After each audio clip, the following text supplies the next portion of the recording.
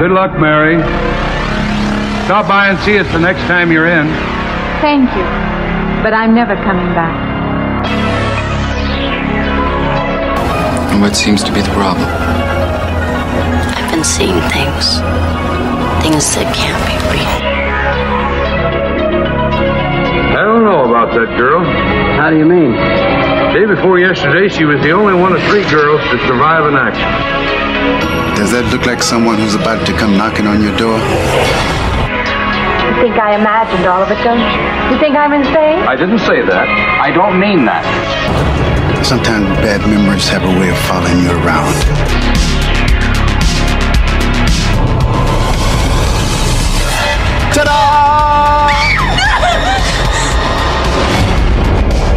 I know it sounds impossible, but I know he's here. And nightmare. I saw him. Sometimes you have to face your demons in order to see the angels. Still faith, saving strength. I have no desire for the close company of other people. If Lewis were still creeping around the house, why wouldn't he have gotten me sooner? Because that wouldn't be any fun.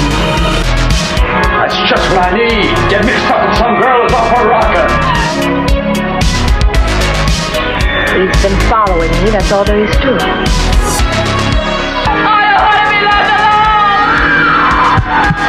Well, if she's got a problem, we'll go right along with her. Carnival of Souls.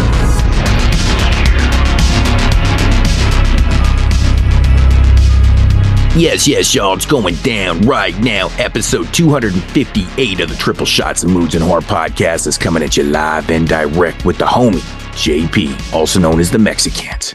We got Mr. Saucedo, also known as Tyler, and introducing to the 22 Shots Collective, AI Dan, the porn man.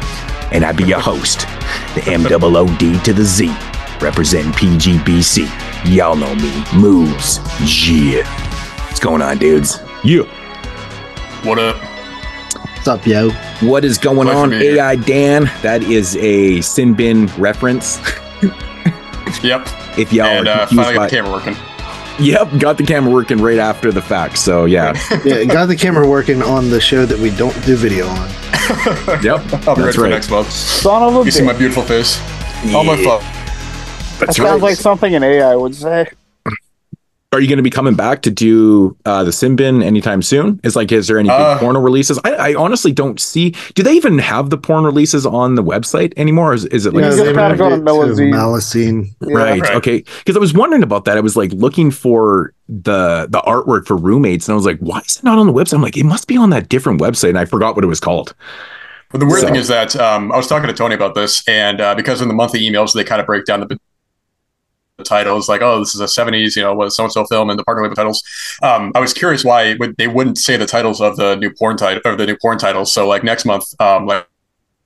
Ambition is coming out, which is a bigger kind of film. It's like you know one of the bigger films, the Golden Age of Porn, and the email is just like uh, you know this this uh, you know uh, Amero Brothers classic that you'll have to go to the website to see. It's like why aren't they listing the titles? And I don't know if this is actually true or not, but Tony was telling me that he thinks that if they're getting bigger like studio titles like Roadhouse and these films, they probably want to keep the porn of it like its own entity, but still you know release the title. So I get it, but it is like I, I didn't think they're know tr- yeah, Ambition I think they're first. Really? Hmm. separating the companies essentially. Yeah, I think that makes perfect sense. Well, yeah. honestly.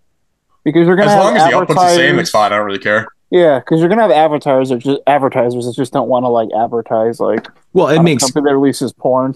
Yeah, it makes perfect Right. sense to have them their own entities, right? For sure. I get it they would with, like- that way. Yeah, I get. I mean, like certain titles like Blonde Ambition, you're not going to think twice about. it. You'd be like, oh, it could be anything. A film like I don't know, like Nine Lives of of a Wet Pussy, and you're like, I can't put that, you know, next to you know, it's a Yeah. big Paramount film, you know, it's like yeah, fucking Roadhouse. it's not going to happen. But I mean, hey, I think they've been doing a you know, solid work with the Melocene title lately. I mean, I was just talking, um, you know, to, to uh, uh, Tyler and all them before. Just just really great titles the past couple months, like Deep Inside Annie Sprinkle and uh, the the um, Burke family's uh, Flesh trilogy, and I mean, just these long-awaited titles. And now Blonde Ambition, which if you'd have me back on next month, I'd love to talk about because that's one I've been waiting for for literally years now. Um, so I'm just I'm really their output, man. I, I've got no complaints. No, I, that works. I mean, it's still, you know, it's still their creation, right? So having the porn part of the show is it just seems logical to me.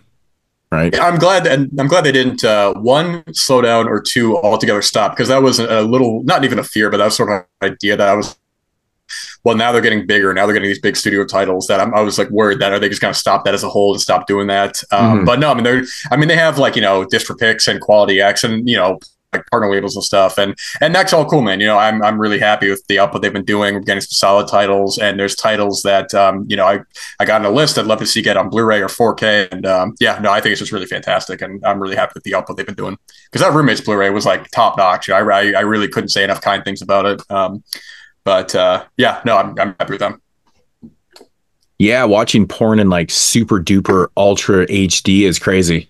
Like that just that blows my mind. Uh, Yeah, they look great. I mean, it's uh, some some uh, elements going to look better than the others. Like I have a lot of the uh, the double feature Peekarama DVDs, Right. and those are of varying quality, which is understandable. Which is understandable because a lot of those are probably not as res- well, well preserved as like you know even independent films or studio films. Well, they didn't fact put as much time into like restoring those. Yeah, they didn't put as much time into restoring those too. It's like the uh you know the the double feature, like the grindhouse double feature things that they did too. Um right? Well, on the- on yeah, the the funny thing about yeah. Oh, sorry, I'm going to cut you off. Um, well, the funny thing, I was, I was talking. I think I may have actually the story up recently. I don't remember, but um, I watching their double of uh, Horror High and Stanley, and uh, Horror High. I mean, the disc looked amazing, and then I was again kind of tired, so I'm like, okay, I'll, I'll find it on YouTube. I'll the last ten minutes in bed on my phone, which isn't ideal, but I just wanted to finish it. Um, and then going from that, I mean, beautiful restoration to like, I mean, it looked like someone took a the piss all over it. And the version I watched, I'm like, wow, I really kind of take for granted sometimes how much work and how much detail are being put into these films, and it's just, Yeah. it's just can't say enough good good stuff about them. Because I think that Stanley at one point was like public domain, right? Or maybe it still is or something. Because I, I remember like know. that. It used to be on like a bunch of fucking multi packs and shit. I don't know if it was actually public domain, but it always had shitty transfers. So it's probably one of the ones you're watching from like one of those 10, 12 Right. packs that was like super compressed into like one disc and shit. Five films on a disc. Exactly. Yeah. Yeah. I remember they had the uh, the third year of the After Dark Horror Fest.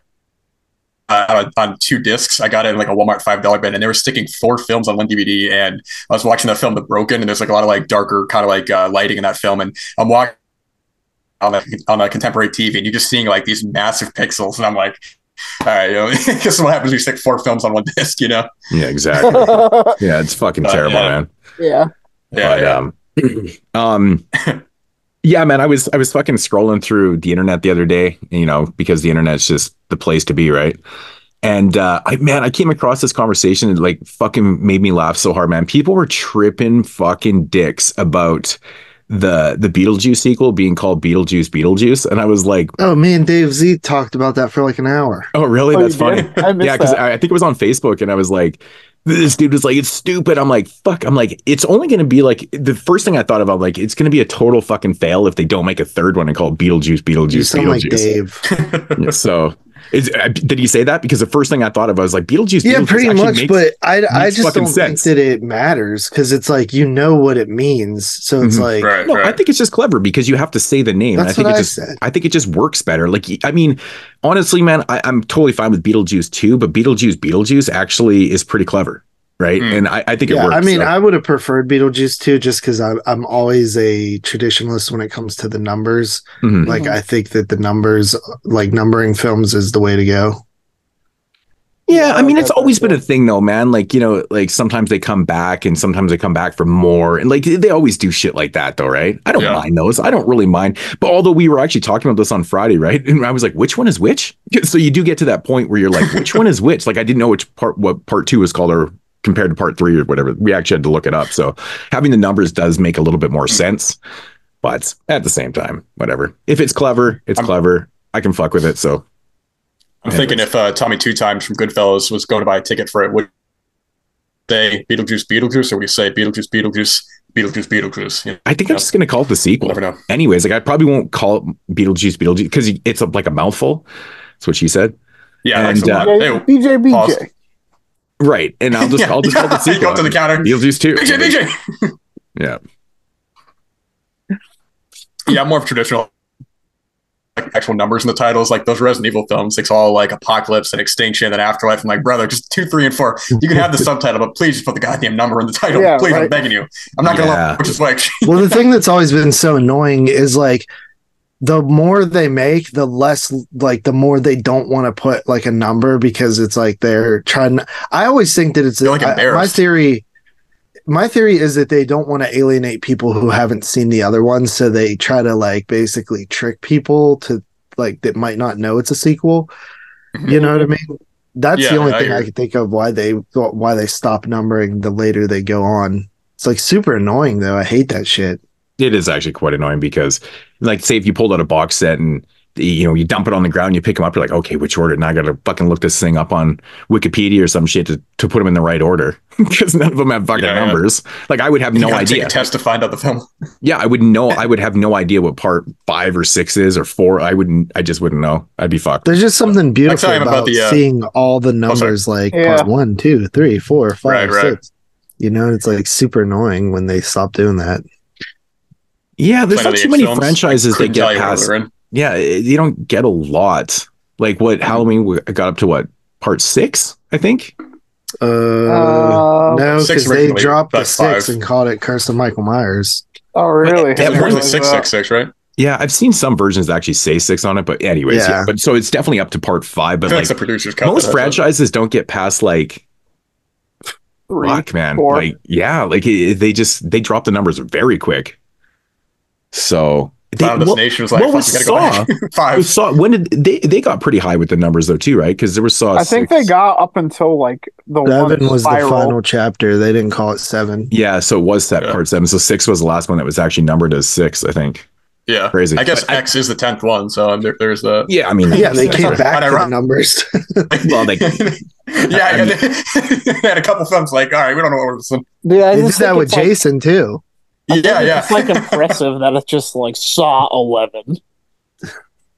It's like, it, but like the fact that it's like a semi prequel, it's like, well, wait a minute, you know, it's like what Saw two dash one, like. You know? Like a Like, I mean- game. Oh, I'm in Saw two dash one. I get to Saw two dash two.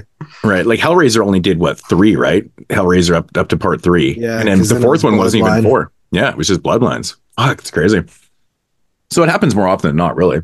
Elm mean, not- Street made it to five. Yeah, because Freddy's Dead was called Freddy's Dead. It wasn't part six.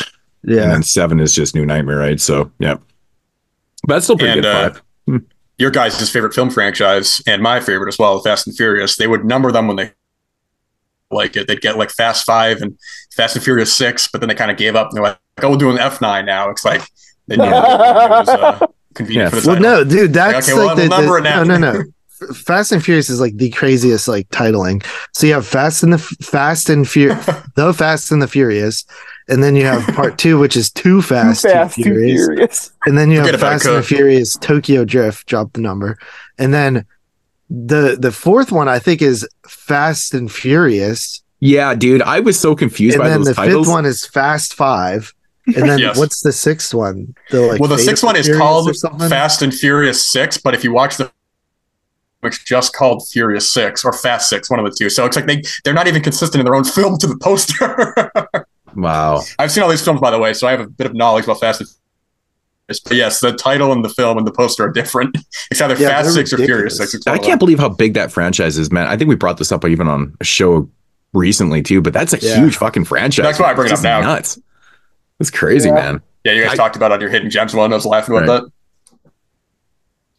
They make a And, shitload uh, of but money. also you gotta- They do, like also- people go to see those. Oh yeah. Yeah. actually Fast X as well. That's another X, like uh, Jason had saw. Jesus Christ. They just dropped the It whole. just looks cool on a poster. Yeah. Yeah, they- I mean, w- I mean, when you get to a part just, you ten, know- like you got to you got to use the Roman numeral, right? Wasn't there gotta- one called like the Fate of the Furious or something? yeah, that was number eight. Oh my god! Get it? Fate? So they Fate. dropped the fast F8. on that one. So that that They is dropped- fate, and it was number eight. Oh, that's actually pretty clever. Fate, because they're Yeah. actually it, That was says, it clever. says eight in it. Oh Right, yeah, that's- I Fate. didn't realize. They didn't. that. They didn't have a clever name for the ninth one, so they just called it F nine. Not even Fast and Furious nine, just F nine. It was literally F9, yeah. Should have Yeah. been fine in the Furious. Yeah, yeah. Fuck. Anyways, And, uh, fucking, I can't believe we brought Fast and Furious franchise twice in two weeks. I haven't seen past the third one. Not gonna lie.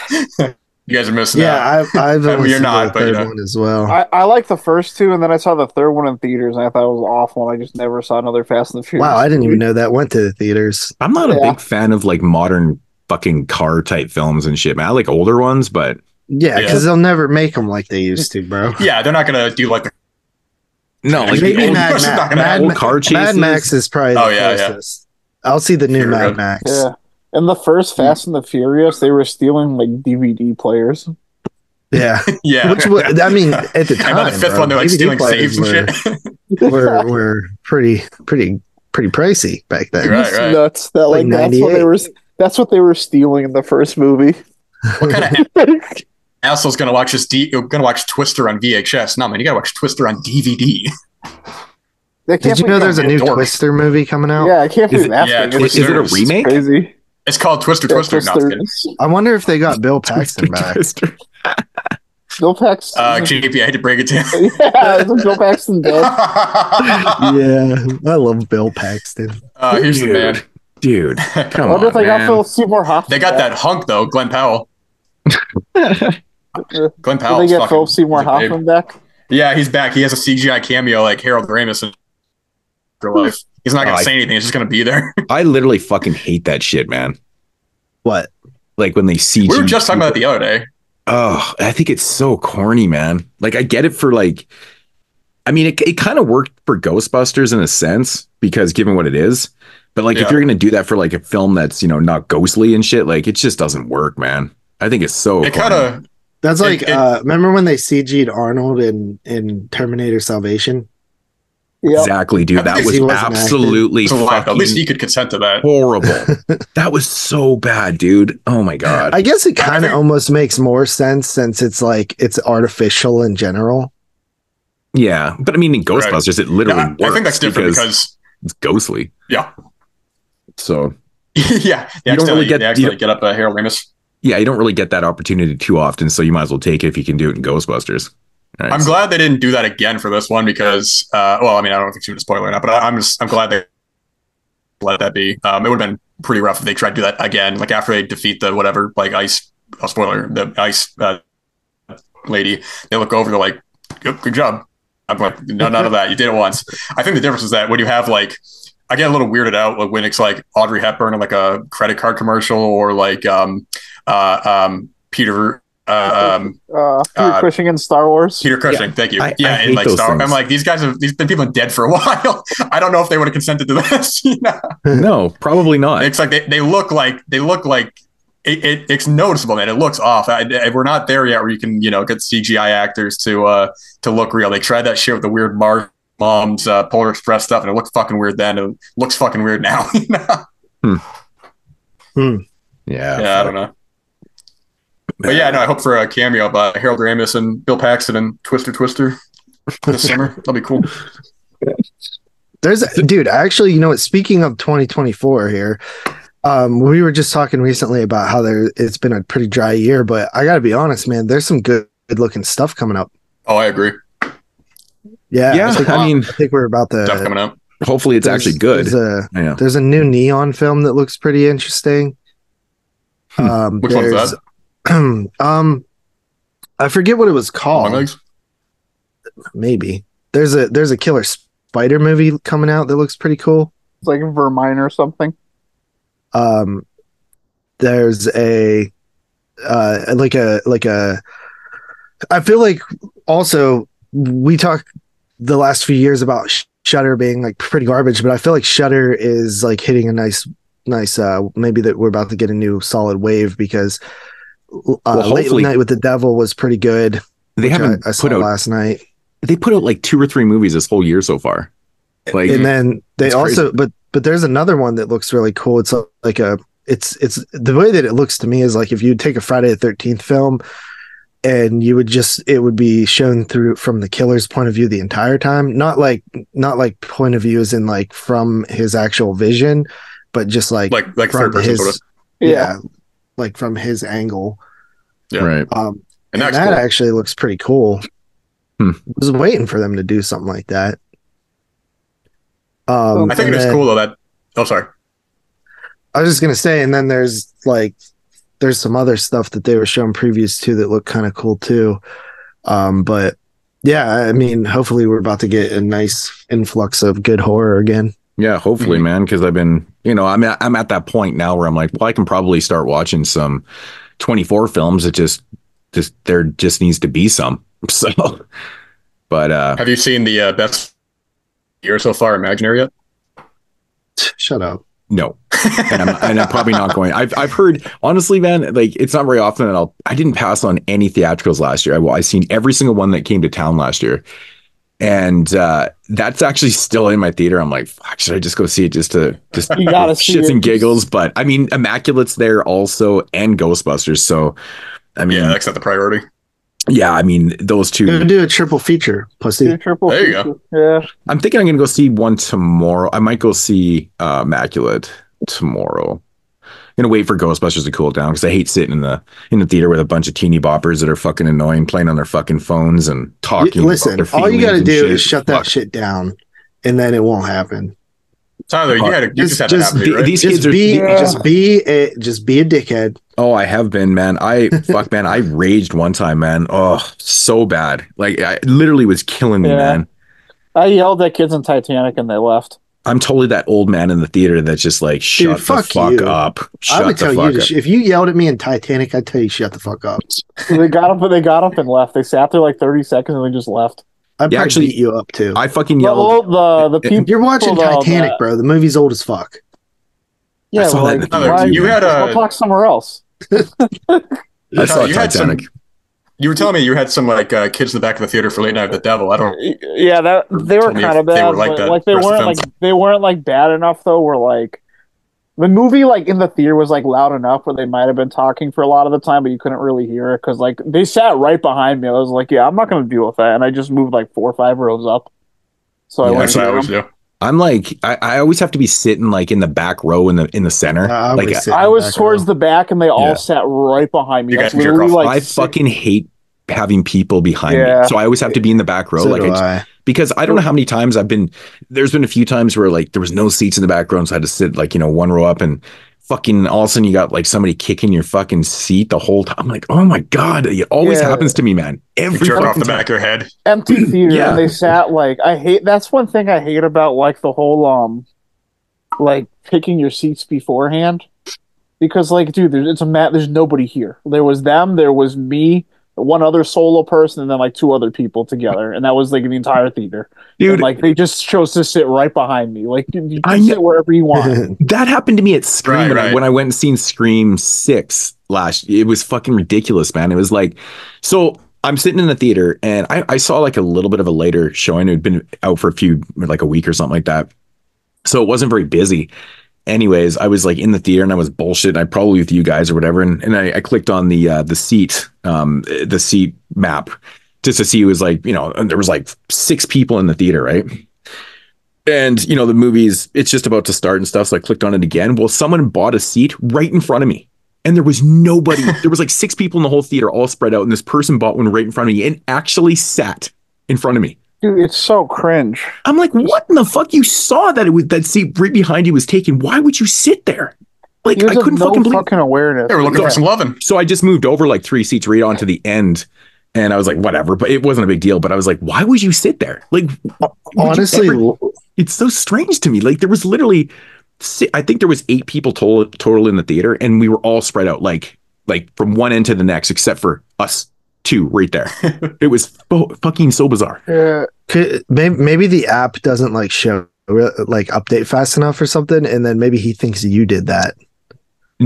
No, I was actually the first person even to buy a ticket, so I would have been on there. Right, but I'm saying like, what if he bought his ticket before you, but it just didn't register on your screen when you usually were it's picking? Pretty instant because No, there's I'm pre- Shut the a fuck up. Tyler. I'm pretty fucking no. I'm pretty sure, man. I'm pretty sure he was the last person even in the theater, so he must have went up there right, right at that point and grabbed his ticket and stuff because there was, I think, like six or seven other people that were already in the theater, and he was like the last one to come in. Oh, Looking so for some you loving, think man. he went What and actually bought the ticket at the, at the Yeah. kiosk. Yeah, and then you get to pick your seat right on the the screen there Yeah. or whatever, and fucking, I don't know why, because you would clearly see that the seat was taken, especially Maybe this kiosk. guy, maybe this guy w- wants a specific seat, and he's like, if anybody fucking sits next to me, that's their problem. Fuck them. I want my seat.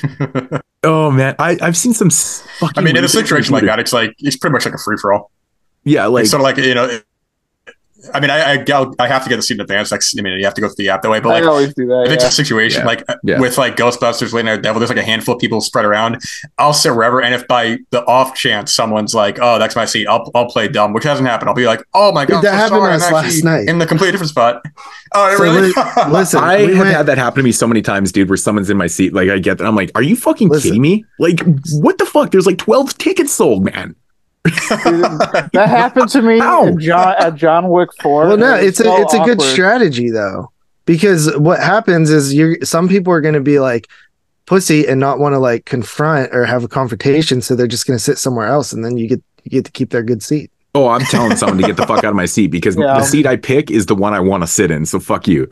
You're getting out of my seat, bitch. Dude, this is it- it the was duality funny. man. so last night we went and seen Late Night with the Devil, and first of all, like that theater was way too packed for that movie. Uh, like it was, it For was which one?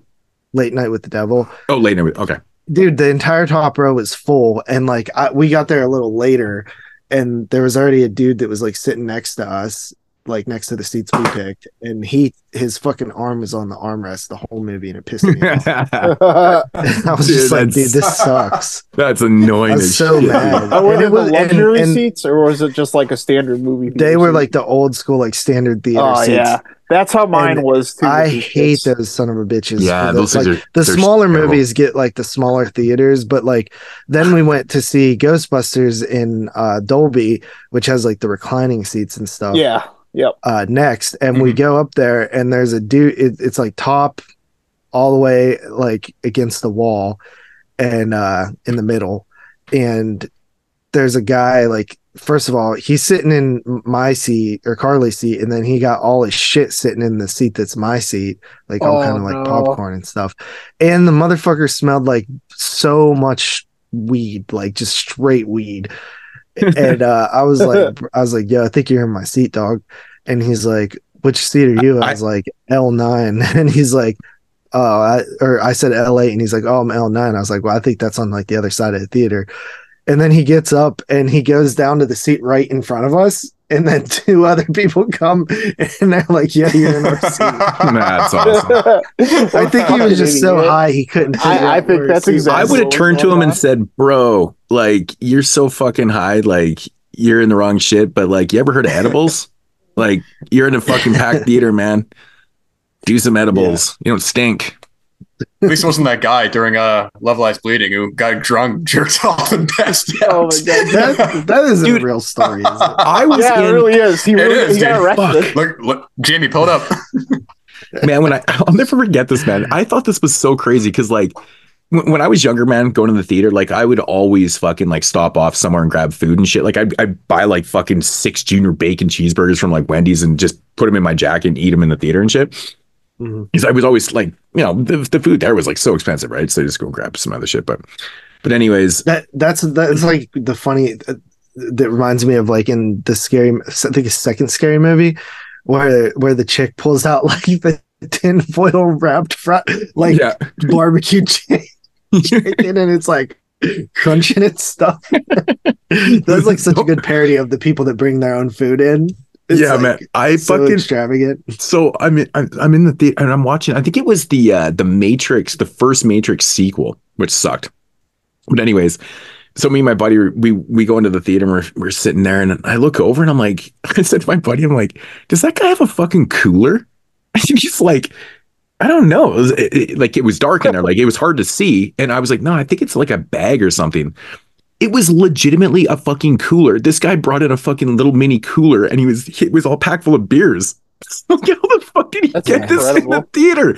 I've Like, never seen anyone do that I every before. respect that. It was so fucking We used funny. to to take water bottles of vodka and that. Well, I mean, yeah, I mean, I, we, yeah, you, you should, but he brought a fucking Yeah. cooler, dude. Like this guy, still a couple he was the fucking man. I was laughing so hard. I'm like, dude, this Yeah. guy's got balls. of- Like, really? Like he just walked in there with it. Uh, Like, no one said anything. I'm Yeah. like, this is the craziest thing I've ever seen. Oh, I'll snake a couple beers in So time. all movie, all you could do was crack, crack, crack. Like you fucking drank every beer in that cooler too. And like so the cool. two hour movie was so what fucking funny. dude. Yeah. Oh. Every time he cracked, one, I people remember- would be like looking over and laughing, like this this guy's fucking drinking up a storm. Yeah. how many do you think that he drank? oh, he had to have at least he had to have had at least eight in that That's two hour so movie or whatever. At least. when we go to um creature feature we but that's different because it's like a convention but we we go over to the theater and usually take a little like side thing cooler of alcohol Yeah. they're actually showing mutilator and mutilator 2 back to back this The year. only time, like, I never brought in like small cans and shit. Well, actually, no, I think I did a couple times, maybe like a couple, but um, in the later '90s, it was the fucking OEs, man. You you grab the bottles of OE because like one of those would fuck you right up, right? So, and they were pretty easy. They were pretty easy to put in your in your big puffy jacket and shit. Like no one knew. So whatever. Yeah, I don't think anyone would actually give a damn out this way. No, nobody fucking nobody No, I fucking mean- cares at our theater. Apparently, like it's it's like a free for all in there. I see people. Well, does Yeah, your I'm just like- theater serve alcohol? no, it doesn't actually. That's no. so weird considering Well, you're Canadian. Well, Hmm. every theater down like in Vancouver everywhere. does. I don't know. I feel like you would go. I feel like you go to like an ice cream store and they'd have like beer on tap. Well, every, it's, ju- it's just this theater. It's just this one because like even like the the mega store, the mega famous players down down in Vancouver and shit like that, like Colossus and shit, which is like a thirty theater cinema or whatever. It's it's all stadium seating there, which we don't have here. We have the old seats, and it's it, they're all licensed. But it's cool, man, because you can go into those places and like they have like full restaurant. Like you can get Subway, you can get a fucking steak. You can get like steak dinner and shit. Go eat them at your fucking Wow. and your like reclining chairs, and they have like little tables. You can literally be eating a steak with baked potatoes, Caesar salad, and shit, having a beer. It's fucking hilarious, man.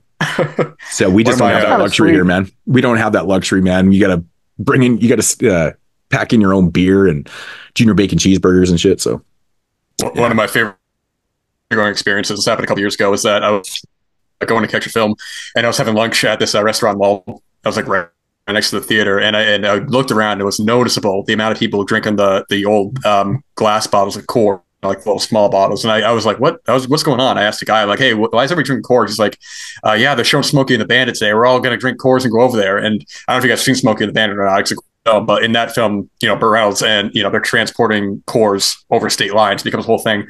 So um, I canceled my film ticket. I got myself a Coors. I bought a ticket for Smokey and the Bandit. Go in the theater and it's packed. I mean, no one's even trying to hide it. You can see like all of the cup holders are just Coors beer, and like, there's just no subtlety at all. If, if anyone walked in, they'd be like, "This theater's drunk," and it played like a damn rock concert. You know what it was? Everybody's drinking Coors. They're pl- it was great. It was one of my You favorite experiences. you know what, was that? you know you know what that experience was probably equal to. It was probably equal to uh, Scream Two. That's exactly what it what your experience was, right? Because it really happens. People go fucking buck wild in the, No, in, they in the theaters. Yes, they do. Dude, They I'll tell do. you I think the difference I- here is that everybody was in on it together. JP, I'm like, gonna bring this up to the everybody. day- It was that same kind of vibe. I'm gonna bring Listen, this up all it'll 200 take you is to record a video of people going buck wild in a theater for me to believe you. Yeah, but dude, I purposely go to the theater when no one's there because I hate people. Like I fucking can't stand like Yeah, but don't you think that an like like an audience full of people who are like into the movie and like laughing doesn't make you film. enjoy dude, it it never better? happened. Not for the movies I'm going to, man. No one's going to no hmm. there's not they're not selling 300 tickets to Immaculate. It's not fucking happening. Maybe Ghostbusters. Maybe Ghostbusters. That's why I'm avoiding that shit like the plague Yeah. until it fucking dies down because I don't want to be in there with fucking these two 16 year olds that are talking about their feelings and they're fucking like seriously, it happens, man. Like they just don't even watch the movie. No, that's understandable. Those are For the a case like Smokey and the Bandit, I think that Oh my god. Yeah, we were just talking about that actually recently. I, when I look at cases like Smokey and the Bandit, like that's when I think, or when I saw Rad with like a rowdy audience, that's those are films I think benefit from Yeah. an audience. That, but yeah, if I'm trying to watch like Schindler's List and I got a guy going like, "Oh shit," it's like maybe not. Yeah, you well, know, that's completely fucking different. First of all, I'm not going to see Schindler's Well, List in the fucking saying cinema that. anyways. That shit would be the most depressing four hours of my fucking this life. brand new film, wait, wait, Schindler's. List. Yeah, very Good good. lord, no, Dude, thank you you on that though. one. Ugh. My my best two movie experiences the last two years have both been with an audience full of old people. The best one What, was what were those?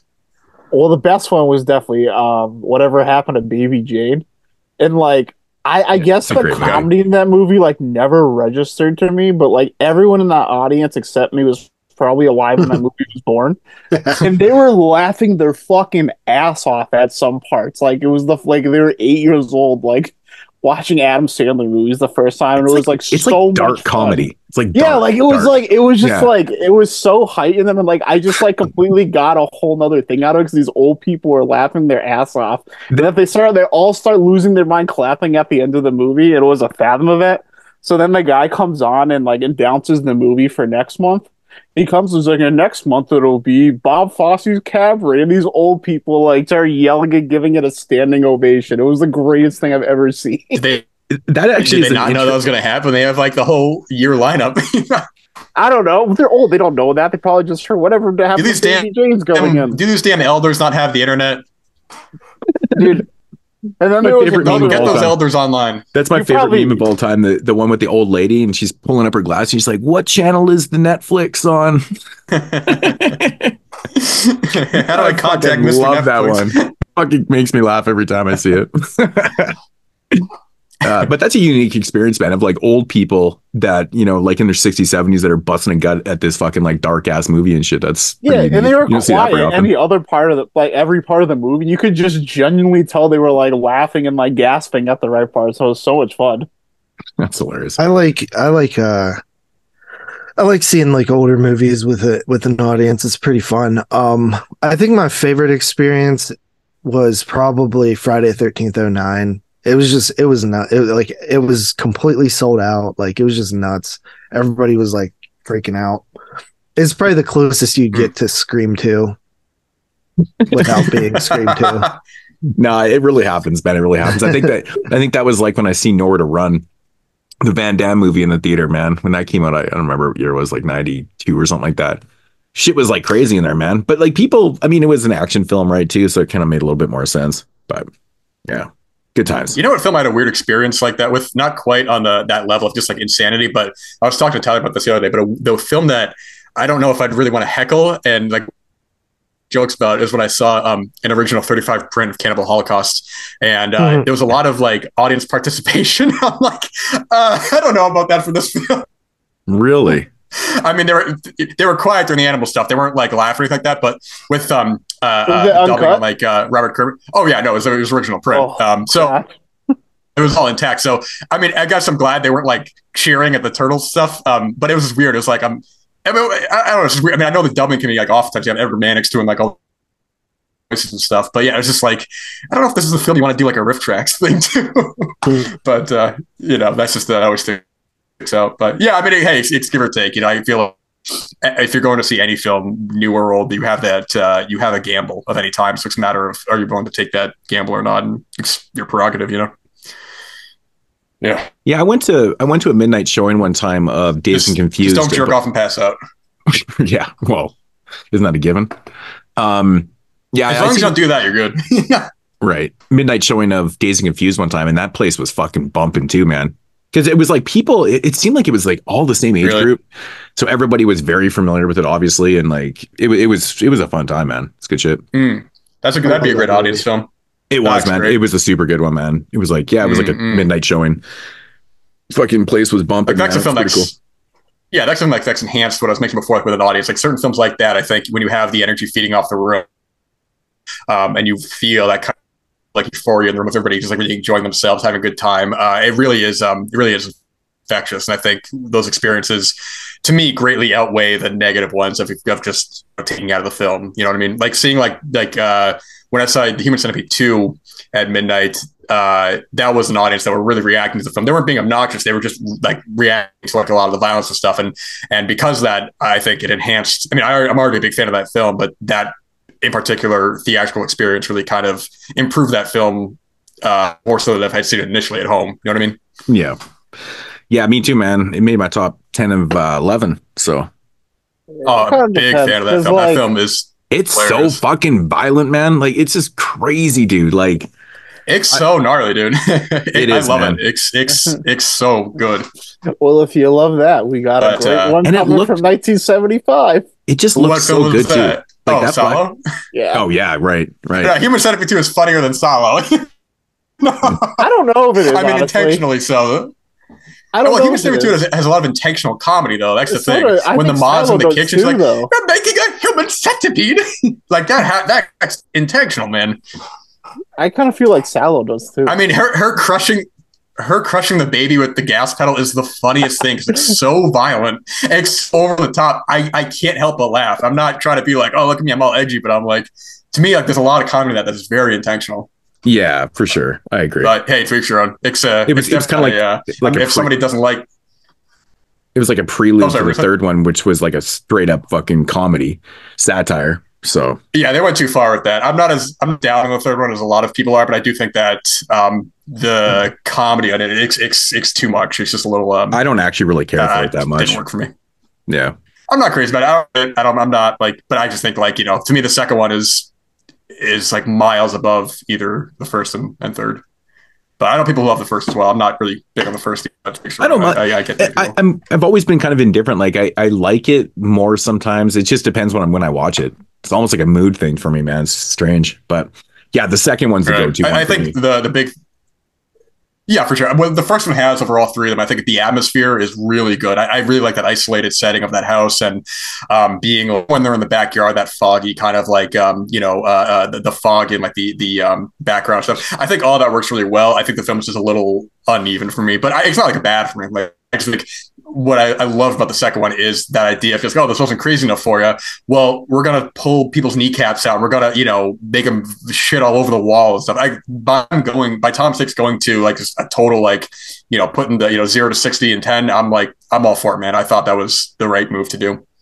Yeah, but it worked for some people. That's others. That's uh, you know very divisive films. Yeah, like oh, it, it, it, it it's always the same shit, man. It's like some people just left comments like, "Oh, Moodz had fucking Human Centipede two on his top ten list," and then like, I can't take that shit serious, and I'm like, "Fuck, whatever, who cares, man?" It Wait, was just did like, somebody really say that? yeah, there was a comment something like, "I can't take that Oh. serious" or some shit. I was like, I don't care what you think, man. It's what I like. It's my favorite list. Yeah, it's like- it doesn't you bother don't me gotta one bit. your taste. It's yeah, your you don't have list. to tell me that. Like, if you don't like it, that's fine. Right. It's, it doesn't affect me whatsoever. It's like fuck, whatever. But Oh, it's just did he funny that you to people.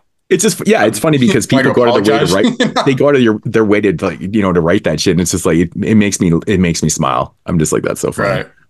Yeah, it's like, well, if you disagree, that's fine. What you know, it's your own list, man. I'm Again, not gonna, like- I'm not gonna be like, oh, you're right. You know, Right. I mean, it, I, I get it. I get it. Why people don't like it. It's fine, but I do. So it is what it is. But yeah, and that's fine. That's what makes if everybody had the same list, be boring. Yeah, and eleven was like I said before was super unique because fuck, we had a lot of uh, different films on those. Yeah, that's what I thought was so cool about that list was that um, I mean, you guys have seen many, many more horror films than I have. I'm more of kind of a general horror fan, but a lot of those films, um, the not only the placement on the lists, but different uh, how enthusiastic you guys were. Like you know, having I skills higher than others, or you know, some of you guys were into making us missing, some of you weren't. I think above all else, um, 2011 especially had a lot of variety. That it wasn't until I listened to that episode that I really kind of noticed of just the bring unique lists, you know, that I thought Yeah. was so cool and much more interesting than just like, oh, number one is The Exorcist, number one is The Thing. You know, it's like, you know what I mean? Yeah, it's like, like I think I said Yeah, about. some years are like that, and then some years are are not. I just feel like if we get 78, that's going to be one of those. I mean, that's probably going to be my least favorite year to prep for in terms of it's so anticlimactic. It's ridiculous. Like Yeah, everybody knows. I've my noticed. favorite movie ever. That's kind of how eighty five was though. Like it was Yeah. just There so was many so many heavy hitters though Yeah. that Well, like Yeah, 85 has five of my all-time favorite movies in in that year. And like, but like, I mean, Dawn of the Dead is my favorite horror film. It's from 78. It's like, come on, man. Like everybody fucking knows that. Mm. Like it's so anticlimactic. I think the most It's almost like interesting thing the most interesting thing that. about the top 10 list of 78 would be the fact that I probably wouldn't even have Halloween on my top 10. That's so ridiculous. uh, What else came do- out in 78? What I, I I think I'm, I've never Big done this ones. before. I've never purposely left off something just to shock people or put something on ever. I should do that for 78 just to see what people say. no jaws. just to fuck with people, man. No Jaws. Yeah, no Jaws in 70. Uh, yeah, right, man. Fuck 75. And number one is Um, Criminally Insane. Oh uh, my god, that movie was awful. I'm a little bit worried that, like, r- when we do 75, it's going to be like four people with Jaws at number one. I'm like, fuck sakes, man. Are you serious? I Yeah, mean, funny. it's like the best movie. it's, it's possible. Okay, best, but Hmm. I mean, we're, I do my Eh. favorite. I do favorites. So, okay, but half the world doesn't. well, they're fucking this stupid. conversation again. Yep. And we're always going to come to this conversation because favorites is where it's at. So rules. to Well, it's funny I 'cause mean, the other night- that- it's probably most people's best and favorite though. You think so? Dude, it's Jaws, bro. Yeah, I mean, it's, Jaws five. it's it, it's it's like a perfect movie almost. I, I haven't watched Jaws actually since we did the Jaws franchise, like what, I fucking watch it thirty years ago. once a year at least. I don't. I usually watch See, Jaws is not a go-to film for me. Like I've done go-to That's film crazy. videos. It's not. That It's- surprises me. dude, I'm the type of person that like, you know, in the summertime people go to Jaws. I go to um fucking some random slasher film. Right? Like I mean, Blood Beach. that No, I'm just too. kidding. No. like Sleepaway Camp 2 and 3. Like I watch them all the time. Right? It's like I it's funny. I watched think, Sleepaway Camp One. I think I th- I go to like it's weird. Like summertime don't go in the woods. Like I know fucking Carly hates that movie. It's one of my all-time favorites and everyone knows that. I love that movie. Um It's wild. Yeah, I fucking love that movie. Dude, I just think I I, I just love Jaws. I I, I don't know for made sure that it's going to be my number one because because I like a lot of uh, uh, you know I haven't seen a lot of movies, so something could replace it. But I mean, there's, know? I mean, I know which one's not going to be your number one for sure. Deep Red. Um, it might be. You never know. It's not going to be, man. It's Why not. not? If it's your number one, I'll give you twenty dollars. Because if it's my number one, because if it's my number one, it'll be your number ten. We already know this. This is how it goes down. Hey, it could so- be Salo. I am a big Argento fan. could be Yes. Sella. See, I'm thinking Tyler was Salo. That's actually not a bad pick for him. For oh. his number one. I don't, I don't see it as Tyler's I don't number even one. I want to see it watch that movie. top three. I, I love that- Sal. That's one of my I think- favorite Pasolini films. I think 75 is going to have a lot of different films on it too, for sure. There, there's a movie in '75 that's like probably my top 20 favorite films ever made. What's the name of that film, Tyler? Spoiler for us. No, I'm just kidding. I'm not, not going to spoil it for you. no, Good. I'm around. Um, yeah, 75. That top. film's criminally insane, right?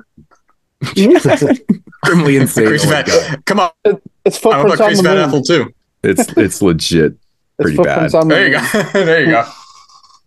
Footprints on the moon. Oh yeah, forgot about that. Yeah, right. Because we Oh, like dude, just that movie sucks. no, I it lo- I'm so excited I get to watch that again. Get, I never seen it. it's in the Tyler, do not put, do not in, put shitty movies in your top ten. because he makes favorite. He so you're like saying he has this, shitty uh, taste then? Because that's yes, what he likes. that's what I'm saying. I did laugh out loud when Tyler was like, "My first one was quiet," and, and JP was like, "That movie sucks." I was like, no, I, d- I liked. Yeah, I haven't seen it, but I just thought it was funny. Your immediate reaction. Oh yeah, that, yeah, that, that sucks. Uh, the thing Um, is, Tyler loves great movies, so I don't know why he's putting shit That's dollars it. on his list. I mean, all the films he mentioned that I've seen, I'm like, yeah, it's a great, that's a great one. I'm like, just all right. because you don't like something doesn't mean it's not good, bro. It's, Like no, seriously, funny. the cremator is a great I- example of a film. Valerie and her, and her Valerie, that Oh, one too. great. Like, films. Love come them all, on, bro. Like, uh, No. I love the cremator, but Tyler's enthusiasm for that film has made me, uh, in uh, subconsciously, have my opinion raised off. Now, when I see sequences from that film, I'm like, oh yeah, actually, I, I think Tyler pretty succinctly uh, uh, put it well how strong that film is. no, It it's like every time I right, watch JP, it, actually. there's like more you're things I wrong. see that I'm like, holy shit! Like I noticed this time watching, like they'll shout out someone Jewish's name, and then it'll just like cut to a person turning around and looking at the camera in panic, and I was like, holy shit, that's incredible. It just Why? this, because it like it's a it's a whole different texture, and it's supposed to be goofy at the same time. sounds That, like, pretty stupid so- to me. It's that's Dude, kind when of you the break point in the fourth wall It's is never But that's stupid. pa- that's kind of the point of it, though. It's mocking the Holocaust and it's mocking Nazis. It like gets to a level where they're like just making I don't Nazis think they look need like any help with ridiculous, delusional goofballs. Jesus. But it's so hard to like, do that in a movie. Yeah. Ah, seems pretty easy to me. Tyler, is the but- cremator a film that would be benefited from audience participation? Probably not. Dude, like, uh, yeah, I probably oh, agree. that's a movie they would they would show at Amherst though. That everyone would be laughing their ass off, and I honestly like wouldn't blame them. Or I'd be the only one Oh, laughing, yeah. and they'd be like, "Wow, Sure. that guy's not okay." Oh, yeah. Yeah. No, I hear that. It for sure. always ends up coming back down to the cremator. Valerie talks, it. man. Fucking JP. Uh, Get some both fucking great taste. films. Get some fucking taste. Seriously. dude? You guys like that? Just go put Jaws at your number one, you fucking fucking Valerie and her fucking weekend of pedophilia. Not a fan. I actually did some like research on that and like watched some interviews. And the guy that was touching the girl and it was like not happy about that. He didn't know like I'm none sure of that was I'm in, sure- yeah, none of that I'm was sure in he the was- script. he said Maybe the he should be like, "Nah, I'm good." like none of that was in the script. And then Yeah, all that of a is pretty fucked like, up. The, I guess he said a lot of the stuff like was it in the script, and then he go on set and be like, "Oh, I have an idea," and he would like make the actors do something they didn't want to do. It wasn't even just that, but he'd just be like, he'd think of just different shit like off the top of his head on set. Dude, that's Yeah, yeah. because he's like he's making other people live out his fantasies. I think that's Yeah. just dirty shit, man. He had he uh, the actor Was his name like, Victor Salva? Oh God, well, yeah, we that- speak oh no name on podcast. Come on, that actor legit it's on the blue it's on the Criterion on blu-ray actually it's a special feature but like Victor that Salva's on the actor- Blu-ray. yes victor salva's on the blu-ray like giving a I love this film. no, he does the commentary. No, he does the commentary. but yeah Like, he's boner on alert. there. it's, it's only like a 10 minute interview and he just like kind of like tells you he kind of like i did not have a good experience in this set he will put shit that wasn't in the script and then he get on the set and be like i have a genius idea Yeah, I never. It's I, like I the, should uh, on the features. I, I should actually watch those features because that's uh, that's really interesting. There's actually. a really good historian one too. There's like some guy that's like a, a like an expert in like Czech literature or something that like has a good like 14 minute just like this section of the movie. Right. His name Chris Hansen. He was enthusiastic. He didn't really say anything perverted. Oh, that's funny. He actually did weird. say though about this That'd be weird if he stuff, did. he's like- he said like he actually kind of defended it. He's like, okay, like yeah, this stuff's in the movie, but I don't think the film ever encourages you to like look at her sexually. well, it's No. the same thing as No, it doesn't. you know, a, yeah, a film like Sweet Movie. I don't know if you guys have seen it or not, but that's a film that also got in trouble for a myriad of different reasons. But there's one sequence in the film where they have a naked, a fully naked woman and children in the same shot. I mean, there's there's no trick or photography there. I mean, it's right there. I know there, there's a lot of controversy about that. Wait, too. what movie is it? You know, X. Uh, this film called Sweet Movie. I don't know if it's from like Czechoslovakia. It's from somewhere. It's uh, it's a it's a very it's a controversial film. There's I mean you, you can read a whole thing about it, but I, I think it's a really good film. But that was one of the things he got in trouble for is because there's a sequence in the film of a fully naked woman like kind of dancing and being like sexual around these kids, and it's you know it's it's, it's a little weird, but I, it's a great film though. At least I think so. What about Um, maybe you know? that says I, a lot about me. I don't know. speaking of like weird ass scenes with like kids in the scene and shit like that. What about the scene at the end of Guilty of Romance, Tyler? You I don't know. Yeah, I know exactly what you're talking. I, I know what scene you're talking about. I don't know if like. Those kids are in that shot.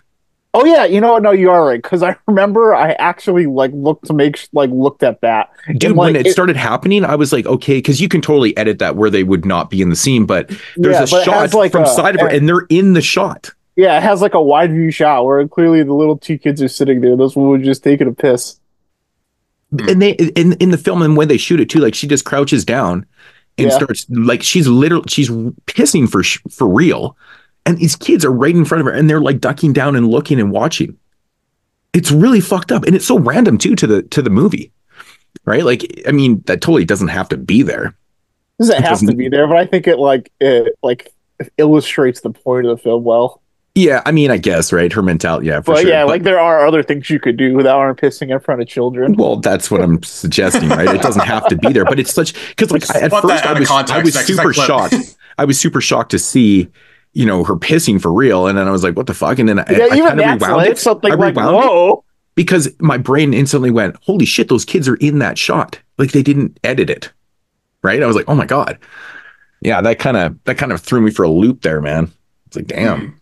But- especially since, since that's a, uh, a more temporary film. I don't know what year it is, but you know, 21st century is. I mean, we can talk about older like 70s and 60s films that you go like, all right, well, you know, it's you know, it's what it is. It's, you know, can't compare the sentiments from then to now, but especially X, uh, X, well, X 2011 actually, um, that's still being relatively contemporary. It's like, uh, yeah, it's less common you'd find now of just naked ass kids in in these films.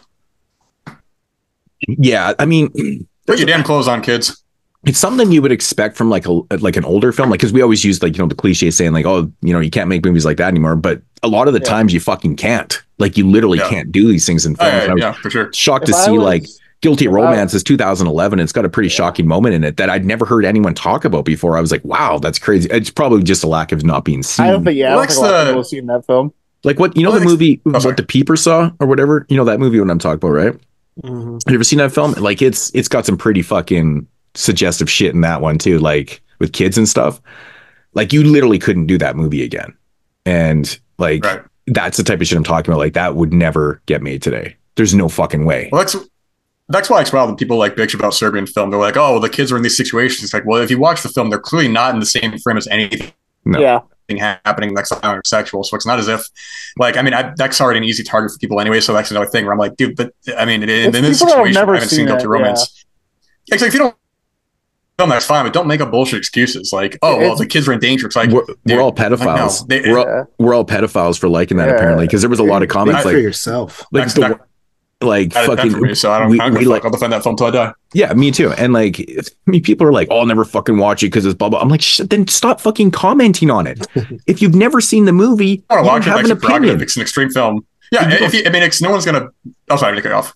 I fucking hate is one of my biggest pet peeves in the world is when people like have an opinion on something when they haven't seen it and or they shut off a movie halfway through it and they they try to voice an opinion. I'm like, nah, bro. Fucking I think I think you can have a bit of an no, no, no, no, no, no, no, no. watch half Fucking shut up, dude. It's bullshit. If You definitely can. film, no, no. If you don't finish a movie, your opinion is void to me. You don't even fucking. I'm No not hearing you, bro. No, dude, it's bullshit, man. Because Dude, you can watch. You can watch. you can't voice an opinion on a whole film when you watch half a movie. You can voice. You can't. Maybe the, you, you. They're not saying the whole film sucks. They're saying what I saw sucks. Right, but they speak for the whole Which- film, though. No, and no. and, and if you're judging going to talk by about the film way things usually general, go, if if, you're the going to talk first about a half film of in the general, movie sucks, the second half's probably going to suck too. no, But you never it, know. it it does. Honestly, dude, I've watched movies that are fucking pretty bland for the first half, and then it totally has a great third act. And I've also watched movies vice versa where it's all good Yeah. until the third act. I mean, these things Yeah. happen, man. But But my it's point watched, is, uh, if you It's- don't watch all 90 definitely minutes of the fucking movie, though. if you don't watch There's all 90 minutes that of the like movie, tie it all together, like Shut at up. the end to make it better. Like I just can't take it serious. Yeah, but then but they, people are I like, feel like the ones that people bail out of are not those ones. if you bail out of the film, just keep your fucking thoughts to yourself because they're like void to me. if I'm watching Slender Man, right? Is there any? What's the percent chance that that movie gets good in the third act? I don't know. I never watched it because I heard it just it looked shit to me. I heard it was Right. really good. I'm just It- like, it is But I don't have an opinion on it probably because not. But I Well, just you, said it said, looked- you said it looks shit. yeah, but that's not that's not judge. I'm not talking about the film as a film. I've just said it, it didn't it didn't appeal to me, so I didn't watch it. That's not an opinion about nothing. Yeah, but The difference said in the looks situation, shit. or the difference in the I'm not talking about the it comes to I'm talking about when people watch a movie when it, when it comes to shut it off and then they start talking about it like they're like reviewing the film, but like, oh, you know, it's fucking garbage. This is that. I'm like, shut up, dude. You didn't finish it, man. Right. like it doesn't matter to me. Yeah. So- yeah. No, you know, you're right. I was having a conversation with somebody recently about a, a non-horror film, but something different, and they were they're having a problem with like one thing they read about the film, and I was like, and I won't get into the whole thing, you know, but I was just saying like, well, I've seen the film. What you're describing, this headline said this isn't the case for the film. Like, you know, they're like, well, I'm not going to watch film because of what this headline said, and I'm like, well, hmm. then we don't have a conversation then because I can't win you over. Well, that's, well, that's what I'm saying though. Is that if you, if you haven't seen the film, like if you don't want to watch a film like Serbian film, or whatever like that, because about uh, content, that's fine. I totally get it. But something like that, where they're like, oh, well, you know, uh, uh, y- y- you're just making bullshit excuses if you don't like something. How something. can you know, get like so that. influenced from a headline that it makes you not want like that's so crazy to me, man. Like, you either Jeremy used to do that shit all the time. We'd be like t- talking about a movie, and then he'd send a headline of like, you know, this movie's the worst horror movie of the year or something, and he'd be like, he'd be like, "Dang, I guess it does suck." I'm like, bro, that that doesn't mean shit. I know. no, you Like, I- just read someone else's review. That doesn't mean when it comes true. to film, it's like I judge shit based on my own existence. You know, it's like it either looks good to me or it doesn't. Like I'm not Mhm. gonna read a headline and be, oh fuck, I guess I can't check that shit out. I'm not So, allowed to like this film now. like a fucking headline, dude. Like who cares, man? Like fuck, you know, fucking Johnny J over there fucking reviewing shit. Who cares? Mean shit to me. I man, do but- text JP and ask him if I'm allowed to like certain films or not before I go to see a film. So if he says no, Yeah. I like that, I won't watch it. So. Besides the that, I, you know, I'm Get good. the okay. Yeah. Yeah, I'm like JP. Can I can I like this film? And he says no. I'm like, this film is dog shit. One of the worst of the year. It's terrible. Yeah, I mean, it's that, that sounds like you're smart. It sounds like most of our top ten shows. Actually, man, our lists are always so fucking different. It's like, it's like what you got fucking hobo with a shotgun. That movie fucking Yeah. sucks, man. Fucking sucks. Yeah, whatever.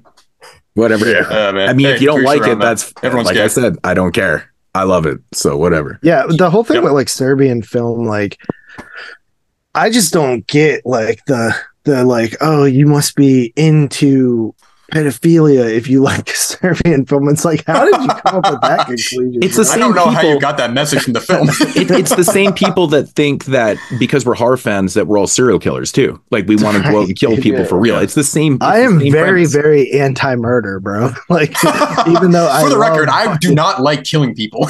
yeah, I'm like I, I don't like anybody dying. we just talked Yeah, yeah, about wanna this make the other that- day, like how you know we can watch a movie like Scream and enjoy it for what it is, but then and then I talked about watching that Dateline about the real killers that base their shit on Scream, and it's like it's absolutely appalling. It's disgusting because Yeah, They are I so enjoy that amped in a up in- different way. Like, Right. I don't enjoy it like, oh, this is fun. I'm like, oh, this is horrible. yeah, dude, It like so makes me think.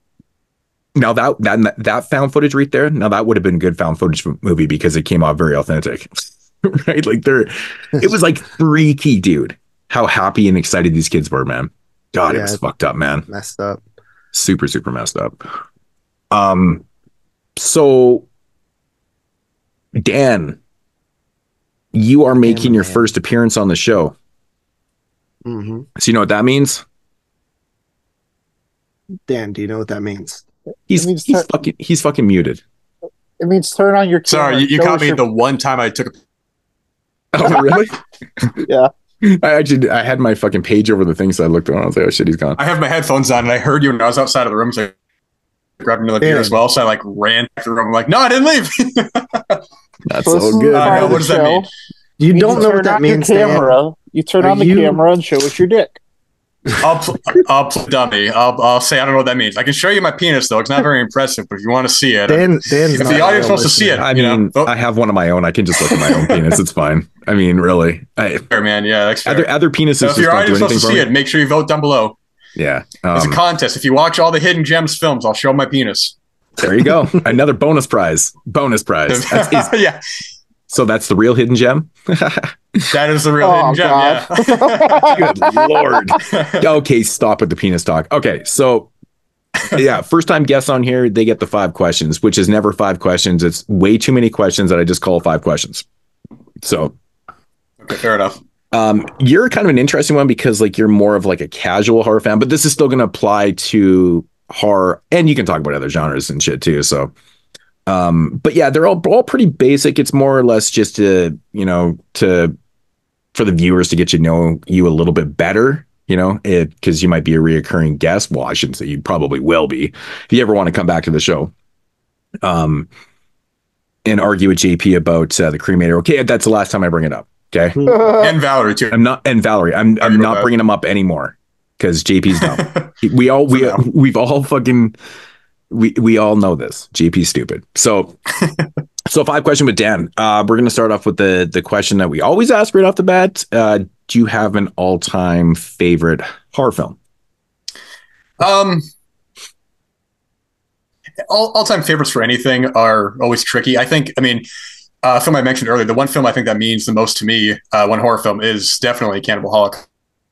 It's a film that uh, was a film that I saw at a young age, uh, probably younger than I should have, and it was a, the first real film horror, not that I became completely obsessed with, where I was like, okay, I want to know everything about this. I want to know who made it. I want to know who starred in it, and um, it wasn't even until years later that I realized that Robert Kerman, aka R. Bolla, who is primarily an adult film actor, is a star of it. I was like, oh wow, he's actually Right. in this film as well. That's great.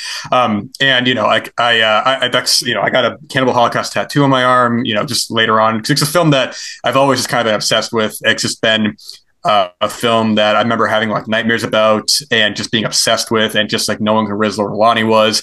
It's it's more so than just general like, oh, this is a great film. It's the way I describe it is kind of like if you're in a relationship with somebody and it's like you can tell somebody else that I love this person, you know, they mean a lot to me, but it's a different kind of feeling when you're actually experiencing it's sort of just like I can't put into words that kind of feeling or experience. I can only try to convey that. And I'll, I don't think I'll ever be able to put into words, but of just what that film means to me and, and how I'll, you know, defender of that film till, till the day I die. Yeah, it's uh Ortolani's score in that fucking movie, man, is like the most. It's so it's so beautiful, but it's haunting at the same time, man. I think it's like it, it it's just perfect. It absolutely is Yeah, so perfect for that film. Yeah, Listening Uh, to uh, or Talk about. Sorry, I'm going to cut you off, but um, I'd also recommend in general if people are fans of any of the like the the Jacopetti um, and I always forget the other guy's name, any of those Mondo films. I recommend the documentary The Godfathers because that does feature an interview with Ortolani uh, before his passing, um, where he talks about specifically his work on Mondo Cane, because his score for that film was great as well. But uh, if anybody's interested, I mean, he's a very interesting guy. He's just uh, spoken, and um, I think that might actually be on the upcoming Goodbye Uncle Tom 4K. Don't quote me on that, but either way, it's an easy documentary to find. Um, I'd recommend that if anybody's interested. Is it on the like in the Mondo Cane box that Blue Underground put out years ago? Like I'm like all those films are in there. So is the documentary part of it? Because I never watched it. Yeah. Okay. It's part of that box set. I don't believe it's on the Mondo Cane individual DVD that eventually got re-released. Um, Right. But it is it is it is it is in that box set with you know Mondo Cane one and two, Africa Addio, and um, Goodbye Uncle Tom. Yeah, it's yeah. called So Godfathers of Mondo. Very so good. It, very so it is somewhere in there. Oh, that's good. That's good to know. I actually didn't even realize that. It's crazy. So okay, It's, cool. it's like 80 minutes. 'cause It's like very much like kind of a uh, uh, lower budget kind of thing. They talk to the guys, they talk to Riz Ortolani, kind of the experiences making these films and the eventual decline of Mondo films and stuff. Um, but it, it is definitely good, worth watching for sure if you're interested in that kind of film. Right. Right. And still one of the uh one of the living legend fucking um actually no, is Deodato is he still did he didn't pass away, did he? No, He did pass away. Wait, what? Did Passed he? away last year. Right. that's what that's why I was Honestly, that's why I would stop myself when I was Sorry, saying I was, cheers, thinking. I was gonna say he's still living legend, but I was like, wait a minute, I think Deodato died last year. That's crazy. Right, totally. Yeah, I think he he passed away in like December of 22, I think. Something like yeah, that. Yeah, because he just made he just made a uh, a segment in that one anthology. So I was like, December- Yeah, December. profane exhibit. yeah, I thought he was still alive. well, he did one in December. No, no. Was it that one? yeah, it was that. Yeah, he passed away Yeah. in December 2022. Yeah, actually his short in December actually was was a decent one. I like that one. All right, Peter Leg. Yeah. It's funny, like I totally caught myself. I was out say, there. Raise your glass. Yeah. Pour a little liquor for my homies. Um, Also, can't forget Jungle Holocaust, Cut and Run, all these terrific films. Unfortunately, Deodato never fully got the recognition and the credit for that he did alongside his contemporaries like Fulci, Argento, Martino. I think Deodato belongs in those ranks. I mean, we. I, I mean, I put him up there. I really do. I like a lot of uh, uh, Deodato stuff. So, I mean, but yeah, I know what you're like the general consensus, right? I mean, he's kind of known for Cannibal Holocaust, and people kind of forget about the other works that he did and stuff. Like, I even like Waves of Lust. Like that movie's pretty cool too. Yep. It's like even before Jungle Holocaust, man. It's like an early '70s one and shit. So uh, more yeah. exploitation and stuff, but I think it's pretty cool. It's all set on a boat, which really fucking Mhm. helps because you guys know me with boats. I love boats. Yep. Um, but uh, yeah, do you have like any like what are some of your like all time favorite films? Just just in general. Do you have any more? Um, do you have any more Oh, horror sorry. films that are like up there? Like you know, you talk about Cannibal Holocaust and stuff, but like Um, I mean, specifically horror, and not so much. I think that's that's the film that's kind of the exception there. I mean, there's plenty of uh, great horror films I hold in extremely high regard. I mean, as we all do, we have our own kind of personal experiences with these films and different artistic.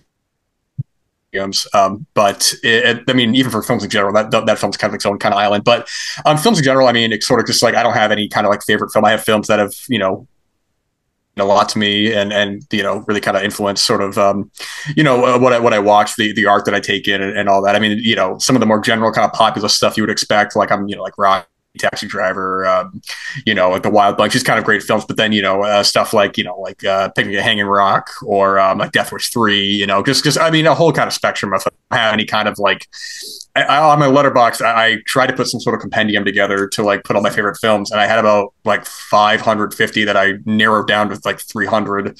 And I think that's kind of a good idea of my taste. I have a lot of like really silly comedies, a lot of like kind of more avant-garde sort of films. Um, I think I was talking to Mason recently, and I, I fall somewhere in between Tony and Tyler film wise, where I, I'm I'm I like my art stuff, but I also like just nonsense. I mean, like, I was just talking to Tony. I just watched that Roadhouse remake, and I thought it was so much fun. Um, but then I also love you know like like last year Marienbad and these kind of more artistic sort of films. So um, yeah, that general kind of I'm I'm pretty much into anything and anything. Yeah, it, I I kind of feel like I'm very eclectic when it comes to films too, like especially with horror and stuff. Like one minute I can be watching like shitty five dollar fucking shot on video films, and I can be watching like you know fucking I don't know some art house film like five minutes later, you know, kind of thing, right? Right. Um, I like Well, shit that's all why, in I- that's why I think that's why I think your guys' show works as well as it does. Is that because you're covering such a variety of genre films where it's not just like okay you know oh we'll do all of argento stuff or all Fulci stuff it's like when you guys do your italian horror months i'm not as uh, familiar with a lot of those filmmakers and work so i'm listening to this and i'm like i don't even know what these films are and i wouldn't have ever heard of them before if it wasn't for you guys or like you know you're doing like the asian stuff or anything like that so i think the variety and the amount of like films that you guys have gone through is such a wide array of titles that really kind of separates you guys from the rest. I'm not just sucking a dick for the sake of it. I'm just saying that the, the wide range is something to be admired. Yeah, I mean, it's something that we didn't actually set out. It's just, I think it's just who we are, right? Like, we never made a point of being, oh, like we did an older film. We need to do a newer one. We need to do like this exploitation or we need to do this or that.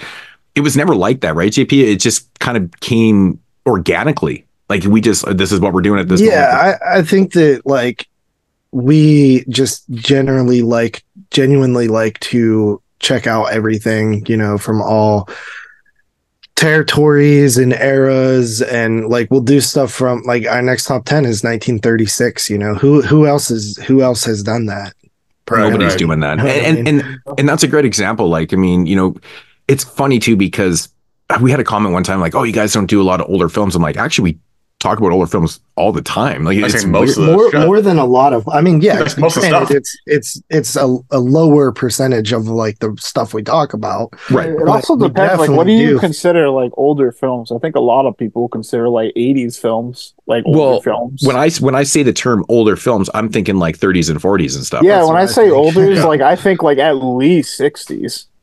Yeah.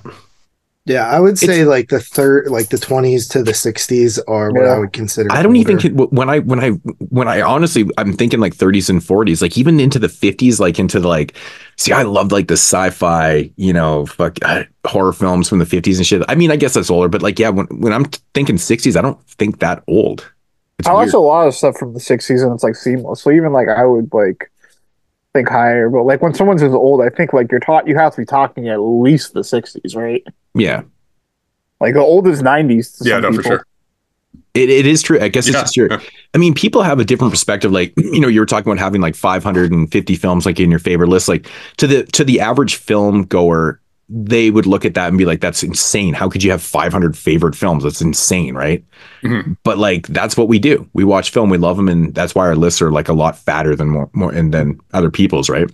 Yeah, I mean, I think that's any kind of artistic medium. There is, I mean, I look at like you know you, your you know I look at like your wall of like CDs and stuff, and clearly you know, I, I could pull any CD on that shelf and you can tell me a personal experience. Like, oh yeah, this this artist, you know, this album really meant you know something to me at this point at, at this time, and that's how it is with films for all of us. Like, we all have films where we know, you know, either when we saw them or an experience that we had or just good memory and all that. And it's sort of like, that's why, like, when it comes to like favorites and stuff, I, I just can't really.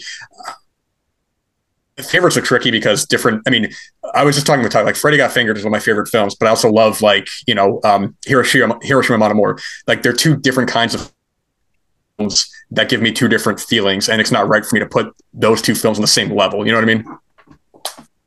Oh, I, I totally do. I totally do. I mean, and that, but that's you know when it comes down to favorite films, I don't really think of you know lumping everything into the same kind of vault. You know, it's like I don't know, man. It, it they they can be polar opposites. It and still fall into that you know into that uh, barrel. It's like I don't really know how to explain it, man. Like film to me is just it's so non-comparable that when I'm thinking favorites, I just look at it as one of my favorites right? Like I said, like yeah, one that I could sure. be watching Taxi Driver, you could be watching, you know, Rashomon or something like that, or fucking, you know, Bicycle Thieves or some shit. Like, you know what I mean? Like, yeah, yeah. It, it doesn't oh, really yeah, matter to sure. me.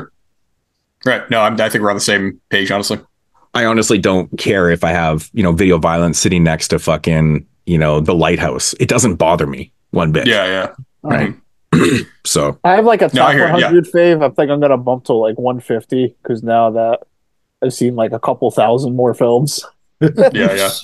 I mean, um, these lists are always evolving. Like, they're always changing. Like, yeah, I mean, they're always changing. But like now, I've got and I've like I've been very good for a long time, saying I'm only capping it at 100. I'm only putting movies in that like I've seen more than once because I don't think they're my favorite until I'm watching them over and over. But right. now I'm getting to the point where I'm rewatching movies I only watched like three, four years ago for the first time, and I'm like, wow. I call them like. Right, right I don't really use the term that often, like favorite film. I I call them go to films for some odd reason. Yeah, that's just that's basically yeah. synonymous with what I'm saying.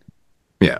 And uh, yeah, Yeah, no, but sure. now I'm like, I'm reached. I think I finally like reached the point where it's like, I like, I, I really don't want to like kick out any of these films. Right. Yeah, I mean that's It's what I mean. tricky. You know, Yeah, I and I, got ridiculous. I have ridiculous stuff on there from like Adam Sandler comedies to like, like Russian war films. right. What's your favorite Adam Sandler comedy? Happy Gilmore, Happy Gilmore, and Billy Madison are kind of like right at the same spot. My heart says Happy Yeah. Gilmore.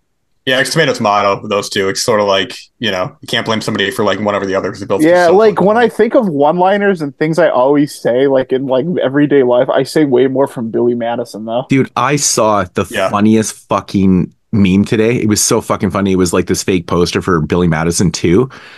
And it had the breakdown of the mm-hmm. cast, and it had fucking Tiger Woods playing the cat or the extra.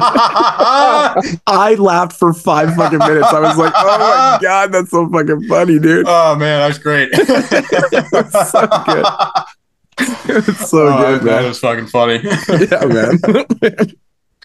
It's so good. man. Untapped potential. Let's get it done. You know, Right. you're still with us. You can make this happen. I mean, what R.I.P. starts out Carl as a Weathers. joke would actually be the funniest thing ever in the movie if Tiger Woods was actually playing uh, Chubbs. Oh, I'd laugh my Oh ass my off. if That was happening. So funny, dude. oh, that's great. I'm glad we. I'm glad we put it on Adam Sandler now. I'm glad we're at that point of the conversation where we can go to the Sandman and talk about his films. You know, Right. I love the Sandman. I'm all for it. I love him. Um, do you have a favorite director? Is someone that you kind of go to and put on, you know, someone that you Um, Yeah. yeah, kind of the same point I was talking about before. Different filmmakers kind of mean different, you know, stuff to me. I mean, like I was talking about Deodato before, but of course, I know I love like, uh, uh, you know, John Sayles, Howard Hawks, uh, Vittorio De Sica, um, you know, the big ones, John Carpenter, Kubrick, Scorsese, all that. Um, yeah, I just like for different things and different uh, filmmakers, different experiences. No singular kind of favorite. Um, just an amalgamation of a lot of filmmakers and uh, that I like. I love, you know, even like adult like Chuck Vincent, Gerard Damiano, uh, Bob Chin, you know, Roger Mhm. Watkins, uh, just just different uh, kinds of films, different kinds of filmmakers with different visions. I think uh, I don't think I could pick one. That whole group. I mean, you You're fucking ma- lame. but you could also my lame? you could also Just pick a favorite, bro. It's You- not that hard. you could Uh, you could name Your like okay. favorite many different directors. director? I'm fine with that. Who's your Your favorite horror director, Dan? Um, I don't know. I'm, I'm, Dude, I'm, come I wish I thought of this before. I'd, I'd probably be able to give a, I'd probably be able to give a better answer. Uh, favorite horror? I mean, exclusively horror, or like a director who made horror films. I mean, Predominantly Just horror. pick one. like Predominantly. uh, predominantly horror. I mean, uh, yeah, we all know that um, some of the greatest horror movies were made by like non-horror directors like The Shining. You know, yeah, it's yeah. like- I mean, I'm thinking like I can't. I guess I can't count like Freak or anything like that because they only made a couple. Um, he did make three, You can count him if he's your favorite. maybe even four. Kind like, of, I mean, yeah. I mean, I love him. I mean, but I don't know if he's like a hoist, like a, a, a horror filmmaker. I mean, you know, I don't know. I don't. I don't, I don't have a good answer for this. You're overcomplicating it, bro. You just pick one. that's Uh, the problem Uwe when- Boll. There we go. Go to Oh, nice. This fucking guy. I swear to God, man. Come on, have you seen? You guys make Blood everything so complicated. Dark All, all you got to Dead? say is like, I like John Carpenter. It could change I'll go tomorrow. like John Carpenter. Then. I'll go. Carpenter. Sure. Why not? Why not? I'm sure he's a good guy. John Carpenter. Why not? Yeah, I mean the broader scheme of things, like Uh, yeah. I mean, we, we did a top fifty favorite director, like horror directors list and stuff. But like, if I was to branch out and pick other directors too, like that's where it gets really complicated for me. Like, I love the such a sick Mine show. would be Tarantino. like I love or- Tarantino. I love fucking oh, dude, I love fucking um, uh, like I love Kubrick, man. Kubrick's amazing. Kubrick might, Yeah, yeah. Kubrick might be my favorite director now. like the dude's just- movies are so incredible. Yeah, like man. two good ones. Who? Kubrick. You did, did you just say Kubrick has two good movies? Yeah, Full Metal Jacket is his best, and then The Shining is his second best. What in the? hey, JP. so yeah, I know why he's Hey, saying you know this, what's 'cause- better than Full Metal Jacket? Apocalypse Now. No, you it's know why, not. You know Yeah, why you, JP, you know why you're saying this? It Because absolutely is. JP, Yeah, I'm dying on that it's- hill. It is not though. JP has only seen It two Kubrick movies. the best. I've seen three ever. Kubrick movies. Thank you very much. What's the other one? Three. What three? The Shining, stupid, uh, the Full Metal Jacket, stupid one with Malcolm McDowell that sucks that everybody loves. Clockwork What? Orange. Clockwork Orange. Okay, Yeah, anyways, anyways, you're talking to three. you don't like that movie? You're talking to three people that have seen every Kubrick movie more than once. Well, actually, no, that's not true. I just I still lied. haven't seen Lolita. I've only seen Spartacus. Barry Lyndon once, and it bored the shit out of me. Even though it's a great movie, I watched it's really it, boring. I watched it last night for the second time. It's great. One of his That's best. random. I loved it. Lolita's great too, Tyler. You got to watch that. Yeah, Lolita and Spartacus. That's all I have left. Yeah, Spartacus Lolita, is good. Lolita is actually going back to the Yeah, conversation about movies that you can't really make anymore. Is Lolita is definitely one of them. I may have seen that. It's, It's wild really how, how misinterpreted that film has been. I That's- bet yeah, JP okay. would like The Killing a lot. Yeah, the killing is really good. Maybe, man. yeah, I guess that. Maybe. It, it's uh, it's hasn't aged the day. The pacing and the it's all like. I mean, that's a film that you could show to somebody now who like maybe it's like, oh, I don't want to watch like a black and white film. Like, it's like you could show them that and they'd be like captivated. JP, you've never Would seen you Eyes count Wide the Shut? moon landing film as as a Kubrick film? Yeah, or- because he did shoot that. It's yeah, it's Yeah, Okay, when so I've filmed seen the- more- that's, it, that's his best work. That's his best work. That's his best fucking work. It's crazy, man. No, it looks fake. Is that He didn't have he didn't have the technology to make that. Ah, dude, that's fucking tried so funny. tell us in The Shining? Yeah. Oh man, that documentary. I also recommend man. the film uh, Project Avalanche. Good film. Nice, nice. I don't Um, you guys that one or not. you're So I'm it's watching a Full Metal Jacket right now, which take- is the weirdest thing. what do you mean you're watching Full Metal? Are you not recording the show? You're. Why aren't Yeah, you watching but Apocalypse Why is JP guys- so dumb today? Like, Do you guys not put idiot. movies on while you record? He just said I'm- Kubrick I- has nah. two good movies. He's watching Full Metal Jacket. he doesn't understand the cremator's fucking comedic elements. Valerie is way past his head. Like, dude, you over and over What? again just created. You're a dummy today. No, dude, I'm killing it today. You are I a said I dumb said all kind of good shit. Like I, I'm, I'm gonna be red from now on. Remember man. when I said I'm that calling you you can watch dumbass every half a five minutes? movie and say that your opinion on it? He did say that. Yeah. Yeah, that was another fire. fucking stupid thing, man. That is the dumbest fucking opinion on something ever. No. JP, who's your favorite horror director? Wes Craven. See how easy Okay. that is, Dan? Yeah, and It's easy. I should like to take the notes from you. Uh, Cronenberg. I'll go with Wes Craven and Cronenberg.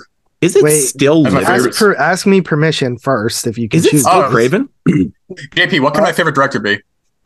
What can Uh, my favorite director be? Tyler's is probably Cronenberg, so you can't have that. You can't have Wes I got it. Cronenberg sucks. He's a hack. All his films suck. JP, what? Yeah. uh, what, Um, what who, who should be my favorite? Yeah, your Cronenberg only has two favorite good should movies. be um Besides Andreas fill, Schnaas. I'm He's a, filling a legend. I'm filling Ruggero Deodato for you. Uh, You know what? Then Moodz. I definitively say Ruggero Deodato. There yeah, you go. well, that fair enough. And of my own free will. I thought that was going to be your snap answer. I thought you were going to say, oh, oh easy, Gerald Deodato. yeah, I know. No, because I mean, it- He just I talked mean, about Cannibal, how much he likes Deodato, and then he's like, Well, listen, no, because I- director?" Cannibal Holocaust is next level, but at the same time, I don't. Even though I love, uh, oh shit! Well, I actually I forgot about House in the Edge of the Park. That's also kind of uh for me. Uh-huh. hmm Besides Cannibal Holocaust, and House on the Edge of the Park, I don't feel as strongly those films as, as I do with Jungle Holocaust and Cut and Run. Great films, you know, in their own right, but Cannibal Holocaust is, is a different level. House of the Edge of the Park is slightly underneath that, and the rest are, are really good. But if that's my favorite, that's my favorite. So I'm gonna go with that. I yeah, mean, see, I get I, like I be. I don't even like all of Wes Craven's movies, and he's my favorite. so you you technically don't even have to. yeah, but like you don't have to justify it though. If you say something is your favorite, you're like. I don't like all of Fulci's films either. In fact, like Fulci did a comedy in I don't think I've. '69, and it's it's it's actually terrible. Like I, think- What fucking could that? not do it, man. Um, Well, And I even feel for like Story, I'm not a big fan of- comedies are weird in general. yeah, it it just doesn't. Yeah, I haven't done Some of them don't with the translate Italian well. comedies. Yeah, Um, yeah, I mean, he's Yeah. done some films I'm not like the biggest, but he's also done some of my all time favorite movies too. So like, but I mean, his I don't Yeah, I think mean, I've even, like, seen a movie by stuff's him I didn't like so far. yeah, like his At output least from the early bit. '70s up until basically when he Uh, died. Like I, I don't like honestly, Touch that whole era, man, is just like. I mean, when he started making genre films, because he was making comedies and like like other types of films and shit like that too. But Yeah. he did three westerns that I really like too, spaghetti westerns. But I saw two of them. They were pretty good. yeah, yeah, for the apocalypse it's is fun, fucking fun, Yeah. it's I watched awesome. that Funnily enough- one and I watched the S- Sober something. I think it was. uh, Which one? Probably not. No, from Fulci. I watched two of his three westerns. One was the was the apocalypse one. Oh, and then there's What's uh, what Silver Saddle or whatever that has like I a think- fucking No, was there what's the Fantastic other Four one? Rise to Silver Surfer. dude. No more Marvel talk, man. Is that not a Fulci film? I don't know. I don't Silver know Surfer? things. No. I watch porn for a living. Right, right. Damn. if it's not a porn, I don't know what I'm talking about. Um, Oh, excuse me.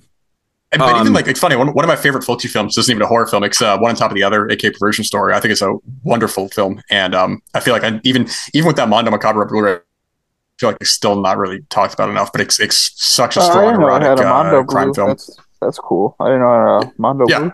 Yeah, no, it. Yeah, I, I got the assume it's still in print, but it's it's great. Yeah, because Yeah, the DVD really was stuff. released by Severin, and then Mondo put out the Blu-ray of that. Does it go by perversion story little or one on top of the other?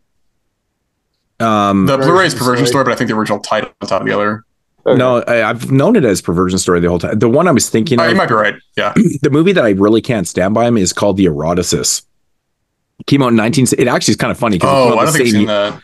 Yeah, dude, it's like a political like satire kind of thing. Okay. Oh, dude, I could not. It's it's fucking painful, bro. It's made the same year as uh, Don't Torture a Duckling too, which is crazy because that's like That- I think one of That's Fulci's actual best films. If you were in term, I hate the fucking word best, but you know what I mean. It's legitimately like a really well made film. One or two for me. I think it's probably his Right. second best. I think it's top two. Might be his best. I, it honestly, Uh, yeah, might- I'm in terms of there well. objectively, it might be better than than Zombie. Objectively, Uh, but I I'd the think of that. other I would put the Beyond as the other contender. see, That's I fair. can't pick the Ab- Beyond as his best because I I don't even think it's the best in the trilogy. Really? Okay. You yeah, know, I think forever- I think how uh, City of the Living Dead is better.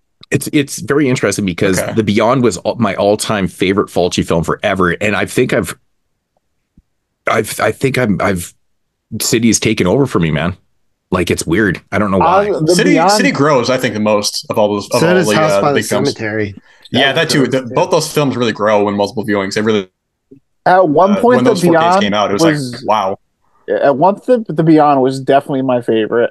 Now my favorite is definitely Don't Torture a Duckling, but I Yeah. also think I like Lizard and Woman's Skin That and one's really good. Yeah, and the it- Psychic more than I like. Oh, that the one's really good. good, too. Yeah, and see, his yeah. New York Ripper. See, he did good giallos, man. Oh, He yeah. did- I think I like those two at least more than the Beyond now. it's kind of interesting. I remember the time I talk came about- over your house and your girlfriend made me turn off New York Ripper? Dude, I Wait, told- really? I was like, damn, pick a movie from the collection to watch. I was in the hundreds of movies I have. He picks the. What, New she York made you turn it off at the toe scene, right?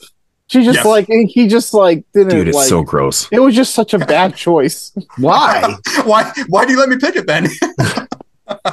dude. There's Not a like You're the bad man of the choice. That's a great choice. I love she that was not, a, she was not watched about the. New York Ripper. Uh, I would have told on, her MK, kick you love me. me and Tyler gonna make out. Get out of here, bitch. I'm sleeping in the same bed as you guys from now on. I'm coming over. You, me, and Dupree. I'll be in the middle. Hey, no touching. Uh-huh. You guys aren't married yet. Oh, what was I gonna say again? I forgot. Yeah, so in the hundreds of movies, that's what Dan picked. Anyways, No, Tyler's. uh, yeah, I don't even know what the question was, but oh, MK rules. She, she's she's awesome. Yeah, yeah, she's cool. Yeah. Anyways, I don't even know what the question was that we started with, but now we're here. Who's your favorite horror director? We ended up at that. Uh, I don't know. What did JP say? I said you picked Ruggero Deodato. Yeah, then Ruggero Deodato. Or Andrea Schnaas. Did Moodz disappear? I don't, I don't know. I think he he had enough of it. All right. Well, let's just continue to talk about I nonsense know. until he gets back. I had now have a platform to say Andreas Schnaas is the best filmmaker of all time. The violent shit quadrilogy is never topped. Zombie God. 90 is masterpiece. I forgot to message that I was going to take a leak. Uh, Oh, oh yeah, we're just talking about the masters of cinema. Anyone who doesn't like Zombie 90, don't even talk to me.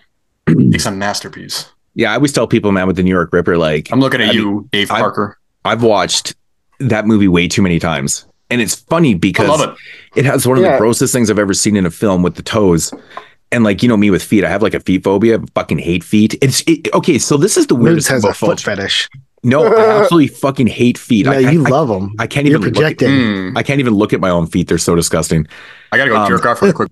But I have this weird uh, like foot phobia, and I also have an eye phobia of shit going into eyes. And Fulci manages to do those things in his films, and he's my favorite director. Like, am I just torturing myself or what? Mhm. It's so it's so bizarre that like I like it's weird. I can't explain it, man. It's trippy, but anyways, I love me some Fulci, man. Dude is amazing. So, anyways, but we're not talking about me. We are talking about Dan. Um, so you're a collector, right? Yes, he is. Did What, he you go take a piss now? Yep. I I, I've got a I was woman's just ladder, yes. answering for Dan because you know. Oh yeah, what did JP say? What's the, yeah, whatever Yes. JP said, uh, I'll say yes. I'm a collector. you, No, I asked you if you were a collector. Uh, of films, yes, I am. Okay. Um, do you have any like what are your favorite releasing companies? Do you buy horror do you buy like all genres? Do you buy actually any like horror films and stuff? Or are you just everything else besides Um, horror? I don't I don't seek it out specifically, but it's sort of like if it's a film that uh, uh, I know that I like a lot, uh, horror or not, and I uh, whether or not I have any intention of watching it again, I just kind of like to own it for this owning it. Uh, there are definitely films that I have that are still sealed that I don't intend to rewatch anytime soon, but just um, you know having it is, is enough for me. Uh, but as for like specific like labels and stuff, I mean, Yeah. you know, it's, it's beating a dead horse. You know, I love. I mean, I can't sing the praises enough of like you know what what uh, all the Melusine company, the them and the side labels are doing, and Vinegar Syndrome, and you know the big ones, Crisis Blue Underground, 88 Films, uh, Eureka. Um, you know, sort of like I, there's nothing new I can really bring to the table in terms of labels because a lot of the same ones are kind of talked about so much, so it's kind of redundant. Um, Well, what you, is, love, is Vinegar uh, Syndrome would be considered like your favorite, like actual favorite?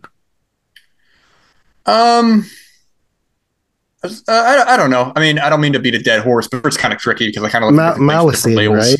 Would that be Um, your favorite? Uh, I mean, yes and no because when I look at like roommates, that was a Quality X title. That was I guess specifically it's still Vinegar Syndrome, right? But- Um, Uh, yeah, yeah. Yeah, I, I guess under the umbrella of it. So yeah, I mean, I guess you know, like I love like the Peekarama stuff they were doing um, that they don't do as much anymore, but they still do. Like they just have the two Fred Lincoln films, uh, Daisy May and A Formal Faucett, which was a Peekarama double. Those films weren't very good, but I just like that we're at least still getting the Peekarama double features. Mhm. Um, I guess right now I'm interested in the Melusine stuff mostly because of what I was mentioning um, off mic is that, or maybe I mentioned on mic, I don't actually know, um, but just the quality of titles that have been getting, you know, Deep Inside Annie Sprinkle and The Flesh, Roommates, Blonde Ambition. I mean, there's just, there's so many titles uh, that I've been waiting for uh, for a while. Um, but then again, you know, Massacre Video, they've been doing really good stuff the past couple of years. My, my only real criticism of them has been I think the features have been really lacking. Um, but still, we've been getting really good titles. Like Hardcore was a title I've been waiting again for years on, and that was so great to get that on Blu-ray um, as well. I just got Roscoe Blu-ray. I've waiting for a while on that. Um, the Man Behind the Sun trilogy, although I hope the fourth one gets released as well. Um, Mondo Macabro doing great stuff as well. I, I don't I don't buy as uh, from them, but uh, everything you know, uh, just the uh, just the really cool like world titles they're putting out. I've just discovered a lot of really cool films that way. And um, yes, no particular allegiance to any company. I'm kind of just happy buying from uh, whomever as long as the release itself is good. Is kind of uh, you know Yeah. where I'm at. Yeah, I mean, there, there's like fuck. There's got to be like a dozen companies that are that I actively buy a lot of shit from, and probably even more than that. to be honest, there's so many now. Right. It's really hard, but like I said before, like with the with the boutique labels, man, they all have kind of their own place in this realm of uh, releasing shit. Right? You go to you go Yeah. to certain labels for certain types of films and stuff like that. Like, you know, you want a variety of crazy shit, man. You go to Kino. If you want Scream Factory, you want a little bit more popular shit. You go to Scream Factory. You go to fucking, Yeah. you know, Mondo for like weirdly odd fucking world shit. Massacre Video for like just trashy fucking amazing. I mean, they range from shot on video to fucking crazy extreme shit like Man Behind the Sun and stuff like that. Which I actually need to pick those up. So You know what Yeah. we're doing next season? We're gonna do No, Bollywood horror. oh baby, Ooh. let's do it. speaking of you Mondo, got any films yeah. coming on? Well, they, Because they I, rele- I still have that Bollywood box set that I've never cracked open. Yeah, I haven't cracked it open. I think either. Tony I, got that too. I think it's because we talked about maybe possibly doing it. So I was like, you know what? I'll just keep them on the back burner until we actually do them for the show. Yeah, let's do that. Let's set that next season. I think We it's already five, it all this is it five or six films? Well, I figure we could do it in two volumes. Yeah. Just do it simple since they're not connected in any way, right? No, no, no. It's just a. It's literally just a hodgepodge of fucking Bollywood films. so It'd be uh, it's gonna be a lot of song and be a- dance. it'd be a tragedy if I didn't give a shout out to my boy, my man Jeremy, for because he turned me on to so many Bollywood films. Oh yeah, he not seen, does but He's got me so those- interested in all these films. things. He got me. He turned me on to RRR, and that's like one of the best films of the past couple of years. And he has been uh, lighting the torch Yeah, for this film. So fucking rules. I'd be sad if I didn't. Uh, dude, I give that film all the Oscars. that movie is so Dude, fucking shut good. up. But uh, yeah, he's he's really turned me on. Have you RRR? It is so good. It's almost as good as Zombie 90, but not quite. I can't fucking believe that a Roscoe's on fucking Blu-ray now. That's one thing I'm not. Well, I, I'm not. I, I'm fine with my? DVD from Massacre. I'm not. I'm not buying the fucking Blu-ray of that. Well, I told you the story, right? I, I emailed Yeah. them like four years ago, and I was Yeah. because they announced it. Tell it for the people who were listening. Um, and I was like, "Hey, I, you know, are there any updates on the Blu-ray? I was curious if it's canceled or not." It says they saw the message and no reply. And then, actually, funnily enough, at Wasteland last year, uh, Fred Vogel was selling the DVD, the old Massacre video DVD, for like like 70 bucks or something like that. And it's been like a title where it's like I've been kind of it's been like Moby Dick where I'm like she've been chasing it for a while. So the fact that I had it, I was like, should I get it? Should I not get it? But ultimately I was like, I can't justify that for a film that I'm I'm not gonna watch, you know, again. So just by a miracle, like a month later when they announced that Blu-ray, I was that was on that like wet on rice. I was like, you know what, I got it and uh got it in the mail and it's, it's great. I'm, I I'm didn't. happy to have it. I didn't know that that shit was going for that much. Like I bought a lot, uh, pretty much all those massacres when they were getting released and stuff, right? And when I own Mhm. something, I I generally don't seek out to what they're worth and shit like that. But he was selling for seventy bucks. That's fucking crazy, dude.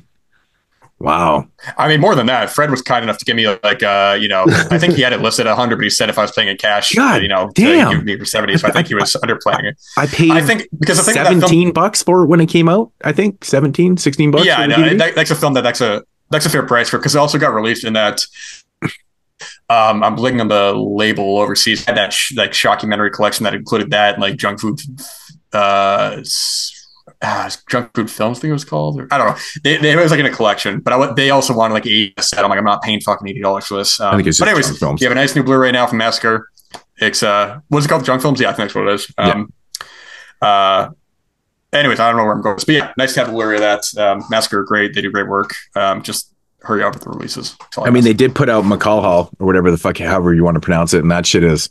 I've heard that's a fun film. Yeah, that movie is is could actually if if you cut out all Dave the was really hot on that film. annoying Bollywood shit like the singing and dancing and uh, and shortened it a little bit and tightened up the script, it would be like a great Elm Street film actually. Dude, it, it's kind of crazy some cool because shit like in there. it's because some of the Bollywood, like the song and dance, actually has no relevance to the movie whatsoever. Like it's just so bizarre. Like it just comes out of nowhere and shit. Like you could totally just take that right out. Like it's really fucking weird.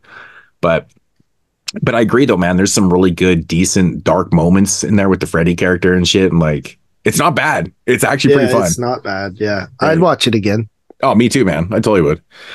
Um so I don't know if it's Bollywood, but there's been some like Indian horror movie getting a lot of attention from 2024. Um, there's, there's been a few in the last couple years. I actually, I think I what had about, one Indian um, film on my list a couple years ago. Actually, yeah, me too. What was it called? I can't Um, I know what you're talking about. I've seen it. Um, uh, Thumb Bad. Thumb yeah, Bad. too, too oh yeah, there was that one, and then I had Oh, yeah. another one too. I think. That's a good I- I- so they've done a couple. You know, so I mean, the shit that that we, that we get over here that we're el- eligible to see. They Yeah. do a lot of movies, but we just don't get all of them over here. You know what I mean? But uh, Right. um, so like collecting. So like, what's your what's your stance on the collecting? Like, do you are you one of those guys that just buys tons of shit? Like, do you have a sizable collection when it comes to you know the whole physical? Uh, yeah. thing? Right now, I mean, I've uh, been seriously collecting for a while. I mean, I have a couple thousand right now. I, kind of like going waves where I buy a lot. I don't buy a lot. Um, you know, like I have like the Vinegar Syndrome like subscriber package, so I get those and then all the uh, adult titles and stuff. Yeah, I mean, I go through waves of like I buy a lot, and then, other times where I don't. I mean, it's funny enough because I, I was I was buying so much that, and I I, I still laugh for this during the last Melusine sale. Uh, Tony was like, "Oh, make sure you uh, check if you even have any of these films. You know, you want to buy them twice." And I'm like, "Dude, I'm fine. I, I don't have any of these." And then I placed my order. I, I, I bought three times I already had, and I'm like, "God damn it! I don't know how this happened three times." So I mean, they, it Italian. I titles? Started adding shit, but then. Uh, no, they're all they're all adult titles. I looked. No, no, no, I was I'm like, just- "What the hell?" I'm just making a joke about that because I don't know who was I Oh, was yeah. talking with this about just recently about uh rebuying films because they're released under under a different title. Fucking Italian films, man. The worst shit for Oh, that, yeah. man. Like I've done it a couple times actually. Um, I did it with oh, I can't remember what they are now, but get a film. I'm like, what the fuck? I'm like, I know this movie. Oh, for fuck's sakes, it's just a different fucking yeah, title. damn it, I've seen this. You know, that Son happened a with um.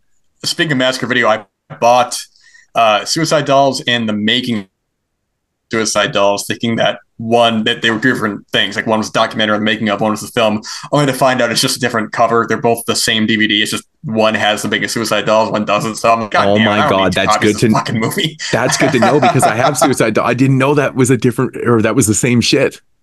That's crazy. The Oh. documentary is on the disc, so it's Right. like I'm Right. not even that big on Suicide Dolls, but I do like the No. Japanese stuff, like Tumbling Doll Flesh. I'm putting out that's like interesting kind of curiosity pieces. Um, Yeah, yeah. But uh, yeah, I've got, now I have that on my shelf. It's just taking space now. I've, I've never opened it because I don't need to. Um, but yeah, no stuff like that. I mean, I, I just I, I mean. You guys, your guys' collections, I guarantee, kind of eclipses mine. But I buy stuff in waves. Um, I, I will buy a lot at once. I won't buy anything for months. Uh, kind of back and forth. I, I don't know. I'm a little consistent with that. Hmm. I have a hard you know, time I'm- I'm going one day I'm happy with without buying collection I something. I have a hard time going fair. one fucking I, uh, day. you know, fuck. I'm sorry. I, will I'll buy like you know, I'll keep eating like you know chicken wings and be like, I don't have any money for Blu-rays. It's like, well, maybe if I spend so many damn chicken wings and you know burgers and stuff, I could you know get some more. but well, uh, man, you got to have your chicken wings, Yeah, man. no, you got to have your chicken wings. I gotta eat. Hey, I gotta eat. You know, I love chicken I can wings, live man. without you know this new release of uh. Oh, that's great. We should have a chicken wings podcast. We should talk about how much we love them. Oh, That'd be I fucking love wings, dude. It's like one of my all-time favorite things to eat. Oh. Are you a uh, are you a drum flat kind of guy? you know, either or it doesn't really matter. I prefer flats to Mm-hmm. be honest because they're easier to eat. Like I do the butterfly effect, like you know, just kind of push the meat and just like just suck it off the bone. That's what she said. Um, Uh, I know you love sucking it up. I prefer flats too. I yeah, What you, I mean, so I'm also I'm also I'm actually a drum guy. of course you're off the beaten path, bro. Makes sense. I like just Um, dunking it in the blue cheese like oh. it's because it's because the drums are more prete- they're more pretentious. Yep. No, it's because yeah, that's true. Yep, you gotta you gotta stick stick your pinky up when you eat them. With your blue cheese. Man, Just Very fuck. bourgeois. I've told the story before. Like when I was living in a city called Penticton, like way down south in BC here, there was a play there was a pub called the Copper Mug. And on I think it was it wasn't even two, Wednesday, it wasn't Wing Wednesday, it was like Tuesday or Monday. I think it was Mondays actually. They used to have fucking 10 cent wings. It was hmm. insane, dude. can't like- beat that. Even if they're bad, you can't beat them. They had like 24 Yeah. different flavors. Like you could order 100 wings for like fucking five. Bu- it was crazy, dude. But like Yeah. people would sit in there, eat copious amounts of fucking wings, but then drink like 15 beers, right? So they just made all their money off fucking beer sales. It was insane, dude. But like the amount of wings Were the beers people's discounted or were they full price? Oh, the five dollar beer beers Yeah, at the time. Okay. This, this is early Not only were they not discounted, they were they were raised price. They were up in No.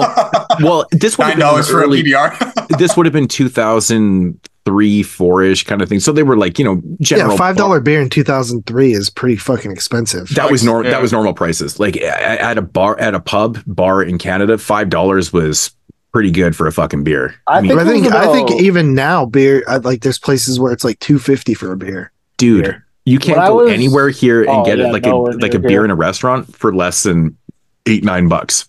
Well, That's maybe not not- a restaurant, but I was Really? thinking Okay. like a bar. Yeah, a Pubs bar. and shit like I that, think eight nine bucks, probably- man. Dan, what would you say is about like six bucks is about the going rate for a beer? Five fifty, something like that. Uh, I, was think I would say was- that the uh, the pub that's in the. Oh, you go. I was that's what it was when I was like going out a lot, like in my mid twenties. But beer, like Yeah, alcohol fair. in Canada is really like, especially in the West Coast where I live, is really actually in the province I live in, it's most expensive in Canada.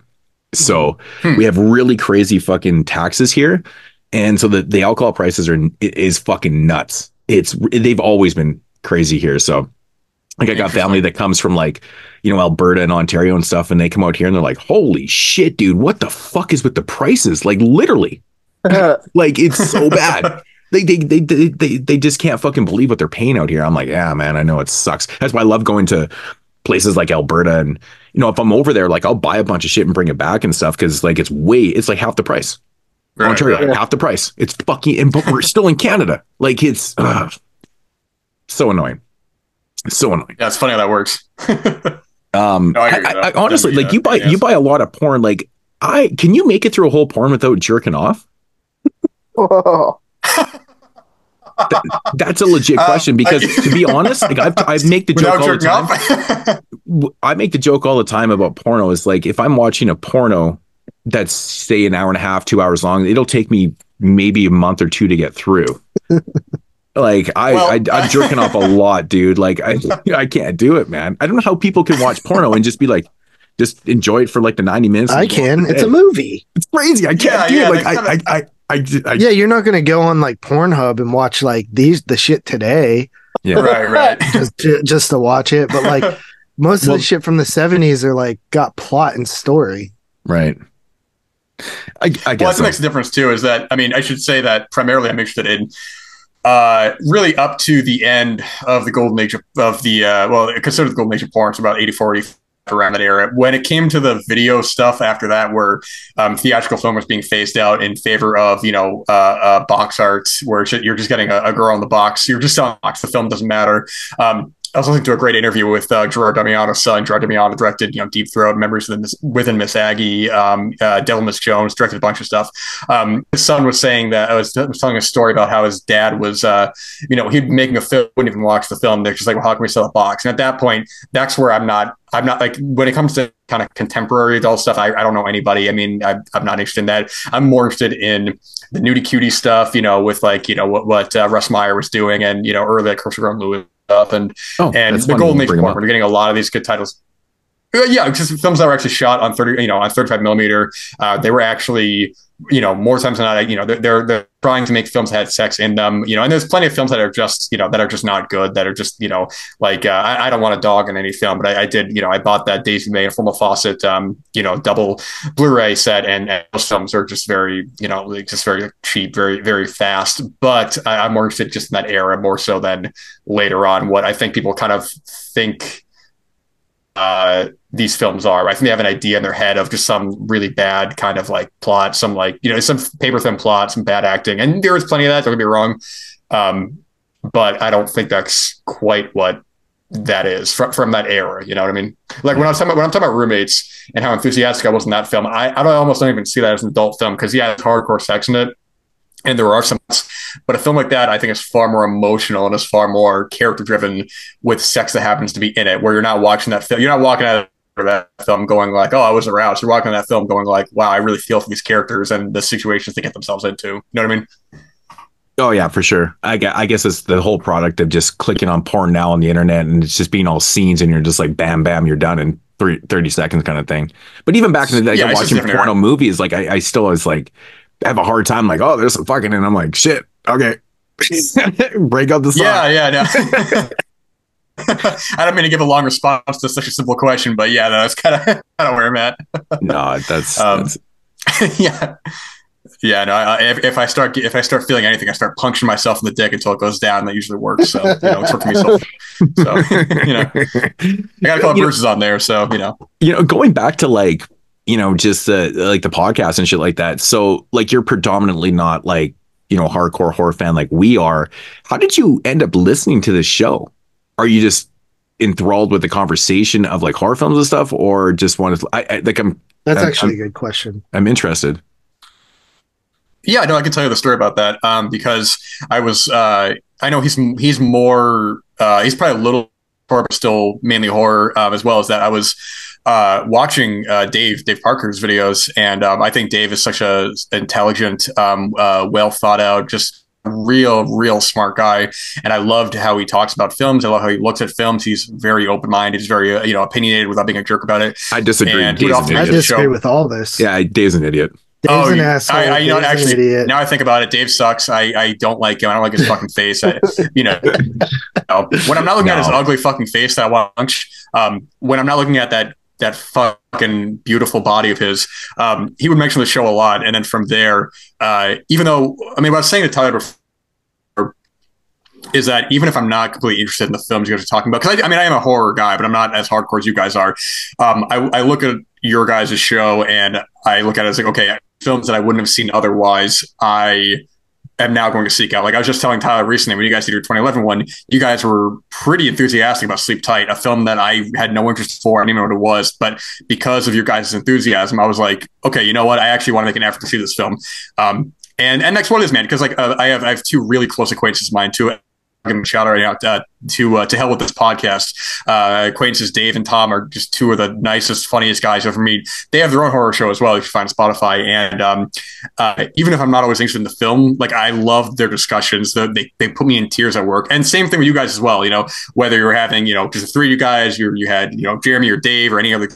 Uh, I love the discussion that if it wasn't interesting, I would have just given up by now and find something else. So I think it really is just your guys' back and forth and your, you know, constant um, bickering that I find so fascinating and find so enjoyable to listen to. Yeah, that's I love I that. think- You know, if you guys that- sucked, I wouldn't be here. You know, That's what I kind of figured though, man, is because like our show's a little bit different. We're not overly, I mean, we're structured, but we're not like over, we don't really stick to the, we don't have a script either. That sounds stupid, but like, you know what I mean? Like, we don't really stick to like, you know, A to B and stuff. We, we're the 22 uh, shots of tangents in horror. And And that's what I like, love, just, yeah. like just the other day, I, I read a comment saying like um, they were listening to a show that was a few weeks old or whatever. And I'm like, oh wow, you're way behind. And the and the person said, well, I listen to the shows that I'm interested in, and I'm like, and that's just you know the title of the show kind of thing. And I'm like, but every show is like, okay, we have main reviews and stuff, but like we always tangent out and stuff like that. If you Yeah. if you like what we're talking, like who we are and stuff like that. You probably should like I would click on to every show anyways because we're Yeah, probably yeah. gonna we're gonna go into areas where you know it might it's so off like a script, you know, quote unquote. And well, like, we're I was always saying tangent- before, is that? Oh, sorry, I'm gonna cut off.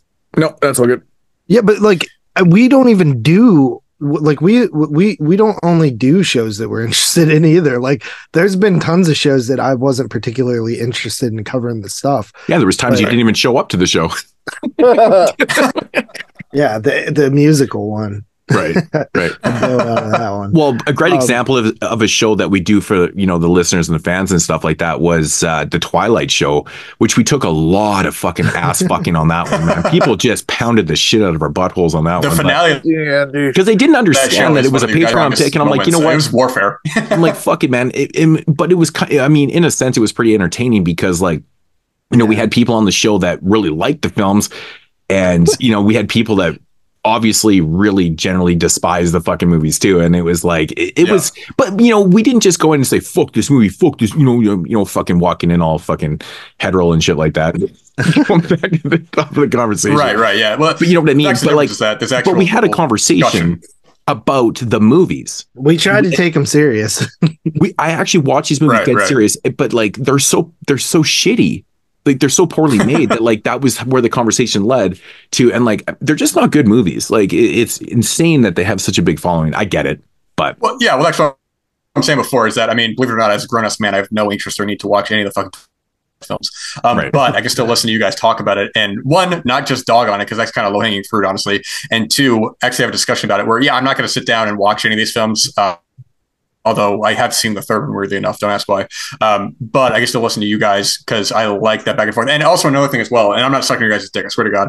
What I'm saying is that uh, I've listened to so many shows where that I end up not listening to anymore because you have two or three of the hosts, and it's just the same kind of thing where everybody's kind of just patting each other on the back, going like, "Oh yeah, I, Oh, yeah, this movie's God. good. Oh yeah, this movie sucks. Yeah," we, and they just overly praise, overly dog Yeah. it. So like When you it guys, comes I mean, to Ju- I mean, like podcast- JP. Good. Yeah. Oh no, you go. Oh, I'm sorry. I, I I was was just gonna say that. like, whenever I listen to podcasts, like the one thing that'll t- get me to like bounce from that show immediately is if I feel like people aren't being genuine, Yep. or they're afraid to not like something, or they're too polite. Like they're scared Yes. they're gonna hurt the other host's feelings from not uh liking something or you can you can being sum up that whole thing, JP, with the word transparency, man. Yeah. when you can see right you- through it's shit, not- man. I was, It's you know, it, I, you can fucking tell it in 10 minutes, dude, on these shows where, you know, these guys are getting shit to review, blah, blah, blah. It's just like YouTube, too. Yeah, they, give, they give the good reviews on all these. I'm like, bullshit, man. You don't like this fucking movie. You just want to keep getting free fucking shit. Well, Give even, honest- even some like recent, it's like uh, you know, like uh, when I, I, you know, this is a random film. I, I, I'm not a, I'm not a Scream guy. I, I didn't like Scream Six, but I know JP has strong feelings about that, so I'm interested what, where he's coming from. And I know Moodz, you're not crazy about that film either, so it's not. I don't like the not whole damn just, like, franchise. Moodz going like, Yeah, oh. like it, that's definitely not. Well, like I'm saying, is that me, you're- you're not like, JP oh, well, you know. definitely at least shifted like my like way of looking at the film. right. But it's also like you know, I think it's all three of you guys. Even like Tyler, like there's some stuff that we both have watched that I'm not like crazy about. Where Tyler's enthusiastic on, you know, where I'm like, you know, I, am not a I'm not a big Ari Aster guy, but I love hearing talk about you know Hereditary and Midsommar and and um, Beau is Afraid because no matter even though even though I'm not really crazy about those films, his enthusiasm is infectious and it's sort of like I really want to hear what he has to say, good, positive, or negative, you know, and that's that's different than just a a boring unanimous. This film's good. This film's bad. It's, it's something more to that, you know. All Anyways, about the I'm done sucking your dick. Johnsons? That's all I got. So Oh yeah. all about Johnsons. All about the Johnsons is the best short ever made. It is the most fucked up thing I've ever seen in my life. I swear to God, It's so good. it is legitimately. It's so not better good. than Chirpy. Have you not Have you seen seen that, Chirpy? Dan? I, I know about it. I don't have any interest. I don't. I don't like Ari Aster, but I know that you, that you guys are. high No, on it. you This isn't next typical time, Ari you have Aster, bro. homework after the show. It's I, I I know what it is. I don't care. I'm not. It's not for me. Yes, you're I'm, watching. I'm, I'm not interested. Oh, wait, oh, dude. JP, Sh- J- JP, do I like it? Yeah, you you do. I love it. Actually, it's one of my favorite shorts I've ever seen. I've never seen a better short. Then all Um, about the Johnsons. so it's one of one of the best ever. If JP says so, I think All about the that. Johnsons is absolutely fucking phenomenal. That I mean, uh, honestly, if you don't like his features and shit, like this, this is nothing like his features, man. Like it is. I understand. because Moodz is kind of And as well. indifferent on Ari Aster. He didn't like Midsommar. Yeah, you, you don't you didn't like Midsommar. Oh, it's yeah. I hate Midlamer. That movie. Well, the thing is, though, is that movie's fucking terrible. like, but even even something like even something like Hereditary, which I'm really, you know, I'm like I'm not really big on, but I like hearing. T- Tyler is so enthusiastic about that film, and, and I know I you love are fans of Hereditary. Also, yeah, even though I'm, I like even though I- Hereditary a lot. And that's but, great. Like, That's why Midsommar. That's great. Midsommar That's- was such a disappointment to me, man. I was like, what the fuck? I'm like, dude, this is like. But oh, that's what I'm saying, though, is that, that One That's why I listen odd to you guys, thing because about sort of like- Midsommar, though, is I swear to God, the, if you watch the director's cut, that's like almost three hours long. It feels shorter. that is Isn't the that most weird? bizarre It- thing I've ever heard. It, I kind of agree with Tyler a little bit. It's weird. Like hmm. I remember watching that longer cut and like not really seeing like like it didn't feel like like that much longer. It was so weird. Basically, what that does is it actually develops a relationship between the boyfriend Way and the girl. Yeah. and they yeah, just that's basically cut- all that was cut out. and that's what they had to cut out of it to hit the runtime they wanted. So it was like you couldn't just Yeah, the director's cut scene. is better. I get a US release on Blu-ray. Was it like It- in the you 24 thing? Was it just well, Region well, B? I- You got to get it from bought- A24 directly, Yeah. I think. That was the thing I was complaining. oh, that about. see, I that's I did it, but I was complaining about that because like they're like gatekeeping that cut from anyone else. I That's saw that cut in the They- theater. that played around here, yeah. Um, I didn't catch it. But My yeah, friend just, walked like- out because it was too intense. I'm not even kidding. oh, okay, interesting. That's awesome. I don't like how A24 has like those site exclusives of like even the recent stuff like I'm showing It was just or I don't mind that it's they like yeah I don't mind that they have releases those. Yeah, like I don't mind that they have those, but like I didn't like that they're like you can only buy this at our premium edition that's like forty five dollars. Yeah. like Yeah. you I- can just put it because the thing is, standard I bought the funny thing is, I bought the uh, the Region Two Blu-ray of uh, Aftersun that movie put out, and that has more features and is a better release than the A24 domestic one with worse artwork, worse packaging. So it's like, and it's cheaper. So it's like, why would I even go to their site for? I'll just import it for cheaper, you know, and get I get a commentary on it, you know. But uh, I saw a lot of people but, not uh, happy about that. hmm. Yeah, it's what it is. I mean, I don't, I don't understand it, but I, if they're making money, then what do I know? I'm a dummy who's sitting here complaining. Right, right. Um. Thank you for agreeing with me. So, one more question: Who's more pretentious, Tyler Yeah. or Jeremy? uh, I, uh, pretentious in what? Film taste or? Uh, Oh, just in general. Everything. It- it- Everything. It's just in everything. the general speaking. Um, Tyler's not they laughing. both have their I'm, pretentious I'm sides. to them. curious. Tyler's seething. he was actually waiting for the response, like a legit response. He's like, Um, "Wait I a minute, what the fuck?" I because like it's interesting how you phrased it because I actually think film taste I'm way more pretentious than Jeremy. you think Um, so? well, th- but Yeah, then there's I certain, thi- there's. Oh, I'm sorry. No, you're good. Go You, ahead. you go, JP. Uh, um, okay, I will what say I was going to say is, Never mind. in, in my opinion, Jeremy is more pretentious because Tyler, it, although pretentious about film, I don't feel like he's very pretentious about other things. Whereas Jeremy is pretentious about like every damn thing. Like That if is you actually true. send him Yeah. a picture, That's of, like, some exactly hot what I was or thinking. something. Yeah, he'll be like, that's a "Oh, good point." Chicago has the best hot dogs." Yeah, you know what I mean? I agree. I agree. Yeah. That's exactly what I was never thinking. even ate hot dogs out here. How the fuck do you know? Yeah, because a lot of the shit was like at the time he'd never even left his su- fucking Yeah. suburb before, right? So he's like, "Well, we got the best of this." I'm like, "How the yeah, fuck?" do every you know time I ever said, I'll be like, "Look, I'm eating sushi." He'd be like, "Oh, Chicago has the best shu- sushi spot." like, no, they don't. I'm not. I'm not joking, dude. Like It's Chicago. you know, Vancouver, dude. Like there's there's there's more Asians than freaking any other race in the world in Vancouver. We have the best fucking sushi in Vancouver, man. I mean, awesome. I'm sure I know Chicago has great food. Like they're they're Of a course. city that has Chicago. amazing cuisine, you know, of all types. Mm-hmm. But the fact is, is that like other places can also prepare food the same way. right, right. that's that's very true. Um, so that yeah. that's Dan's answer. that's my answer. Yep, I'm going with So that. so so so Verbatim. Dan, who who's more pretentious, Tyler or Jeremy? Um, it's it's interesting because there are certain art films that I like that I know that I think Tyler will like that he ends up not being so hot on. So I'm like, okay, so maybe not quite. But then, but then Jeremy will grill for films that I don't like, and he'll, he won't let it down. Um, there are certain popular films that I won't name here that I'm not as big of a fan on. So it'll be you like this film, No, but you please didn't like do. this film. Looks like Please do. brother. That's like I- a total Jeremy thing. no, I don't want to get into Please do name the films. Okay. Uh, all right, you guys, you guys can come for this because I there's no way I can really defend myself um, on this. I'm not going to try to defend myself. I'm I wasn't the biggest fan of Doctor Sleep. I, I have a lot of problems with that film. I get why ex- people love it. That's fine and that's great. For me, I didn't like it. So any film I That's honestly not that that's big. unpopular. Yeah, I don't even think that's like a Yeah. bad, like a like. Well, crazy that's the one that's always brought up because I wouldn't be offended by that at all. I don't Yeah. care. for Now, example, you said you, I like, Don't like like Texas Chainsaw Massacre. I would be offended. No, no, no, nothing like that. Ex- ex- but for example, like a film that no one that no one liked that I thought was enjoyable enough. I'm not saying this is a great film. I'm definitely not, but I had fun with because I was about 13 beers in and I just wanted to watch a new film. Was it was like 1 a.m. and I Five Nights at Freddy's. I'm like, okay, this is retarded, but I like it. It's fun.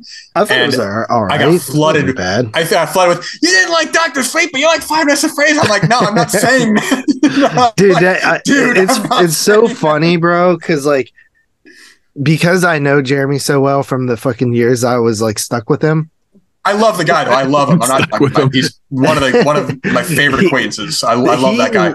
i know you do i know you do he he literally what like just just you saying that like triggers memories of like him being like like yelling at Moodz or something like like a four or he'll be like an eight He was that person though. Like I'll say, I'll, I'll never forget the the conversation we had about the first Hal or the the Halloween um remake or no, the, the new trilogy, and I we just reviewed a film, whatever it was, and he's like, "You gave fucking Halloween six the same as this film," and I'm like, "Dude, what the fuck?" Like, I, I'm not. I never said I was time. comparing this fucking movie to this movie. It just happened to get the same rating. He was fucking losing his mind. That Like, I to gave this these films a six, and he was like, he couldn't fucking, he could not separate his mind from like it was the same rating. like, dude, they're totally two different entities. Like, fucking settle down. Right. Well, dude to this thing day that like it'll be like it uh, was ridiculous. Like, I just Sorry, can't what saying, imagine getting bent out of shape about anyone's rating. no. He he's busting my. well yeah I love the guy, he- but I'm- I'm- he's I'm learned a is that, little you know, bit about he I love knew there's so many shows over the the course of this of this podcast that like he would trip shit on fucking rating. I'm like, dude, ratings for dummies, man. Like he would just he would focus in, he would zoom in on it, and he would never let it go. Yeah but I'm that like- shit was funny Fuck was it ever fucking bizarre to me? Like we, we would fuck with him too. I'm like, dude, like Yeah, dude. okay, me and Carly went and seen the Empty Man years ago, like, and we hated it. Like, I was hated that fucking movie. And then I was like, "This is like the worst movie I've seen like in years." And uh then it like end up on HBO Max or something, and then all of a sudden other people start seeing it, and people are like, "The unsung like hidden gem of the year," and like, and then all these people, even people I respect, like loved it. And I'm like, and like to this day, he'll still post things about it to me, like, like the Empty Man was the the best movie of the 2010s or whatever. Like all this, and I'm like, dude, okay, I get it. Other people like it, but I am not backing down. Like I thought it was awful. Like sure, maybe if I rewatched it, maybe I'm maybe I missed something and I could reevaluate it. But like he's like still poking me with it, like. Uh, like all these years later, like, oh, did you see that this person in, named Empty Man is their one of their favorite movies of the decade? And I'm like, dude, fuck it off. Dude, do you know what Jeremy's rating on the Empty Man is? Like a three, Uh, a one four star. out of ten. A four out of ten. four out of ten. Oh, it's like yeah, two because stars. you know why? even. Because you know why? Because I told him it sucked real bad. So then he went and seen it, and even if he thought it was good, he would still give it a low ball rating because in his I've already influenced his opinion by saying it sucks. Dude, that was like that's so fucking true. That shit would happen, man. There's a lot of people like It's that fucking have so seen true. it. There's a lot yeah, of people that have well, seen I it, had like seen it before friend list. anybody. Like I was the very Yeah. first fucking person that was like that I saw on Letterboxd. I think. There's a couple Yeah, people yeah. with good opinions that hate it, like on my on my friends list. Good. Um, yeah.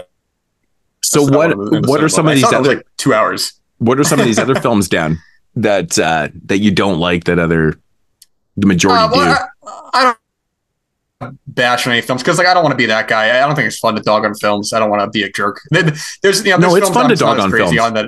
You're on 22 Uh, shots. That's what we do. Well, the no, we don't. Well, the thing I'm- is that so when I was looking up, I was trying to find um, a place to watch the remake of Carnival of Souls, which uh, we'll get to. um, so I went on Tubi and I looked it up, and, and, like one of the first results was like RiffTrax, like Carnival Yeah. Souls. I was reading the description, it was like, oh, this poor, this poorly written B movie. I'm like, like what fun is that? For one, we'll talk about it, but like poorly written, what? Number two, I'm like, I don't. I don't like RiffTrax. I don't like I don't like any of that stuff where it's just like, oh, let's make fun of these movies. It's like, guys, like I'm not saying that a film should get a pass for for just because it's like you know oh they're hard, but at the same time I'm like I, am not part of this like oh let's just make fun of bad movies. It's like this is low hanging fruit. It's like make fun of like Hallmark movies or like religious movies. It's like oh look how bad how they Not- yeah, but It's like, didn't the RiffTrax for an audience, the dude. original Carnival of Souls? It wasn't the remake. that's what I'm saying. No, that's what I'm Oh, saying. Okay. They're, they're They, dogging they the had a RiffTrax on I the don't know if I original sorry I didn't one? phrase that. yeah, yeah, yeah. Yeah, I'm like what?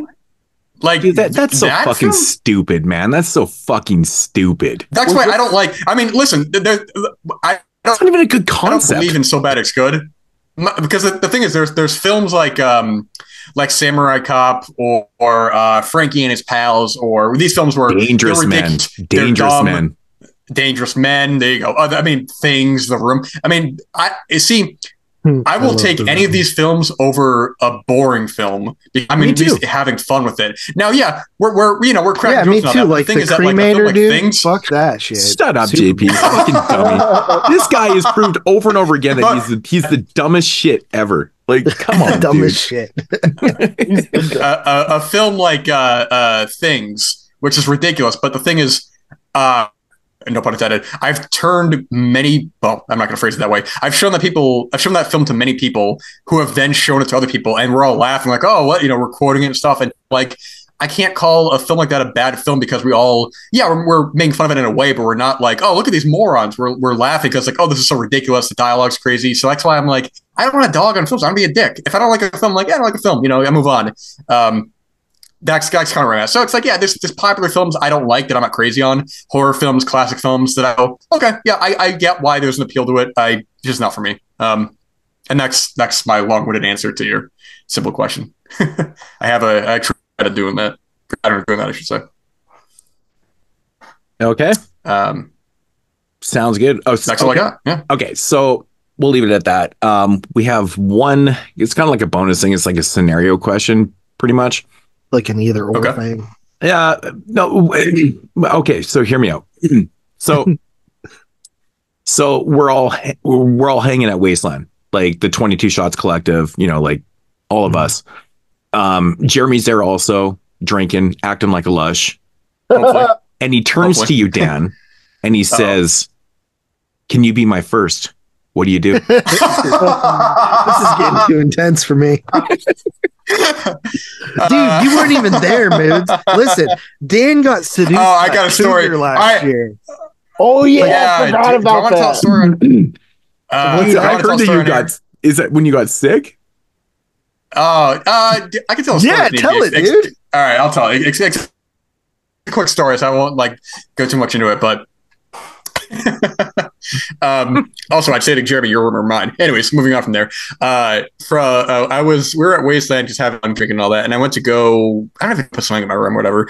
And so I'm I'm walking back, and I'm making small talk with this lady, and she says, says like, "Oh, you have like good hair, or you have nice hair," and I'm like, "Oh, that's yeah, thanks." And we were making like small talk in this. I'm like, I'm I'm like gone at this point. I'm like pretty buzzed, and so we're Yeah, we talking, were shooting pretty- shit and all that, and it, it was it was definitely nice. Definitely been like, you know, ain't ain't no shortage on our part. But uh, so we're talking all that. I put my stuff back in my room. We're still talking, making small talk. She's like, "Hey, do you want to come back to my room?" I was like, uh, "Sure." Uh, not even thinking it through. So I walk in the room, and immediately, I mean, literally, the first thing I say was, "Please don't rape me." and uh, she's like, "I'm not going to rape you." I'm like, oh, "Thank you, I appreciate that."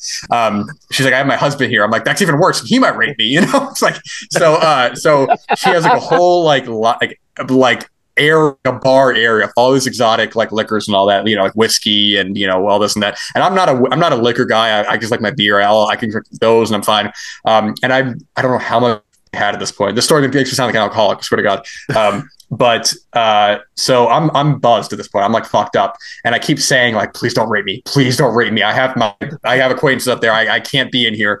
Um so she pours me a, a glass of like uh what the hell was it? It was um It was like rum. whiskey It was, or uh, wasn't it? no, it wasn't whiskey. It was um, Brandy or something? I don't fucking know. gin. It was gin. Gin. okay. It was gin, and I make I'm I make the corniest like speech possible. I'm like. Uh, again, I'm buzzed. I'm like, I'm like out of my mind. I'm like, ah, you know, we're here for a reason, and ah, we're here at this time, this place, on this earth, and it's just the worst thing ever. So, I, uh, I, I, so I down it, which I didn't know was not supposed to chug or like down like a gin. I down the whole thing.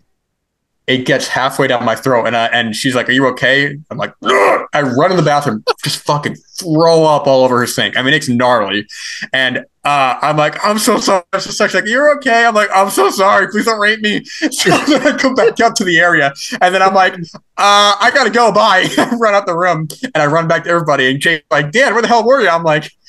Uh, I was over there. Oh my And I met He was definitely day. I trying to I'm so seduce sorry. What was I, I, she? She had a trying to get- husband I, I ran into her the next day, and I was like, "Yeah, that was crazy." Yeah, I'm so I confused they by had like that. an But I open saw, I saw her the next day. Because if you're in a hotel, man, like I you, just you kinda- can't I mean, go I had- far from that. Like you're you're stuck there with like not the me. woman and the husband. Like that's crazy. Yeah, how old no would you idea. say she was? Like fifty? Oh, that'd be inappropriate if I made a guess. I have no idea. Um, She's not uh, a but I saw her the next day, this story, and uh, but she might listen. She might be like, "Oh yeah, those guys at Wasteland. What the hell is he saying about?" me? um, And that's the other anyway, part of the story that that, the you, next people day- always seem to forget, man. It's like it is called Wasteland for a reason, and this is why it's called get- Wasteland. oh, dude, that photo of uh, of uh, Ron Jeremy and, and uh, Eddie Furlong. That's truly the weekend. Dude, right there. I love that's my favorite confused. meme in the world. Bro, send me that picture we It's took so last funny. night. I bet it looks awesome. That's like a typical Um, Saturday I- I did. I did apologize to her day. I ran to her and I'm like, I was well, kind of sober. I, I did. I was like, already a couple beers at that point, but I was like, I was like, I'm really sorry about that last night. I was like fucked up and stuff, and I, I didn't mean to like make a mess. That she was laughing at me. Like her and her friend are laughing at me. They're like, "No, you're fine. You're good." Basically, probably thinking like, "Who the like? What the fuck is this dork doing?" and um, and I didn't get molested, and I drank more, and uh, no regrets. So raise your glasses, your cups, your cans, whatever to that. If you're listening to this up there, and uh, raise a toast to the lady who didn't rape me. Dude, that was That's so all I got. Happy to be on the show. Yeah, that was uh that was a good time though. It was uh it was cool seeing everybody. It was unfortunate Moodz wasn't there last year, but yeah, apparently we're all This year's gonna be great. there this year. So yeah, cool. for sure. It's gonna be a lot of fun. yeah. So if any listeners out there, um, you Come know, meet us. Show us your come wieners. meet us, man. Yeah, like the first year we had so many people, and then last year we had a bunch of people, and this year's probably going to be even better. So uh, if you're in the Ohio area or even like a couple states away, hell, you get- fucking Mason comes from Iowa, bro. Yeah, yeah, right. you know, and uh, I hope uh, Taylor can make it this year. You know, yeah, yeah, yeah. Hopefully, Uh, noticeable that she wasn't there this year. She's great. Yeah. I can't wait for uh October, man. It's gonna be so awesome. Oh, it's like Christmas. It's like so. It's like my favorite. Like literally everyone's going too. It's gonna be fucking awesome, man. It's gonna be great. We're all Yeah. gonna, you know, drink, call each other gay, and yell at each other. It'd be great. Yep. and uh y- yeah, like last year um Tony came, which means you haven't met Tony. You didn't get to meet Tony, but he'll I think he's No. coming this year again. So um yeah, it'll be cool, man. Yeah, Oh, it's gonna be wait. awesome. So Yep. Um, so what do you do in the scenario question? Jeremy asked you to be his first. What do you do? Oh, I told you before. I said you're you're over mine. Of course, I'm a gentleman, There you go. there you go. All right. and a gentleman doesn't kiss and tell. Right. Right. Says says the porn man. That's insane. Yeah. Um Fair enough. Okay, so the last little thing is called uh, 22 quick cuts. And this is basically I give you one or the other and you just say one. Very simple. okay. All right, Argento or Fulci? One. Fuck. Are you Uh, fucking stupid? JP, shut up. What? You said you say I tell you one or the other and you say one. Um. Dan, say one. Uh, I give you two One. choices. Pick one. I'll go one. Argento. Why not? No, just say don't say don't fucking follow JP's lead here. Oh. That's, that's re- okay. Argento or Fulci? Oh. Uh. Okay. Uh. Uh. Fuck. Uh. Fulci. Peter North Wrong or choice. Ron Jeremy? Peter North, I'd say. What do you think, Ron Dan? Jeremy. Ooh. Ron Jeremy. He's he was in his prime. He was a solid actor. American or foreign cinema?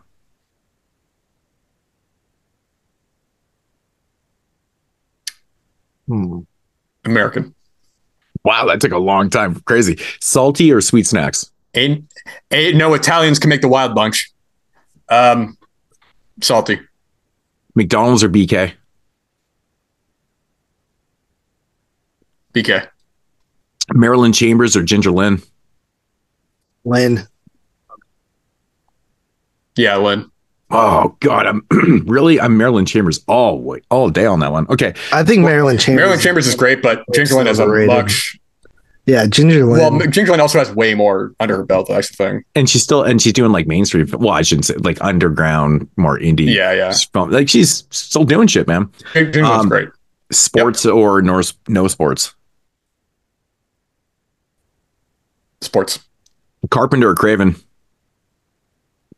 Carpenter. CD or vinyl?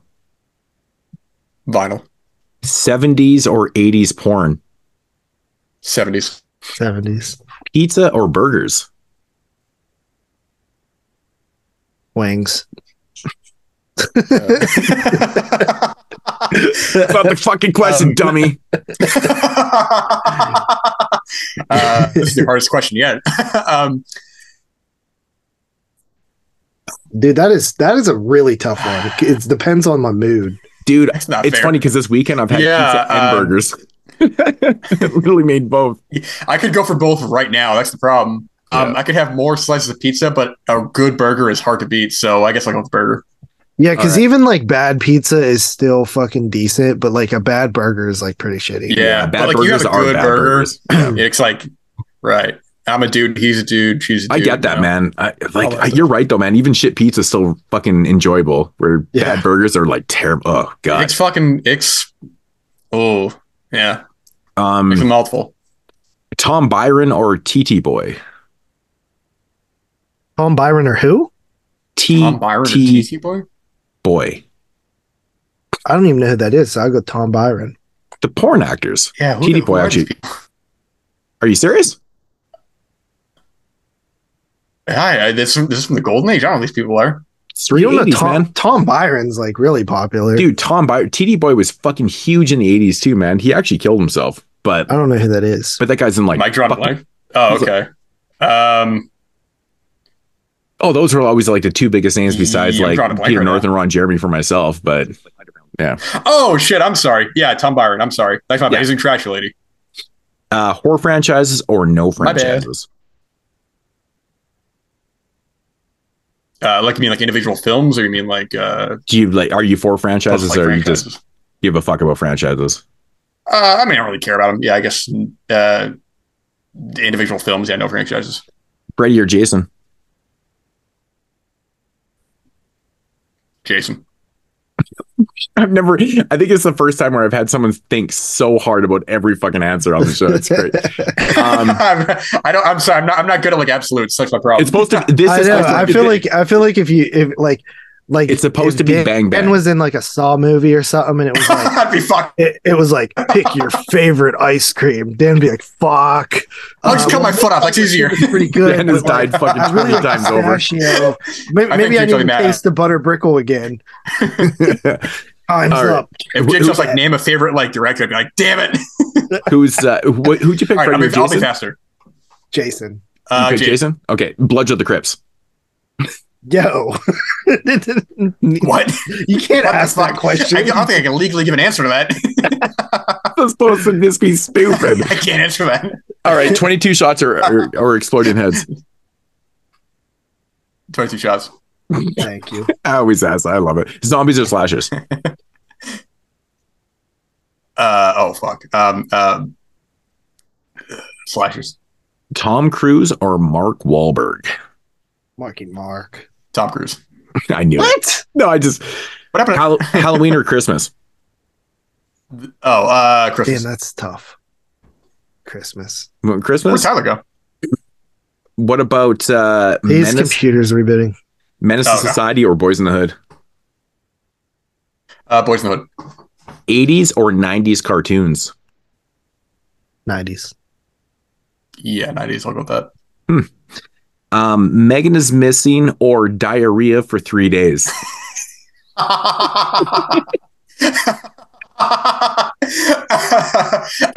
I'll go.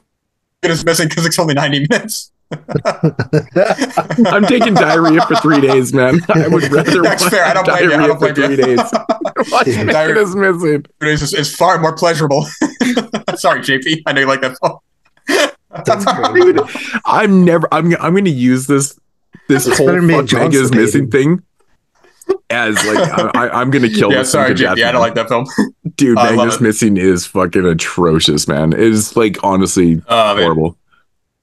It's because you're old and don't get the young kids these I days. fucking watched it in 2011 when I was 31. I was 31 in 2011, and I hated that shit back then too. too old back then, too. I didn't have kids in in 2011 either, so. But uh, and I Sad. yeah, yeah.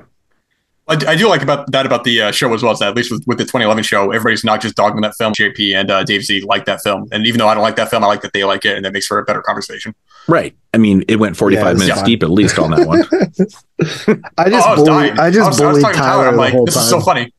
He's so easy to bully. It's so great. I'm like, He Tyler, is. your favorite films suck, and he just buys it.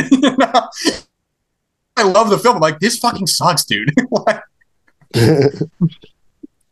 he definitely doesn't have the overreactions that Jeremy did that that he had though, right? He just fucking Right. loses Oh, shit. Like, no, fuck yeah. off, fuck off, John. I like this shit. you motherfucker. yeah, just fucking loses shit, man. My oh, favorite, he's getting my like favorite mad at me. moments for Jeremy was when he would like, I would say something that like actually made a bunch of sense that proved that he was an idiot, and then he would just freeze up and not like no, like he just he wouldn't be able to talk. Three Oh. talk. yeah, Oh. Child's Play three, the lure. Yeah, it's The lure Yeah, thing like, is Child's still the is funniest favorite, moment like, on the show Play the ever. best. I think that's one of the funniest moments in the in the show history, man. Is like, so what do you like about the lure? What? And it was dead It's just for straight like 10 silence, seconds, bro. man. I was like, oh my God, we just had dead air for 10 seconds. Like he couldn't think of one thing. And he was like, I'm like, what? Because it was released on Criterion? I like when you added the cricket sound effects. yeah, exactly. Oh, that's Um, perfect. It was fucking funny, man. So good. I can't remember. He liked Wait, it, was right? there- Or he Was there disliked it. cricket sound effects on that show? The what's that? The I don't know if it's for that one, but in general, when like a pause, it'd be like, Oh yeah, we, I, I, I throw crickets in every once in a while. Yeah, That's the one bad thing about not yeah, that's great. listening to the show that I'm on is like I miss stuff like that. You know what I actually use, JP? Yeah, For the no, hidden hear that. gems? Um, I use the intro that we used to have for Dub Dub Dub for the hidden gems instead of using the feature review thing because we didn't have feature review. I What used is- that what- intro. What was the what's that one? I forget. It's the mashup of like just Oh, the channel turning. Yeah, pretty yeah, pretty much. Yeah. Yeah, Yeah. that was cool. Yeah. So I used that for hidden gems because I was like, it's not a feature review. There's no spoilers. Right. So yeah. Anyways. Um anyways, that's gonna conclude the intro. I feel like holy fuck, how long have we been going on for in this intro here? Sorry, I didn't mean to ramble on. I know I have to. No, no, it's good. I I mean, shit, dude. We only got two films to talk That's about. what So we're here for. Fair but uh yeah i mean that's going to conclude the intro five questions with uh with dave and yeah we're going to be back here Dave. Who's Dave? uh, with dan I don't want to say anything. I was like, I'll just let it ride. Ah, Forget shit, your man. fucking name.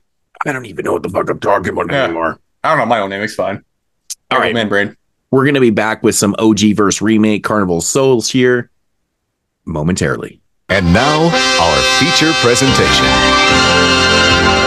all right so getting into the featured reviews here on episode 258 og verse remake yeah we haven't done one of these in so fucking long What was the last one we did? I have no idea, man. I, I feel, like, it was. like the Crazies or or Invasion of the Body Snatchers or something. Oh, could be that one. Invasion. It's got to be that one. I think that's what it was. Oh no, or was or what was that one we did? The uh Wizard of Gore. Oh, so bad. It definitely wasn't Oh that my one. gosh. Oh, that was a bad OG because because both movies are terrible. oh man. Yeah, that was a rough one. That was a rough one. It's a rough one. All right, so Mhm. we're gonna we're gonna take it all all the way back to the '60s once again. So if you guys previously listened to our hidden gem show, it seemed like there was a lot of nine or '60 or films from the '60s, right? Um, and people took note of that too. They're like, man, there was a lot of '60s films. It's just the way it broke down, I guess. But Yeah, we're gonna go bunch back. of fucking losers fucking all sh- '60s movies. whatever, man. Fuck. I only had three. I had one. I had one I from the have- '70s. I had one from the '80s. So I only had three. I have Yeah. five. No, no. Moodz is his appropriate amount. Tyler's is the pretentious amount. So we're gonna like, take it back. it's like to- the three beers, like the three, like the three beds for Goldilocks. yeah, right. I'm not sure how 62 breaks down, like where Carnival of Souls would actually fit into. It'd be uh, like number one, probably. yeah, I, I, I'm not sure. I've never Oh, actually looked at 62. We just looked at these the other day, right? But I know, but Oh, was the whatever Innocent happened to Baby Jane is sixty-two. Oh, is 60? Okay. All right. Yeah. So we're talking about Carnival of Souls here from 1962, directed by Herk Harvey. Now, does that not sound like a porno name? Like Herk Yeah. Oh, yeah, it Harvey? It sounds like a total pseudonym. And, Like it sounds like this guy was doing porno in the 50s and he's like, hey, I'm gonna go and do some fucking horror shit. Fine. I'm gonna call myself Herk Harvey. It's amazing. I'm stealing that name. Actually, in fact, a little fun fact about Herk Harvey, he's actually the fucking he's death in this film. He's the man that's uh that's Jason our lead character in this film. The That's him. He's the director. He's the director of the film. Interesting. That's kind of Okay. awesome. Yeah. I So yeah, and, and and to be honest, man, it's like super iconic to me, but like creepy as shit though. It's very simple what they do with that character, but like it, I, for me, it really works. But Yeah. This Anyways. whole movie is very simple and just done like really well. Yeah. Uh, so Carnival of Souls, uh, quick little synopsis. After a traumatic accident, a woman becomes drawn to a mysterious abandoned carnival. That's not really a good fucking That's synopsis. fucking horrible. That that's what you would think the movie would be about based on the title. What the fuck is that? Like, it's a That's one somebody who who literally read this the, shit. mo- that, Who who, who read this? read the title of the movie and was like, "I'm gonna make the plot up." Yeah. the plot. A, a woman is confused. That's the film. Oh, that is so fucking stupid. Anyways, basically what happens being being in a film, our lead character, um, which what's what's her actual what's her name? Is it Mary? Yeah, it's Mary. Um, she's in a car with her friends, and they get on a bridge, uh, kind of in like a drag racing type deal. Mhm. Anyways, they end up going off the bridge into the river, and you know, crashing and doing their shit she escapes through the vehicle And uh, yeah, now we got our film. that, that, that shot of her coming out of the water in her dress, all like distraught looking. Yeah. I've seen that like a hundred times in like that frame and like other things I never knew it was from. right. Right. Because this was a first time watch for me. It's so iconic. So Yeah. it's pretty. It's pretty cool, man. It's it's one of those setups of the film. You're like, okay, like what's really going on? Because like she's the only one that comes out of the water. You know, there was two other people in the car. They're obviously still down there and kind of stuff. But no, apparently she survives. Um, so the story goes that she basically takes a job. Uh, she's an In organist. Utah. Yeah, she takes a job in Utah. She's she plays the organ, and uh, she takes a job in a church where you know she goes and does her thing, and she's playing you know this organ in this church and stuff like that. And you know, after her accident, she starts being haunted by um, this kind of like evil looking kind of figure and stuff like that. And she can't figure out what the fuck is going on, and she thinks she's going fucking crazy. And uh, so that's pretty much what we follow throughout the Yeah, film. and then there's like weird stuff too where like she'll become like not there at Mhm. times. Like where Mm. like she won't be able to interact with other people. Yeah. But then she's Yeah. like has nightmares and shit. It's like it's like a lot it's a psychological thing. Um feels like a the thing I like Twilight Zone episode. It does. The thing I like about this movie, though, point. is that you know everything that we're seeing throughout the film is totally just like through the reveal in the end of the film. It's just it's it's like so fucking cool. Like, is this the first time watch for anybody? Probably not, right? Me. Me. Is it really? I said that already, but you Did weren't you? paying attention. Yeah. Oh my god, dude! I wish I could go back and watch this film for the first time because, like, the first time I watched this film was probably in the '90s. I want to say. Was it And- like 98? No, it was not 98. uh, we'll get to that in a minute, but uh, it wasn't. But I was completely fucking taken back by the reveal. And I don't know what it was. Maybe I'm just stupid. I just didn't see it coming. Yeah, But, probably. like, I have no idea, dude. I was just like, oh, oh, what the fuck? Oh, So- dude, I, I literally Yeah. not only did I see it, I literally thought in the first scene of the movie, I, I saw the movie was gonna Yeah, end. I, Yeah, but but it's so- just I- I was because probably I'm watching this movie- conditioned. I was watching It's just because I'm a four- conditioned to that type of. yeah, and I did thing think that too. But I I bet in 1962 this was like a lot Yeah, Dude, novel. dude, this Mind movie was probably so around, like it was probably it probably blew people's fucking minds, man. To be honest, I mean, it basically ends like every episode of like "Are You Afraid of the Dark?" or like you know any anthology. It's thing. super obvious in 2024 eyes, but Yeah, it's like this that doesn't mean like, it's less yeah, this make it bad. Yeah, it doesn't. I take might be a anything- dumbass. But the first time I saw this, like many years ago, I didn't get it because I, I never get reveals. So when it happened, I'm like, "Oh shit!" like so obvious, but but it's great. It worked for me. I was I was actually surprised. Oh, dude, I, I But I'm a this dumbass, movie so stuck in my mind for fucking ever. I loved when the reveal happened because I, I was so into the movie. I was like, oh, this is so fucking cool. And then it happens, and I'm like, oh shit, that's crazy. Um, I don't know. I've it's always also loved it. just a beautiful looking movie, especially with. I assume Absolutely. it's. I assume the transfer I watched, even though I streamed it, was the Criterion version. Yeah. Um, but it it was just gorgeous, man. So like like Mm. I love black and white movies in HD. It's like insanely crisp looking. Yeah, Yeah. dude. One of my first notes here is wow. Right away, the Blu-ray looks amazing because I just picked it up, right? Because I've had the Criterion DVD forever. And like I popped this in and I was like, what the fuck, man? This transfer is amazing. I would oh shit, dude. It looks so good. So fucking good. 60s uh, black and white films in general from this era, it looks so crisp. I think of when I think of films like this or um, like In Cold Blood or Shock Corridor, just these really crisply shot uh, films that uh, black and white, it, it doesn't, I guess maybe the elements are probably better than they were in like the 40s or 50s, but they, a film like this, it looks so clean. It looks so crisp that, uh, and I, I think, correct me if I'm wrong, I think this is a public domain film. Um, so I imagine that probably didn't have the best uh, kind of resources or transfers previously. So when you have a company like Criterion giving that official like kind of uh, approval and stamp and doing a real restoration like this or, or Night of Living Dead, um, it really kind of Yeah. shows just the, the real beauty of the film, you know, how it looks. Yeah, it's really crazy, man. Like Yeah, well the the thing with public domain movies that that makes it weird is that yeah, anybody can technically put the movie out, but the, there's still owners of the elements. So the, a lot of time with public domain movies, why you get so much Huh. shit dog transfers is because they don't have access to the elements. Yeah. So they're just digitally doing things or not even trying to Right, right. store it at all. But then, I mean, like yeah. a company like Criterion is actually going to license out the real, you know, elements. Well, you can tell big time on this one. Yeah. Damn, it looks Or like uh, Golden Ninja, they were putting out like a lot, lot of like public domain stuff too. They're Is it a lot of public domain? I, don't, I can't even remember. A good I thought it was, can't get away with me, yeah. something like that, like in the modern age. Mhm. Right, right.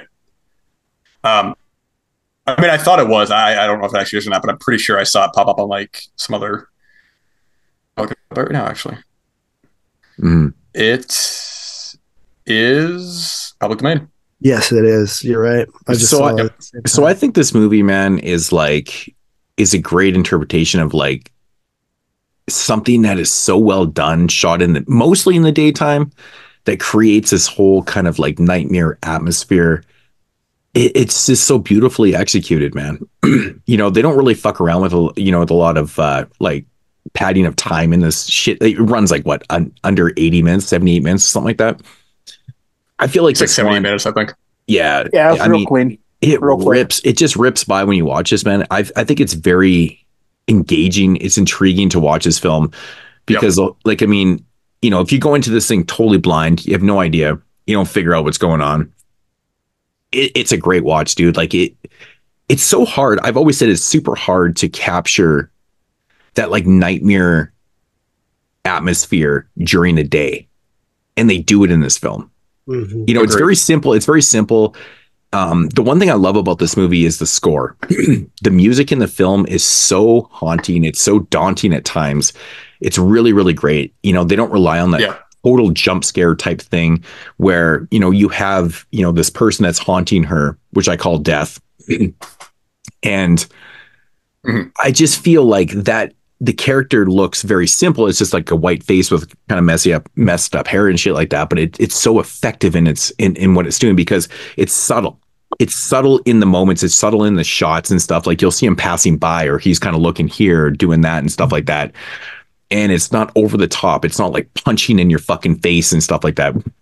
I mean, we'll get to, you know, the '98 remake of this, where exactly how you don't do things um Right, right. in, in my opinion. But like this is more subtle. It's more subtle and it's it's very elegantly done and it's very creepy. It's haunting. And you know and we get this through the whole film like the whole fucking movie Yeah. is like this. It never really falters from what it's trying to accomplish with this like daytime daytime atmosphere nightmare logic kind of thing. It's Mm-hmm. so good. It's really really good man It But I just think really tries completely to dial in like on the eeriness, and it's just the entire movie like it's never not like this just eerie like of of almost like ghostly movie. Yeah. It's the score dude I, I think the, uh, the two words yeah. that you used. Well, yeah, yeah, oh yeah, for sure. I think that the the two words that you used, which I'll get into, uh, that really kind of sum up this film in contrast to the remake, is that subtlety and elegance. Is that Yeah. the the score? It, it's there's one sequence in particular that really stood that uh, stood out that I made a note for is the. Uh, the the edited the, the montage sequence where she's we're playing the forbidden kind of uh, notes that the devil's note or anything like that, and you have these like high kind of like pitched organ sounds uh, uh, adjacent against these like uh, uh, really kind of avant-garde sort of uh, uh, sequences, and that all there's no dialogue in that sequence. You're cutting occasionally back to her, yeah, sort of like out of it, kind of like not really paying attention, but playing, but perfectly playing the song. And those sequences without dialogue uh, work so well in creating such an uncomfortable sort of uh, feeling, a hallucinogenic kind of feeling, and especially what I was, what you were saying before with design of of quote unquote the man. It's such a simple design. It's like a white face, like kind of heavy, like uh, uh, black scent kind of circles around his eye, but there's there's that one sequence in the film where he's walking directly towards the camera that's so unsettling and it's so uncomfortable, but it works so much better as opposed to an obnoxious uh, noise or it's an obnoxious soundtrack. That this film perfectly captures what it is to be in a nightmare, and Yeah. it's one of the few films that truly does that. It's a sustained feeling of uneasiness. Yeah. And it does, it captures it through the whole fucking movie, man. It's it's incredible, dude. Like even the relationship she has with the with the obnoxious neighbor is crazy too. Like, I mean, actually, fun fact about that character. Um, he's the guy, he actually returns and does a cameo in the remake. He's the cop at the end of the film. that is so weird. Which one? That's The really weird. one of the Yeah. You know, so her neighbor that she has like the relationship with, like the really obnoxious guy that you know she, Oh, oh yeah. I'm sorry. Yeah, I'm getting in. Yeah, in this you're right. film, he actually returns as a cameo in the remake um, as the cop at the end of the film. I right away I was like, oh shit, I, I just recognized him. I was like, shit, he's a lot older, obviously. Is, but- is he the one that asks like, "Oh, was there a carnival here?" Uh, I can't remember exactly what he says, but he's there. I Oh, don't okay. want to give it away, but like you know, he's there at the end, like Yeah, after the reveal kind of thing. Like he's in the reveal Okay. part in, in the in the remake. But right away, you know it's him. But um, Right. Okay. actually another weird fact actually candace uh, Hilligoss who plays mary in the film our lead in this film she was actually asked to do a cameo in this film she turned it down and she's Good on call. record she's on record saying that the remake is fucking horrible like Smart hor- like she just went off on it man it's it's actually really funny how how much she hated the fucking remake um but anyways this movie's really Actually, cool I don't man. mean to cut you off there, Moodz, for a second. Uh, but I want to ask Tyler a question because one of the notes that I had here reminded me of uh, a film that both you and I both uh, love, which is uh, Polanski's Repulsion. Did you find any similarities between the main character in this and the boyfriend? I remember in Repulsion where they had the uh, the guy who was chasing after uh, Ca- Catherine Deneuve. Did you find any similarities there? I never uh, thought you're of that, actually. Again? I never actually mean- thought of that. Be honest, that's crazy. I didn't look at it like that. I can see how you would come up with. I can see how you would come up with that, but Is it maybe the aggressiveness? Like, is that what you're talking it's about? It's not even that. It was yeah, just, it's just the idea of like a presence. But I think when I you mean, like th- I'm understand about- the, you're talking about like the guy that was chasing you, right? Yeah, the only guy was chasing her. Yeah, yeah, he's okay. I'm just making sure. Like, where I'm like, I, I get what you're saying about like a pre- like, yeah, it's like a, it's being haunted by a presence, and like that's where it's. There's definitely similarities. Mhm. Um, but I think when you like understand the context of both films, they're not really the same thing. I guess like they just have different motivations, but like they kind of No, represent different things. No, I completely understand that, and, and you're completely right about. I'm talking about more so about you have a potentially mentally unstable lead woman like this, and you have this guy who's aggressively going after her, even though she's said Yeah. repeatedly, like, "No, I'm not used to back off." And the fact that this in both keys coming back and all this and that. Um, it- I'm not saying it's direct correlation or anything like that, but but for this film that I haven't seen in a couple of years, the fact that repulsion immediately came to mind was uh, something that I didn't know if I was alone. Yeah. But uh, Well, I definitely the thing see where you're that like the thing about it too that there were it it has very similar cinematography. Um, repulsions, yeah, repulsions a lot more like musically. It's a lot more brash and a lot more like chaotic in your ears, but they are still like very like sound driven, and a lot of like the just the way the close ups are presented with the leads are like also very similar looking people. So like I both movies really do have a similar looking image with like similar looking films. One just a ghost film and one's like a I guess it's like more of a psychological horror film. Yeah, But it's no, the same sure. ideals. Yeah. yeah, I feel like this I- movie influenced a lot of shit, though, man. Like a lot of narratives, a lot of Oh, like the way uh, films. Like this, I mean, this is uh, a very influential film, in my opinion. I think there's Direct a lot. influence on Romero. Oh, absolutely. I think there's a lot of shit going on in this that's really fucking cool, man. Like one of my favorite aspects of this film is our lead character Mary, who is an organist for you know church. She plays organ in church, and actually gets paid for it. Um, is you know once the reveal happens, the nar- the the you know the plot or the narrative part of you know her taking this job in a church and she treats it as solely a job. Like she doesn't fucking mm-hmm. care that she's in mm-hmm. church. She doesn't care about the religious aspect. She doesn't care about that. She's just right. there to do her job, which plays into the core narrative so fucking cool. It's like it's so good and cool, hmm. Right? I mean, I don't want to give shit Right, away if right. you've never seen Carnival of Souls, but like, I mean, you can probably have a general idea of what's going on here.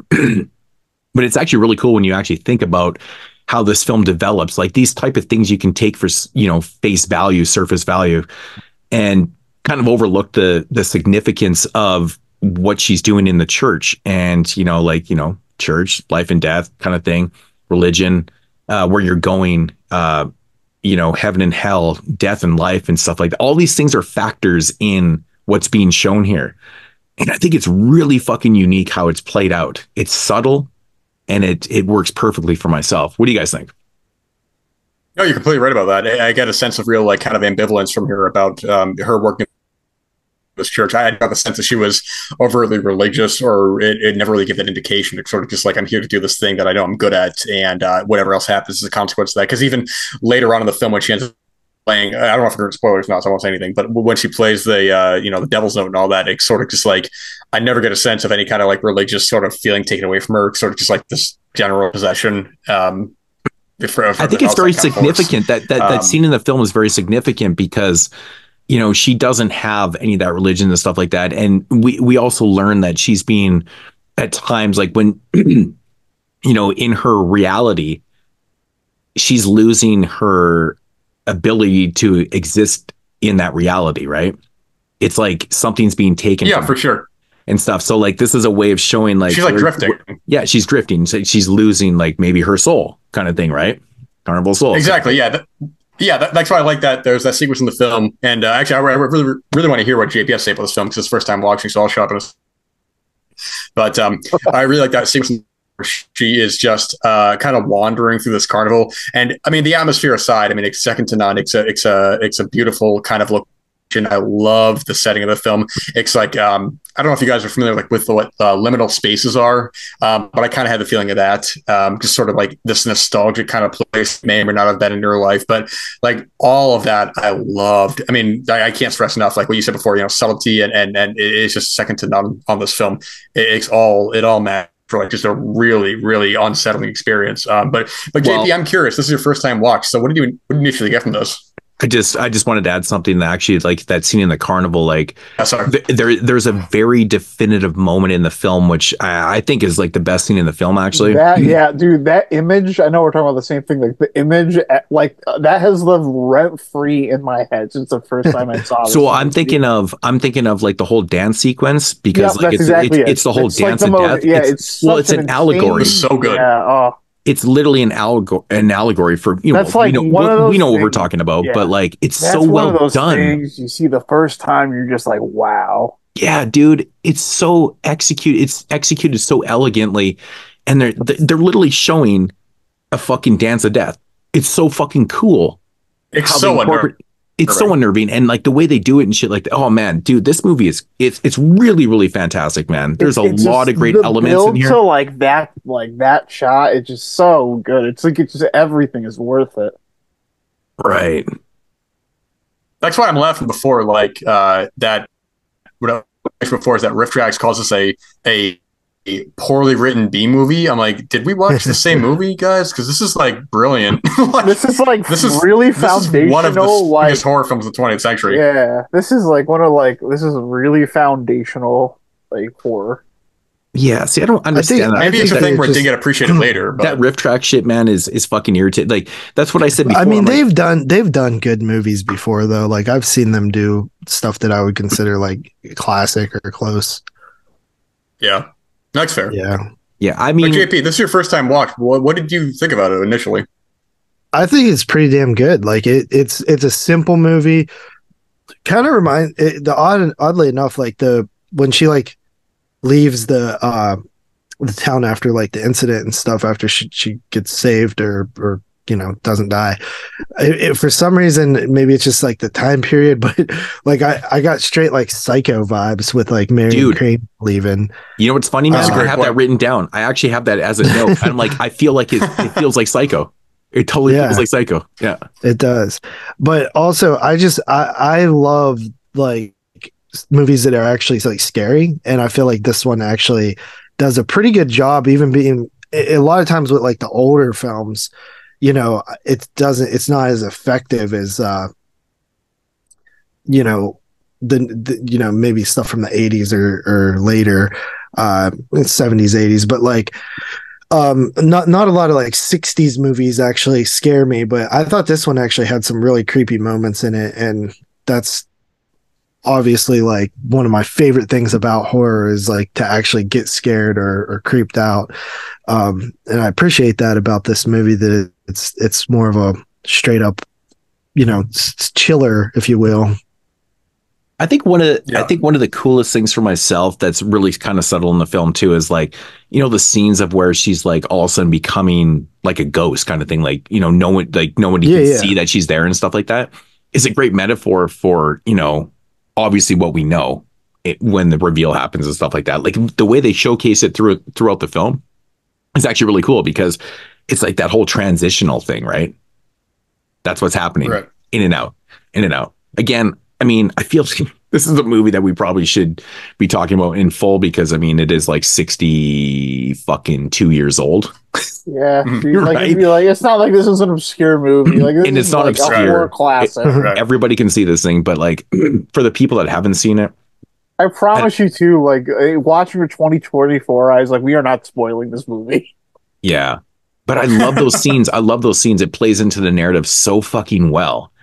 Right and oh right. man, it's it's so haunting. This whole movie is just it's so enthralling, man. I watched it yesterday morning when I got up, and I'm just like, man, it rekindled my love for this. It's movie. so fascinating.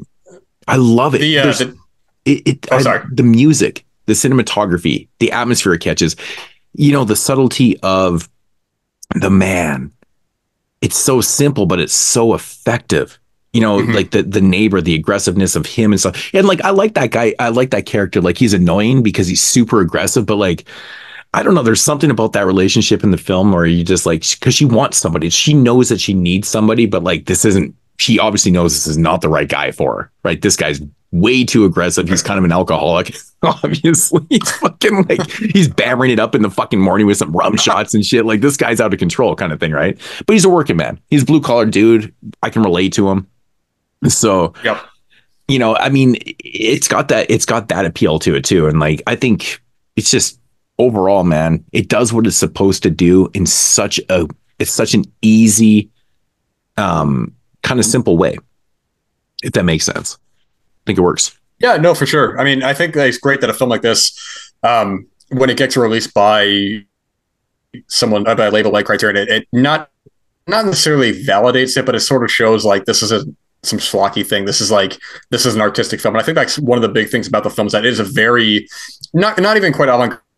It's very artistic film where it, it doesn't feel disposable. I mean, I know that the director of this didn't primarily do a lot of TV after um, and, and X Fine and all, but I think the way the film is shot, the way the interiors are shot, it, there's a lot of like isolation in the film. When she goes to this carnival, it's like this this this frightening place in the distance where just her and her on this journey alone. It's incredibly unnerving. And I think when I first watched it many years ago, I liked it a lot, but some of the things didn't quite gel for me. But this time it was like a whole new experience where, I mean, it's 78 minutes. It doesn't wait. It, it, takes its time, but it doesn't waste a minute of that time. It's so compelling and it's so unnerving.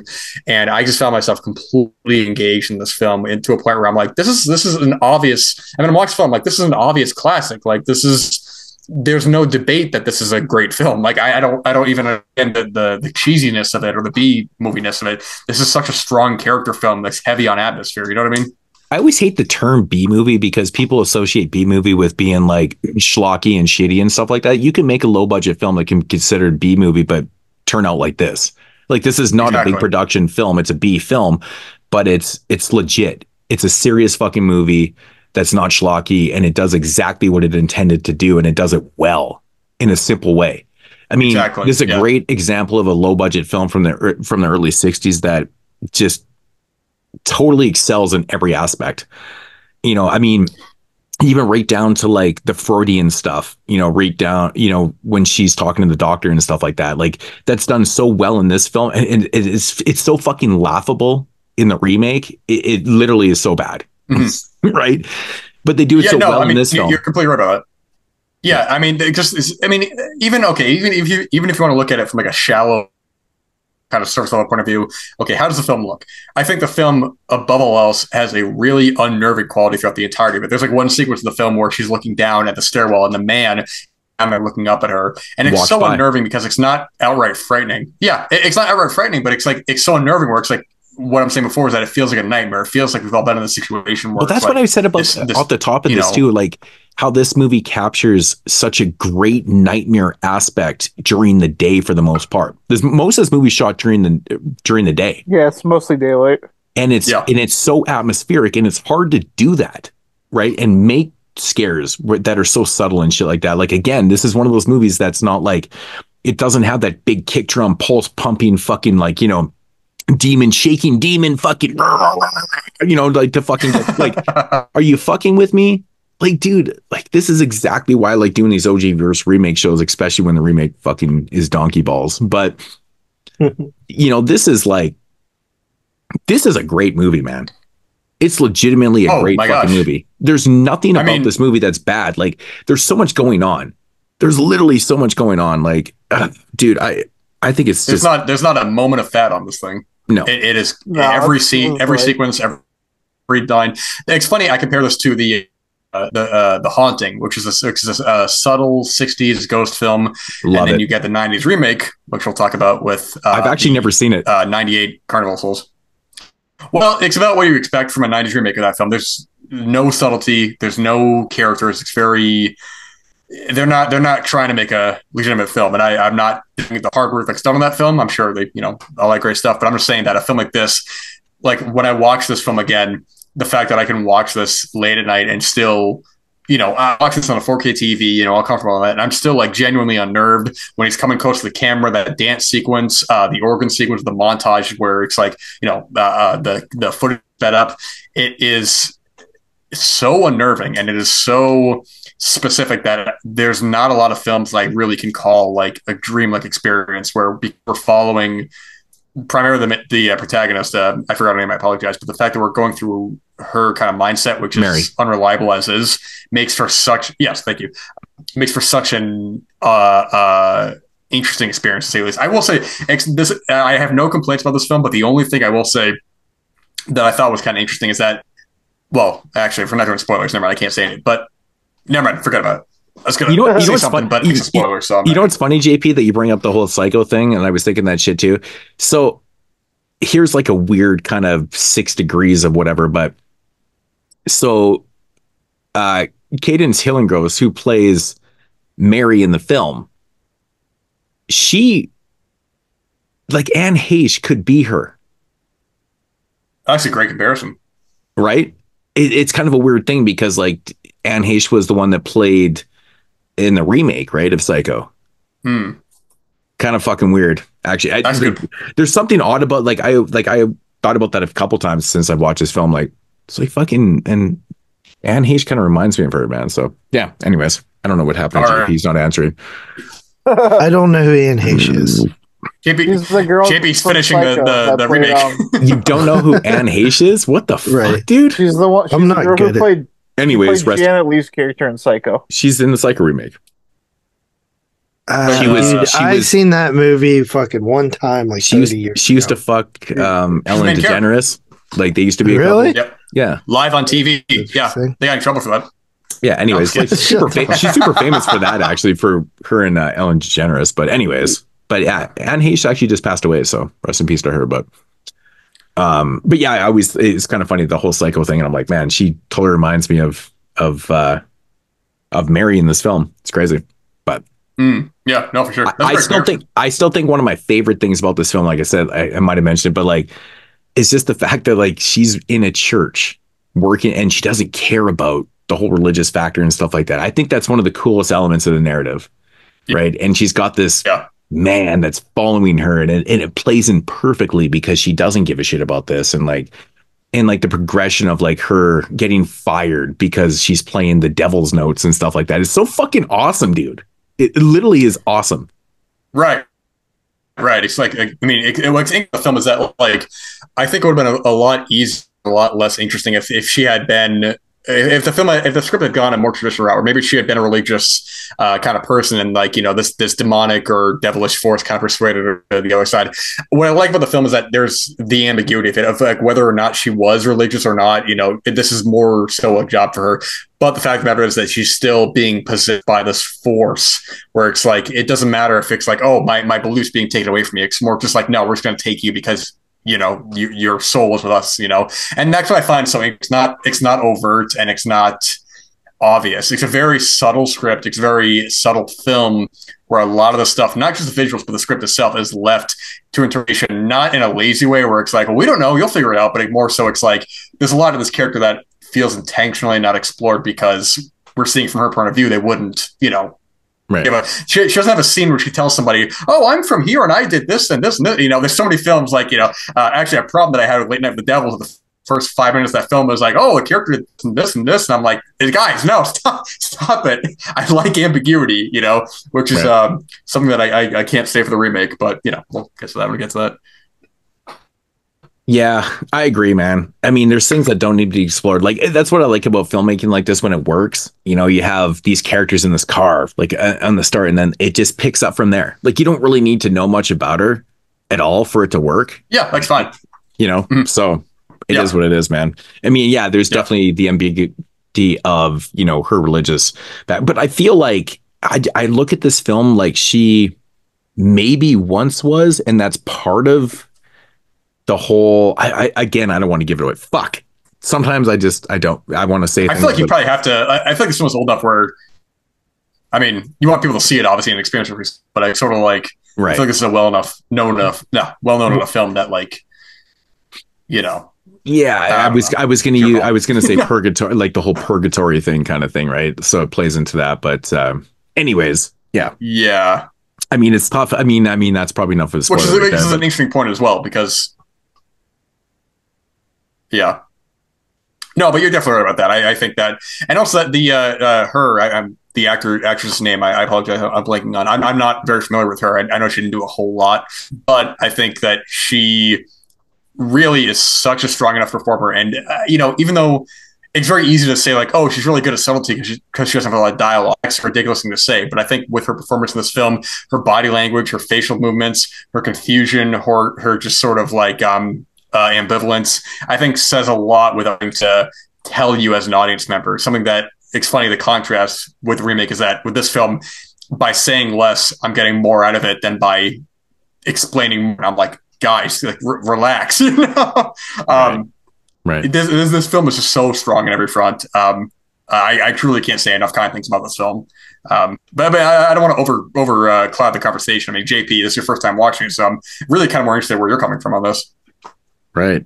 I mean, I pretty much agree with everything you guys fucking said. You know, like uh, you Okay, kind of Mike. stole all the thunder. fair enough. yeah, fair enough. Fair enough. um let me think uh the first scene where you see like the ghoul in the shadow uh, or in the window like when she's driving i was like ah fucking scared me um i like that um whenever i love that there's something drawing her to the to that location. Uh, um and then obviously i think the ending is just like such a good like scary idea you know? And yeah like i said i've seen that a million times since but i don't really But in take- hold that 1962, this was it very special, because- right? right that's what i was saying yeah. Um it's you know like it, at the time i love it. First of all I, I just love endings like that in general but you know um 1962 i imagine it'd be kind of shocking Oh, 100 percent, man. Definitely blew someone's shit. and the simplicity of of the the ghostly apparitions or whatever you want to call it with the dark eyes and just the the sort of like forebodingness of it hmm all all good stuff Yeah, man. Mm. It's fucking cool that the director that that's the director, man. So pretty neat. Herk Harvey. He does a good job, man. I'm telling you, man. That's a porn name, dude. That's a fucking That, straight up that's porn going to name. be a porn name. Somebody take that name. Herk Harvey. That's the, my. You have our permission. That's my new fucking name, man. Rick Harvey, it's your name. my bowling name forever for like 10 years was Dirk Diggler. People at the bowling alley didn't even know my real name. They used to call me Dirk. It was fucking amazing. I like. It's so good. yeah. now you can be Herk Harvey. yeah, it can be Herk Harvey. Yeah. Amazing. yeah, man, new identity. You know, what do you what do you do? You know, I directed a little film, for it, you know.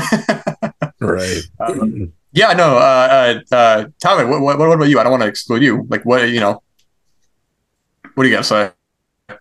Oh, I think I pretty much said everything I had to say about it. It's just like it's, it's this film's really good at just sustaining this like uh this feeling of dread the entire movie, mostly due to the soundtrack and just the combination with like just the cinematography and it, it's like it, it's it's very foundational and it does all the things uh, it does all the things well that like films after this would really like follow doing. This is like something that like really set a precedent, and it just um it, it's effective. It's effective, and it's like minimalism and in just it does all the things that are important, right? And that's why you can still watch this movie like over sixty years later, and it still translates like so well. And it's just like such That's like a uh, it, it's just one of those timeless movies that like it, everyone you can still connect with it so easy like so many years later like these still like you said like the black blackened eye like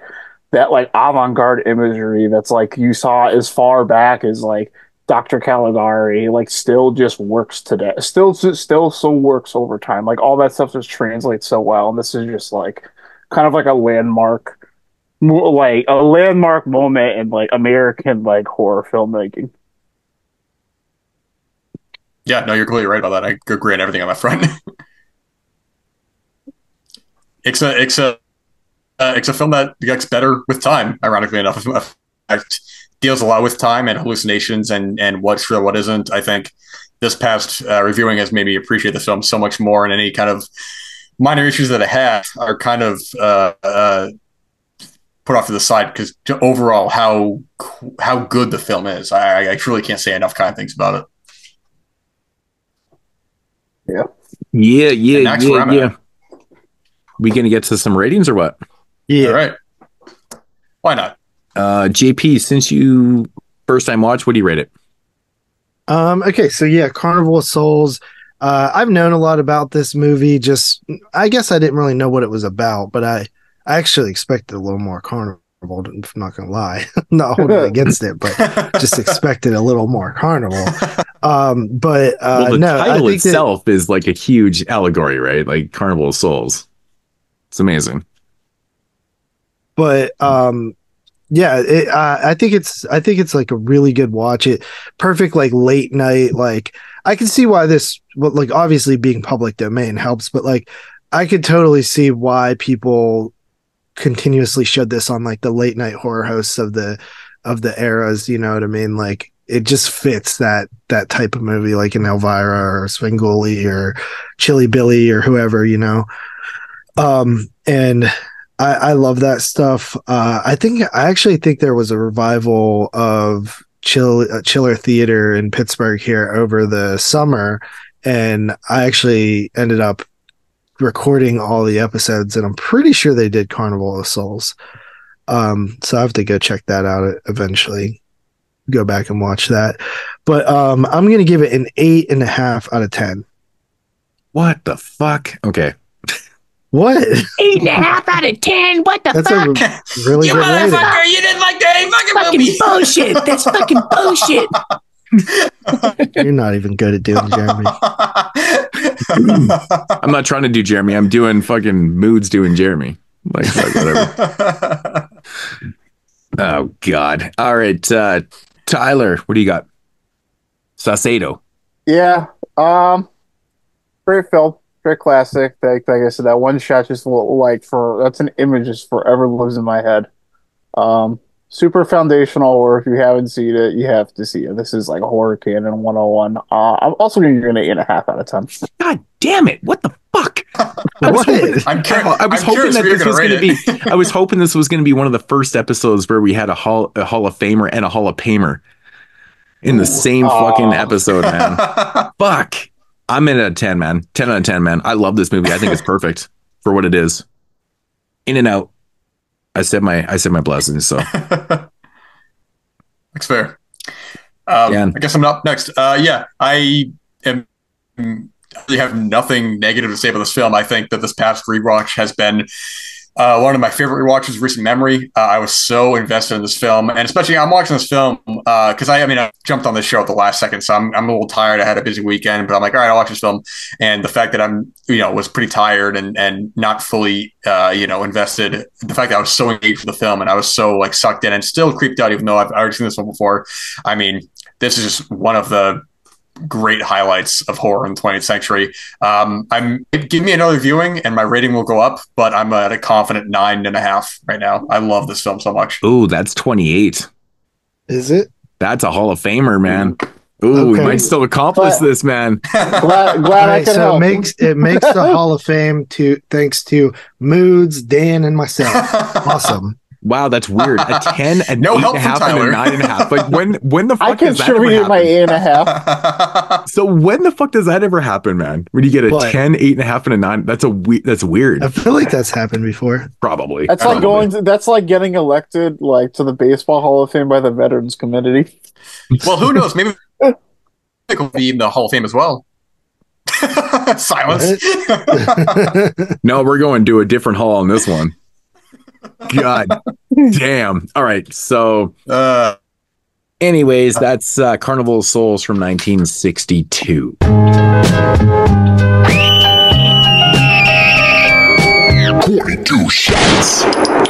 All right. So, getting into the remake from 1998 of Carnival of Souls, directed by Adam Grossman and starring I like I couldn't figure it out where I knew Bobby Phillips from, but she's from Showgirls. Apparently. S- So also Couldn't starring Shawnee out of a Smith. lineup. Yeah, Shawnee Smith, of course, from well, lots of fame, but Saw. She's in our realm known from Saw, and of course Larry Miller, who plays the fucking uh, he plays the antagonist in this film. That's pretty cool. I think Larry Miller fits like a like a bad guy role decently, but anyways. So Carnival of Souls 1998 uh executive produced by Wes Craven. JP's favorite director of all time Wes is the Craven name- presents. is the backing name behind the remake of Carnival of Souls. So 26 ye- years later, we get uh, a remake. Synopsis A young girl witnesses the brutal rape and murder of her mum by a circus clown and begins to have nightmares when the carnival comes back to her town when she is an adult. I assume it says mom and not mom. Oh, fuck you and your American fucking English, man. You do right. You do realize that you're American English. here.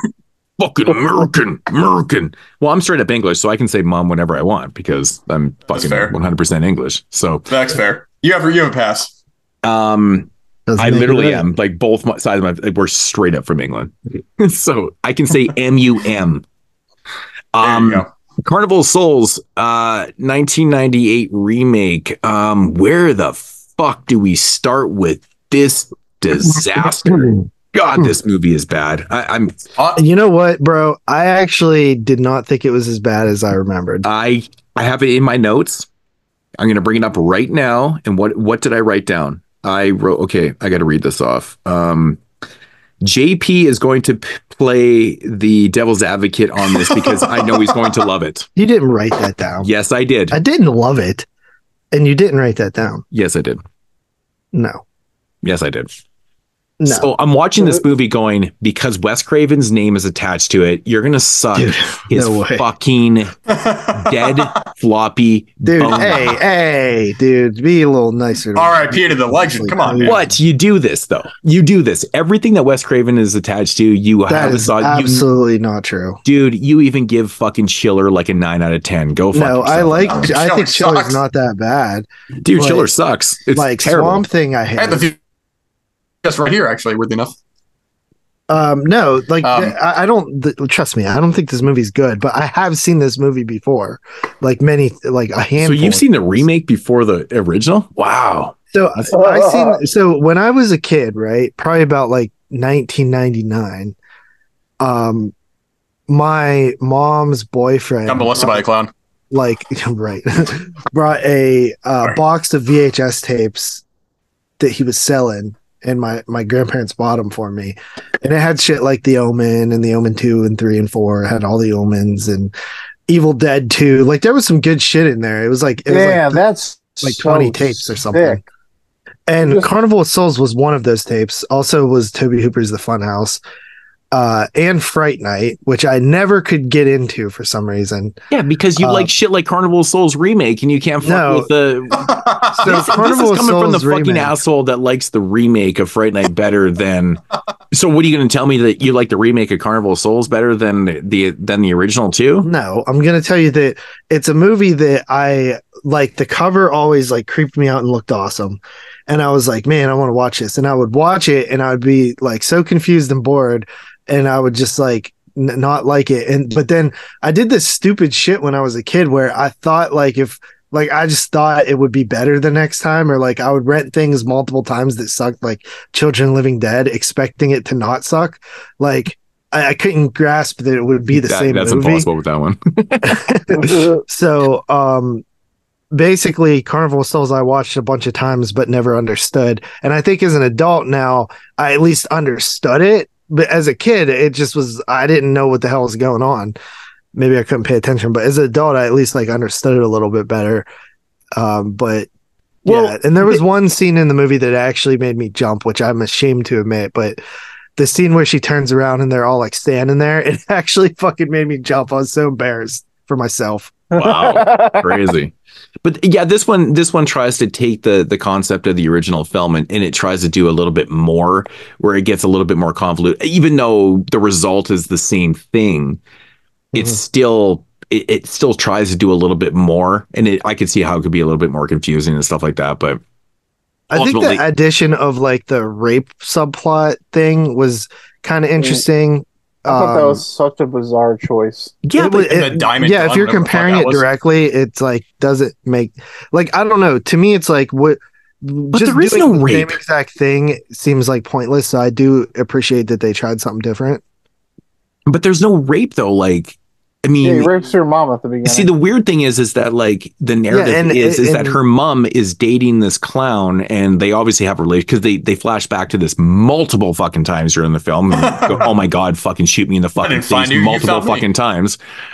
But they they they're literally dating, and then and all of a sudden he like decides one day he's just gonna like fucking rape and murder. Like it's Yeah, he seems like an abusive like spouse type. I know, thing, but you it what I just, mean? but it, it to me, it would have worked better if it was more of a spontaneous thing when they met at the uh the carnival. They go back to the house, and he, you know, he well, has- you got to he has- remember when this shit came out, '98. The everything was about like, like, dude, watch anything. It's about like stepfathers, and there's so much to do with like divorced parents and and like not like in your your stepfather type thing. I think they're just going for something like that. right. I mean, The whatever. '90s was like so filled with that shit. But It's I feel like annoying. this description is so misleading. Though it's like a young girl witnesses a brutal rape, rape and murder, and I'm like, I mean, to be honest, they don't really show any rape. like, there's definitely a murder. very tame. There's This definitely a movie, like, murder, but there's no it real took rape. Like, every it took every ounce of like atmosphere and like curiosity that the original movie had and just like tra- traded them for like random jump scare scenarios. dude, this movie is so full of like, you know, those shaky fucking demon scenes. Dude, they, oh my god, I saw those and all I It's bobble. I call it bobble demons. like, I call it bobble demons because it's like every scene they're just shaking and bobbling and like fucking. It's like pure jump Like- scares and shit. It's there's no. subtle- I get it. It's 1998. It's a different time. Different filmmaking's a little bit of, different. Like all the William Castle like fucking or like Castle what you call it like remakes that came a couple of years right after. no, those are way better than this. Dude, those are oh those are those are better than this. But like in hindsight, those are still like I think. are No, I bad. lo- I love House on Haunted Hill and fucking. When was the last time you watched it? Uh, House of Wax just a couple years ago. When we Uh, did House of Haunted 2005. Hill, Um, the original one or the like, remake? the remake. 2015 maybe. Oh man, I went. I thought that I used to think that movie was like so good. And 13 And then- Ghosts is awesome too. I I 13 got Ghost remake is a- terrible. I don't. awful. I don't think Movie it's good. But I sucks, more of It's awful. Dude, it is, Well, it JP is again. legitimately. That movie's becoming not cult good. What the hell are you classic. Dude, it is so shitty. Dude, Like- the ghosts are so awesome, dude. This they they make Factory's like- backstories for all the ghosts. Uh, even though you just Scream see them. Factory actually They put out nothing the with them. 13 Ghosts remake No, that's not and true, House man. on Haunted Hill remake, man. Yeah, like, so what I was gonna say, like, I thought House on Haunted Hill was so good when it first came out when I was like ten years old, and I bought that Scream Factory remake. I was like so pumped to watch this, and I watched. it, I was like, man, I should have left this in my memory. Yeah. You're just too to be sure. pretentious for it. That's the problem. You can't have fun. oh, that movie's rough. Isn't that I it's that so movie has the weirdest casting too? Like Chris Kattan's in that fucking movie, right? I thought like I didn't know who that was when Who's I was a kid. He's, like from the from SNL. Night at the Roxbury.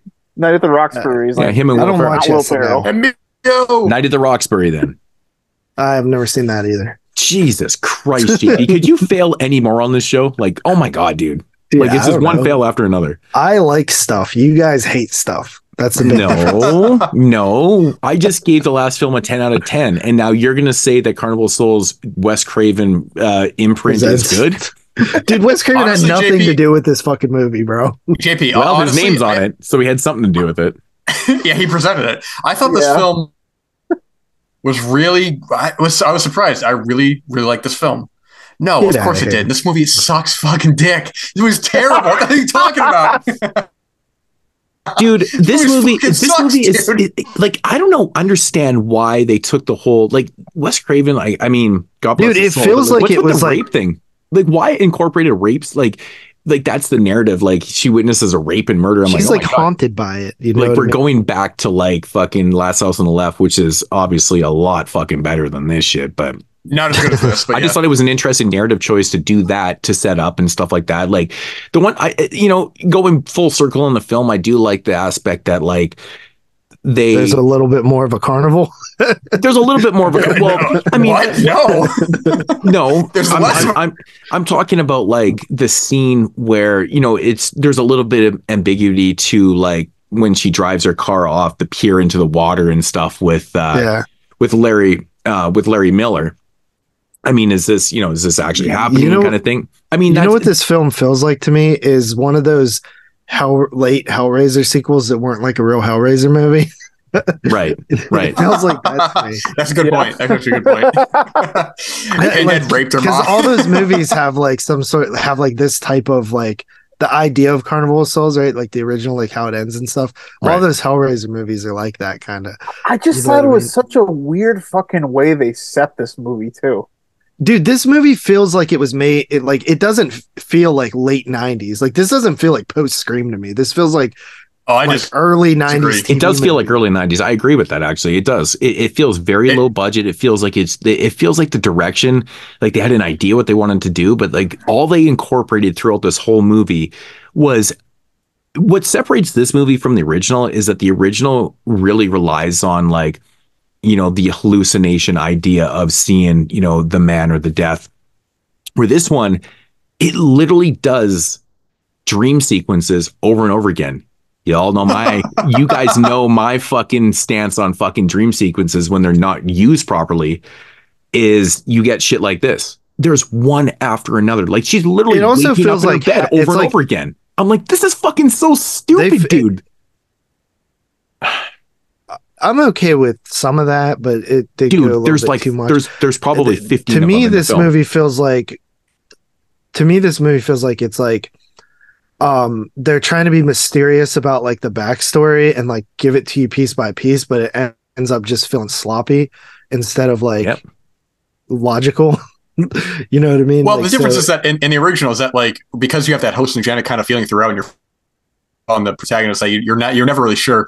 Well, I mean, get to to the end, but you're never really sure like what's a dream, what's real, or not. The fact matter is that they have like these like unnerving sequences and this and next. Oh, it's a dream, and I woke up and this and that. They do it like multiple times. It's like there's no, there's no mystery there. It's just oh, she's having a dream, and it's like, all right, well, this is the same thing over and over again. It's very, very repetitive, you know. No, it is very repetitive, and they almost have like dream sequences inside dream sequences. Almost like you know, it gets to that point where it's like it's just they're Right. overdoing this shit, and like, but they're really relying on you know what I call cheap horror filmmaking is like. i you also know, felt like you're doing a lot of the demon do, like, bobbleheads. uh, It- i feel like they were trying to do like a john caddy thing too yeah, yeah. from uh what's that movie called I feel like they The tried to incorporate movie? Cenobites. Uh, bringing out the dead. no dude with caddy robert Wait, de niro to what? Taxi driver? No, you guys are fucking morons. What are you talking about? I, I walked away. kinda. I'm- I'm- the horror movie? What are you talking about? The Caddy movie. His name's like John Caddy in the movie. In the Scorsese Katie films? Caddy. What? What? From '91, dude. Gee, Oh, Goodfellas? Bro, it's not. It's John Caddy. What the fuck the are you fuck talking are you about? talking about? or '94. Who's your caddy? Starring Cedric the Entertainer. Bro, you guys are fucking morons. the I dumbest can't people I've fucking ever tell us what you're talking about. What the fuck are you talking about? It's probably not even a Scorsese fucking movie for Christ's sake. Probably not. And there you go. That's why I'm no, so it is fucking confused. 91. What what film was it?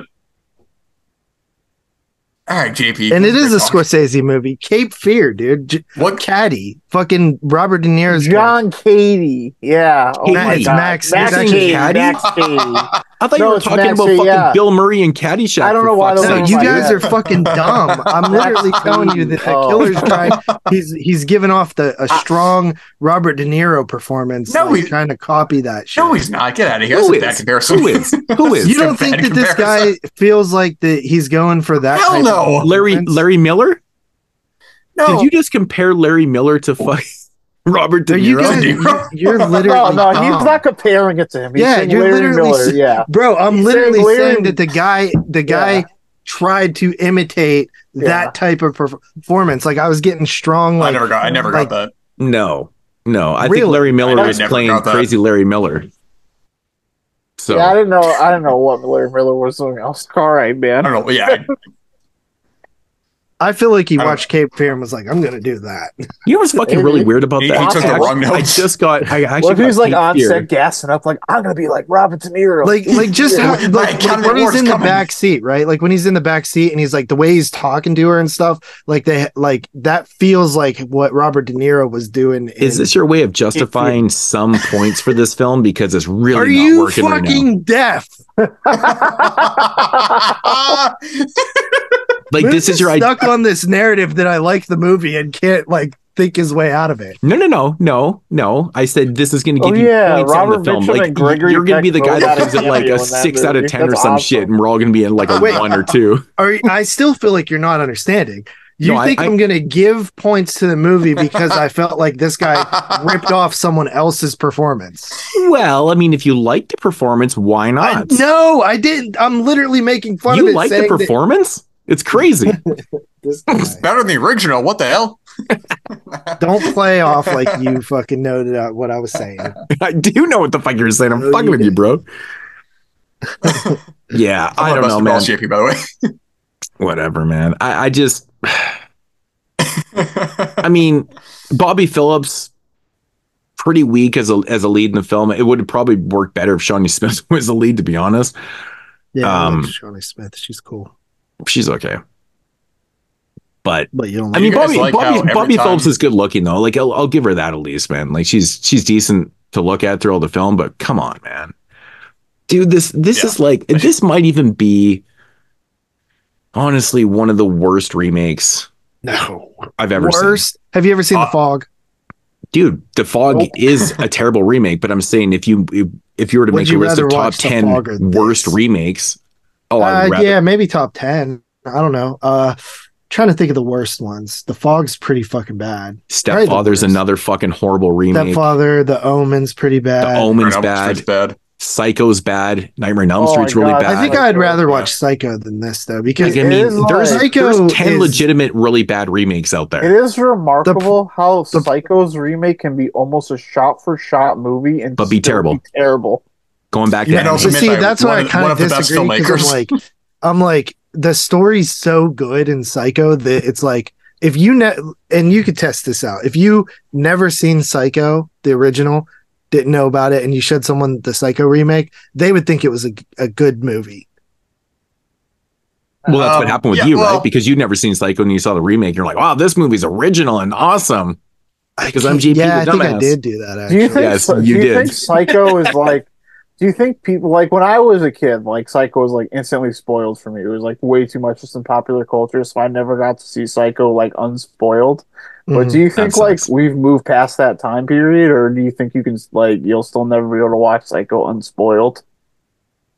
I mean, I'm pretty yeah, ignorant you to can like watch it unspoiled. films I've never seen before. I really don't try to seek out anything that's, you know, people are talking about them and stuff but like that. he's So I'm just pretty saying pop culture. Like, I mean, you're seeing it in South Park episodes and stuff. Yeah, like is that when I was a kid, And like Psycho. when I was a kid, Alfred, there was like I remember there was like Alfred Hitchcock week, like every single year, like on the anniversary of his like death or his birth or whatever, and Hmm, it was right, like there right. was just that was all over the TV when I was younger. You could just like never watch Psycho without it being spoiled.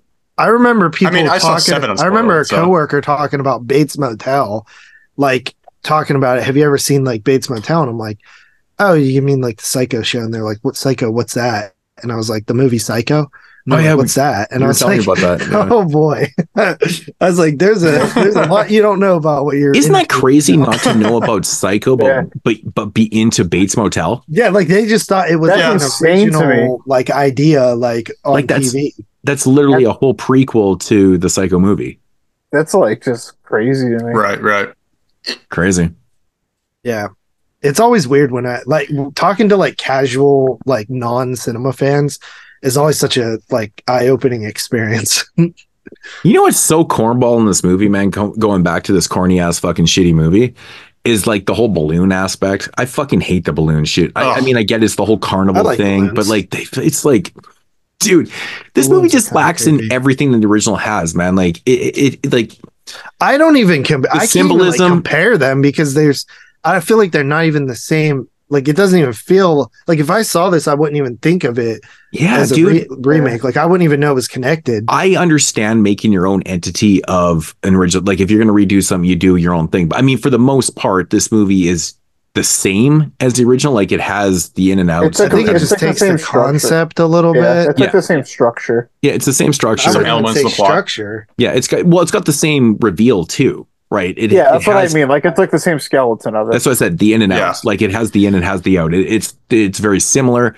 The whole genetic makeup of this film is so different, and and obviously it's like, dude, it, it's so cheap though. It, it's fucking it, it's relying on cheap jump scares, and it's relying on so much fucking like night like this ridiculous, terrible nightmare logic that doesn't. It, it just doesn't work for it because it's way Well, that's too, what I'm saying it's too much. Like fuck. with the uh uh, okay, I apologize, but like when I'm talking about before with the with the haunting uh, original versus remake, is that this is kind of everything that uh, that remake is, where there's no subtlety in this. There's nothing clever about it. I mean, even with the original, the, the the the liminal space area of the carnival, where it feels like almost it, it's like a dreamlike area, where it's just like, oh, this this populated area that was once, you know, you know, he's coming here and doing this now. It's just gone. It's like a relic of the past. Here you have this like ridiculous. I mean, the carnival miss. It, it, it should have been called like Clownival of Souls because like the carnival is so secondary to the actual like Well, yeah, core of the film. that's a good point. I mean, it's really about this fucking clown.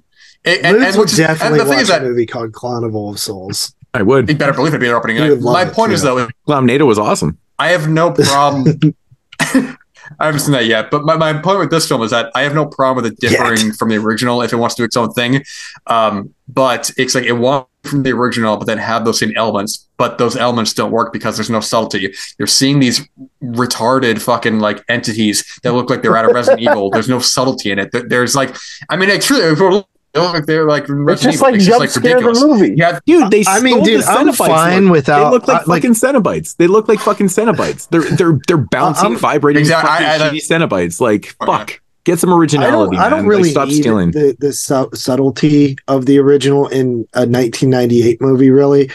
But I just think that it's too messy to like. Yeah. You know what I mean? Like it, I'm more story than being okay told with. throughout the I'm more than okay so- with it just doing its own thing. I think this movie just sucks, and that doesn't really have anything to do with it being like a bad remake. It's just bad. yeah, it's just it's Well, just as, as well, well, it's not as well as the original. movie. I mean, the thing with the original is that, like, what I was saying before is that you have this this whole element of the film where, because we're following primarily the main girl, uh, I already forgot her name, but uh, you know, it's a hallucinogenic kind of feeling the entire time where we're not really sure what's reality, what's dreaming, all that. Yeah, that's with something this that film, it's like it takes away any film- of the eeriness of It's out of that Alex, movie. you never.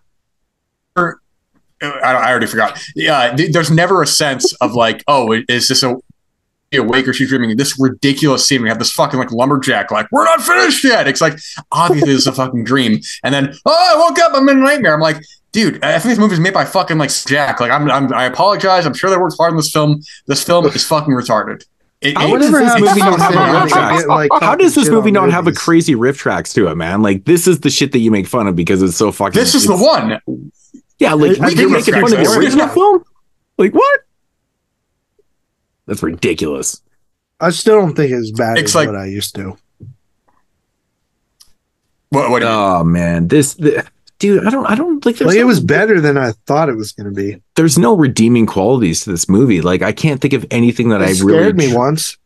I mean, yeah, that's funny. That's funny, man. I mean, I like the scene where um it scared me. It kept going on. I'm I like, like fucking end it I like the scene where she's like, you know, who like who fucking you didn't see anybody give you this letter or whatever, and he's like, yeah, you did, bitch.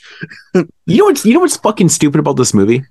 Besides Everything? everything that we've talked about already, is this the the one scene where she falls asleep upstairs in the bathtub and it overflows, like in Yeah. her in her bar that her mom used to own. Her and her sister had taken over, and that's you know that's a whole thing in the narrative too. Like they don't want to sell because like it's it's obviously sentimental and blah blah blah. Mhm. But anyways, so she falls asleep upstairs in the bathtub. If it fucking floods, Mhm. but it's literally dripping water for the next 90 fucking minutes. Like, what Yeah, the fuck is dude, with that, That dude? old wood, bro. Come mean, on, stop trying to justify It's that gonna be shit, dude. waterlogged. Dude, it's like days later. Like, it's, I mean, come on, bro. Like, that's she- the that's the ghost. That's supposed to be in like that's part of the weird vibes that are happening. yeah, I mean, if you put it Yeah, that yeah. way, fine, whatever. Eh, okay, I'll give you that one. But Can we uh can we talk about the fucking weird ass guy on the boat who she's attracted to for no reason? Wait, Yeah, The yeah, guy's there, like isn't there. there like a They really have- intense sex scene? Oh yeah. He like he like fucks her raw and he like has this like gay poetry. It's like, oh, oh, you never really know what blah blah blah blah. She's like, oh my god, I'm so fucking but doesn't worried. I- but I gotta doesn't his face turn into like, the clown? Like the he, Yeah, he turns into the I like fucking that. clown though too. I like that Turns to part. dad. Straight out That's of so it stupid. because the clown fucks her more than one time, right? Kills her mom, fucks her. Oh my gosh. I felt like her. I'm like, I'm getting fucked by movie. My God. You know? Are we uh, uh, are we supposed to assume bad. that, that the stepfather molested them as well? I, I- could, I- I don't think it really matters. I never it seemed to me that. like it never really communicated that. I feel like they were insinuating that. Really? I never I actually think that was more that just like a visual sort of uh like uh hallucination rather than like a narrative one. but going back to the I, I never kids, got the vibe that like Yeah, the young sorry. Alex in this movie, the young Alex. Oh my god, dude! That scene in the beginning of the film where where he's about like Larry Miller's I about to what kill her you're mom, and she grabs the gun and she's like, "Let Dude, go why of the my-" fuck does he have like a gold plated fucking 1911 Gun? or something? But Like, explain to fuck? me, explain to he's me a, why. he's She, a ca- clown at a carnival. I swear the acting in Megan is missing is was better than that scene right there. She's That like, way No, better. "Let that's- go that's- of that's my, let go of my mom." stop her right now or I will shoot you. so fucking bad, dude. No, you won't do it. You don't have the balls. And they actually cut back to that little girl quite a few times in the film, and like everything that she says is terrible. Like it's really, really bad acting too. And I'm like, oh my god, horrible. But just more shit to trip on the film. It's it's really bad. It's all It's bad. just so weird to me that this came out in 98. It just feels so much older. Uh, I mean, this feels pretty '90s, like as is. It, it kind of has like a lot of It, the it tropes. just doesn't feel like 98 to me. dude. Like this is the same year that I this Know movie doesn't feel like anything but pure diarrhea. it To got be shelved honest, for a couple of years. To That's, be, Yeah, that's, that's what I was thinking. It feels like they had they had to really like fine tune the 94. script. to be honest, this movie just feels like pure stank diarrhea from a sound quality too. Like there's no fuck like the the score in the original film is so haunting. It's so intriguing. It's haunting. It's daunting.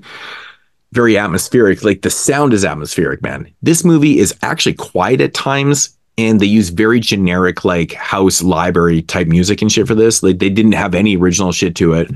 And it really takes away again because they don't capture visually any atmosphere. And then sound quality wise, they don't do it either. Like th- this is I, just yeah. no, what the fuck you're- they thinking with this movie, dude? Like it's it's really fucking bad on all angles, man. So fuck I think as well the story is best told through black and white. The, the, the- I mean, the way that I see this is that like I, I one moment in the film that I know they were trying to recreate original was that when you have the main character from the original who is seeing this carnival in distance where there's not even like really a clear idea of like what it is. More like a silhouette of this kind of um, location that's like off in the distance like almost unattainable. Whereas this when you have her on the boat with you know not just a weird kind of like uh, guy but like in general to keep flashing back to like these shots like this active carnival I I'm not trying to compare it to the original in that way, but I do think that there's no like the, the silhouette is like oh this this this is like a obscure kind of like object like of desire. Like what what is this? Whereas this is like oh this is just a carnival. There's there's no creepiness. There's nothing to it. It's very like okay we're at a carnival now. What is carnival? I don't know you know? Yeah, I mean, they, and they they missed one of the biggest things too, like the dance of death thing. Like, come on, bro. Oh yeah, for sure. Yeah, it feels like it, it wants to be a remake, but it also wants to be its own thing, which is fine. If you want to do, if you want to be a remake, that's fine. If you want to do your own thing, it's fine. But it never really settles, and it doesn't really capture one the aspects of the, ori- of the original that made it strong, and it doesn't capture its own aspects to make it unique its own right. It's like a weird amalgamation, and like even like with the ending of the original, um, it has it has such a strong shot, whereas this one it ends like really awkwardly where it's just like, okay, I guess we'll fade out now. It's like, and then the credits come up. It's like, all right, well, I guess movie's over. Yeah. Well, I mean, honestly, the best scene in the film is that actual scene because the cop, like I said before, was the the uh, the obnoxious boyfriend dude from the original film. right? He shows up. He's the guy that fucking did the one cameo in this The film. I'm like, oh, I'm like it. Brito. I'm like, oh, that's him. That's him. So I, I mean, that was kind of a cool thing. Right. Like I said, they asked they they tried to get the original actress What- back, but she said fuck no. Yeah, And she probably, probably they probably gave her the script and she was like, "Ah." Yeah. no. She's like, what the yeah, I'm not doing no rape shit. Like, what the fuck is this? But I feel like if I was like an old lady and they said, "Hey, want to be in this movie? Want to be in the remake for a second of this movie that you were in when you were young?" I'd just be like, "Hell yeah!" Right. But Yeah. I mean, Well, she made the right call because she hated you. this movie. She hated it so much. So it's pretty funny, actually. What do you guys think of the fucking nonsense third act? Goes into like Alice in Wonderland kind of area where she's like, "Oh, I'm in the balloon now," and "Oh, I have a, I have the gun now." What do you guys think of that? No, it's all just fucking trash bags, man. Yeah, I just think like random scenes of jump scares and like random and incoherentness. Yeah, it just it, it really it's trying to do something that it can't do. You know what I mean? Like it's already played its cards up to this point and it just can't it can't succeed on doing anything more. So no, it, it it's bad. You know what it feels like also? I, I can't uh, stop obsessing over like how it doesn't feel like what it is. It feels like like a Skinemax movie, but without all the sex. Like just the the the, the style it's shot and like the the like um color like the the lighting and stuff like that. That's what it's that's what it's reminding Yeah. me of. It's a shame It's actually like because Bobbie shitty. Phillips, man, is is pretty fucking hot. She's got some big hooters on her and stuff. They don't they they don't exploit It's that shit at all. Missed Yeah, opportunity. Got to one up the original, man. There's no Like it feels like a original film. softcore porn. without you the know, nudity. I mean, it Yeah, without the have been nudity. better with with it. You know, Yeah. I yeah. think JP has a dick in his mouth right now. He's like, I'm sorry." boom, boom." That's me. Sorry, um, JP's helped me out with oh uh, you know. shit. Almost died. Ugh, Yeah, I have that effect on people. dude, I'll kill you. sounded like Oh. Also, okay, what one scene I thought was funny in the film, I was la- I actually laughed out loud at was when she's at the bar. She worked at the bar with uh, Shawnee Smith, and it's like, oh, they want they wanted me to sing, and the girl's like, oh, I- I'll watch the bar for you. She, she goes on stage and sings, and she immediately walks away from the bar, and it's like, and then after she's done singing, they're like, oh, people are waiting on you. Like this bitch didn't even watch the bar, like you know, just walked away you know, immediately. I It's actually like thought that no scene was kind- quite quite compelling actually because Shawnee Smith actually is a she actually sang that in real life, right? Like she's actually a singer. She's actually working on an album right now. I mean, it's a good, great voice. Really? Yeah, okay, that's cool. Um, So- what, what one of the big complaints as well I have the film that I, I mentioned that before is I feel like there's like a, a real inconsistency with like the main uh, actress with like when she was scared. Like something would happen, she'd be scared in that scene. The next scene, she's like, "Oh, I'm fine now, I'm fine." And then like she like thinks she sees someone. She's like, "Oh, what the hell's going on?" The next scene, she's like, "Oh, I'm fine." It was like it was like she didn't really know what she was like reacting to. You know, it's like it felt uh, out of order. You know. You know what scene felt really obnoxious and like forced was the scene where she goes to see the doctor. And and then it comes down to like doctor's like, oh, I've never, I've, ne- I've never seen you before, kind of. Thing. That whole fucking scene just felt super, super forced. Like they needed to throw in It didn't work. that you know that doctor scene, but it felt overly forced. And it just felt awkward. It felt super super awkward. Where in the original film, it doesn't feel like that at all. It feel it just blends Right, right. perfectly into the narrative, where it just kind of feels like it's thrown in here, and then she like abruptly she's like, "What do you mean you don't have a fucking like? I've never been here before." Blah blah blah. And like, I'm like, "What the fuck?" It, it was weird. Right, right. Very very awkward. Also, how the fuck did, did this guy who who raped and killed a woman he gets paroled? Like what? Okay, so I I actually mean, that's actually kind of realistic. How is he out of jail? So I That- actually have to that's actually kind of realistic, bro. So, Is it? Okay. So he was put away in Yes, 1977 dude. and then paroled in 1996. And then No, I'm not. I'm not denying it. I was. I'm curious. right. Dude, I mean, look at fucking some of these fools who barely like. There's pe- literally people who have done similar crimes and get like 20 years. I'm just saying the fact of the matter is that like It's he raped and killed up. this girl, and then he he magically tracked down the daughter, and then stupid ass couldn't even kill her properly. She fucking jumps in the ocean with the car. I'm like, dude, you suck. Yeah, she flipped, she flipped the script on longer. him. She flipped the script on him, actually, Oh. man. But, but yeah, God. I mean, Yeah, he gets feel like- paroled feel after like 20 years. I'm like, what the fuck? You're I'm like, all right, just don't rape and kill again. You'll be fine. Yeah. This movie rules. I actually love this film. Actually, now I'm talking about it. this movie's so fucking stupid. Tyler, y- All right. what, what does your prevent, pre- Tyler, say- pretentious ass uh, think of this fucking movie? It just it's it's a random pile of jump scares. Like they Yeah. took away all the atmosphere, all the eeriness, like anything, all the good cinematography, anything that essentially made the first movie a classic. They took a skeleton and then they just jammed a bunch of jump scares in it. Yeah, it's pretty incoherent. I, I think the changes to like, oh, well, now I like I I'm at this like seaside bar shack, like, and uh, I'm gonna I- fuck this boat. I, I'm Right. haunted by the rape of like watching my mom get raped and murdered. It's just like a weird choice to me. And it just I don't think it even plays that well here. It's fine, like I get it, but it just, it doesn't even seem like that creepy. It seems more tragic than anything. And then yeah, it just reminds me of like those like castle remakes that I don't like, and it Dude, just those- reminds me of the worst elements of them. all right. it just feels like it just feels like the jump like those movies are better than this. I will give them credit for that. But it just like it like the chattering thing, like like Moodz was talking, whatever you want to call that thing, like it's all that that reminded me of like Oh, the fake Bullshit. Cenobites. Yeah. yeah, like like they had like Oh, they yeah. were, they use that same style of like oh we're gonna make it move really fast and everything else is gonna be slow. Like they did that in those other movies, and it just like made me roll my eyes like oh my god this shit. Yeah. But yeah, not good. I mean, it's supposed to be more metaphorical for her demons and shit. I'm like, but she doesn't really have any. So, like, the dumb. narrative doesn't really make any fucking sense. And it's fucking stupid. I think it's supposed to be our trauma Yeah. It's dumb. Oh, manifested. I'm it just gonna works so much car better. Like, wash. subtle is so.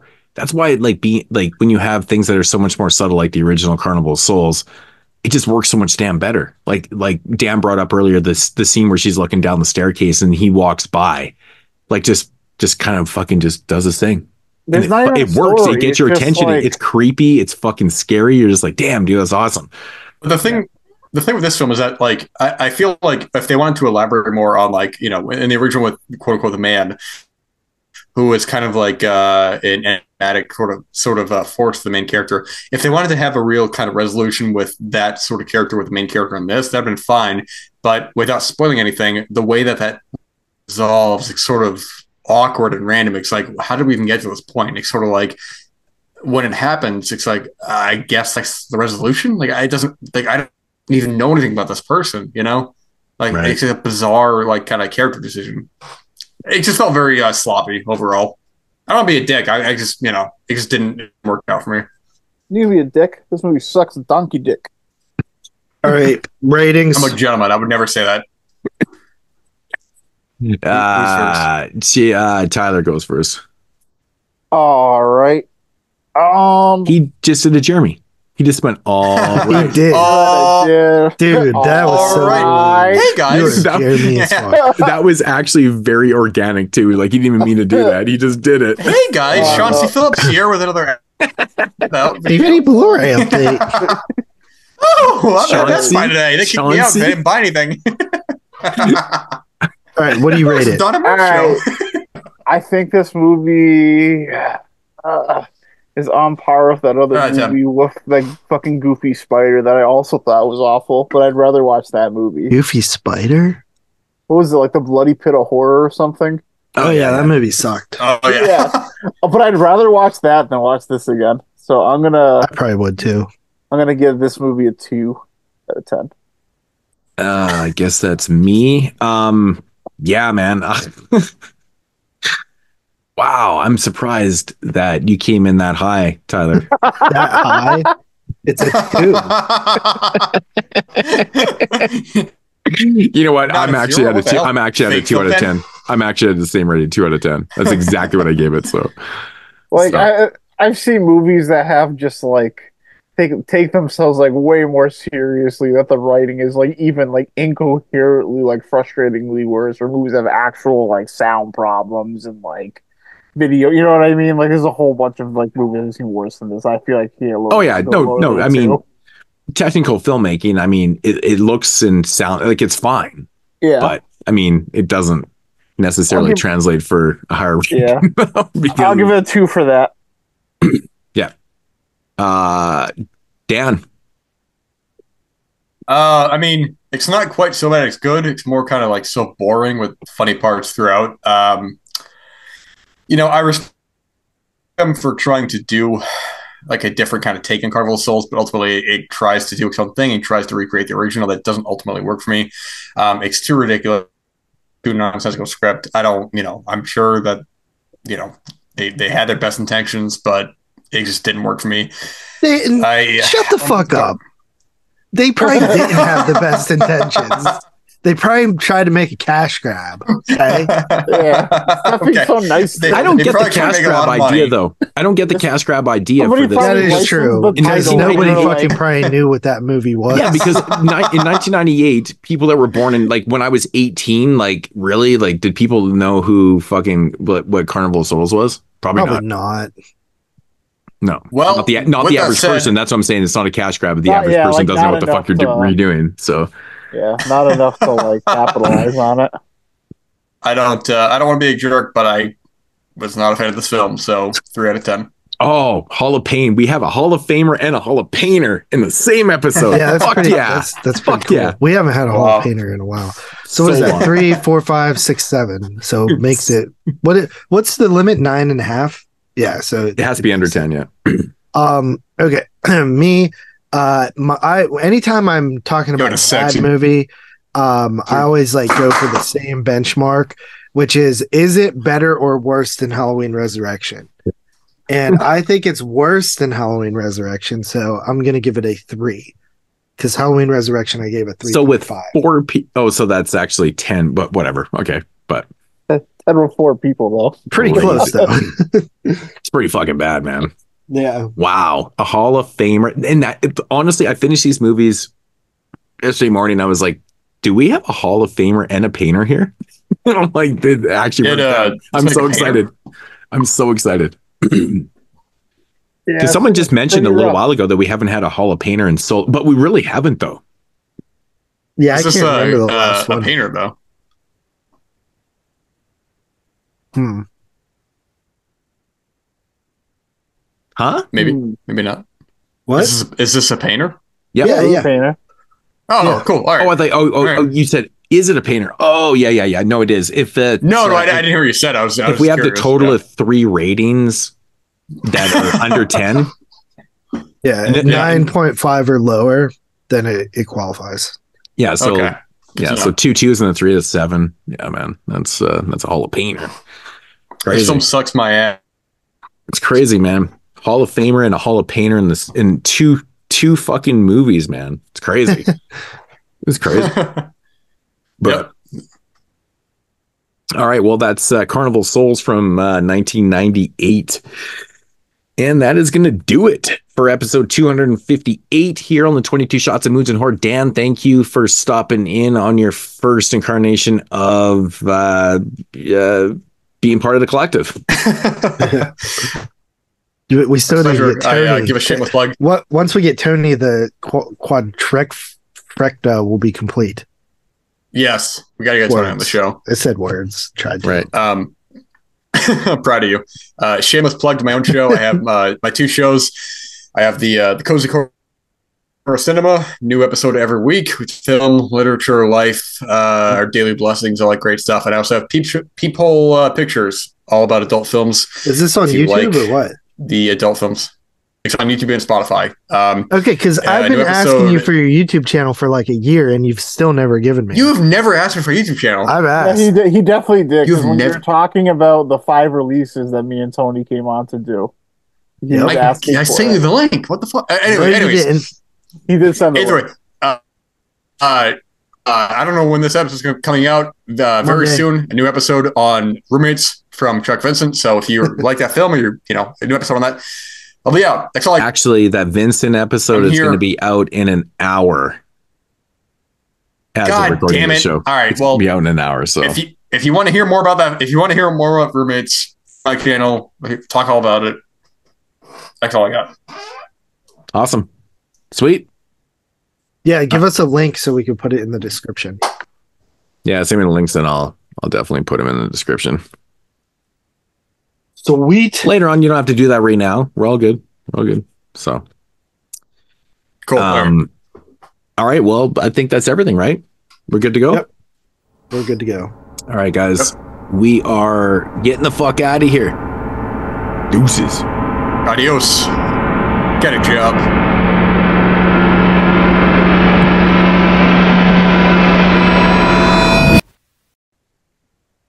That's a film you gotta play loud. Like when you have that opening sequence with the trees being like exploded, you have the doors playing.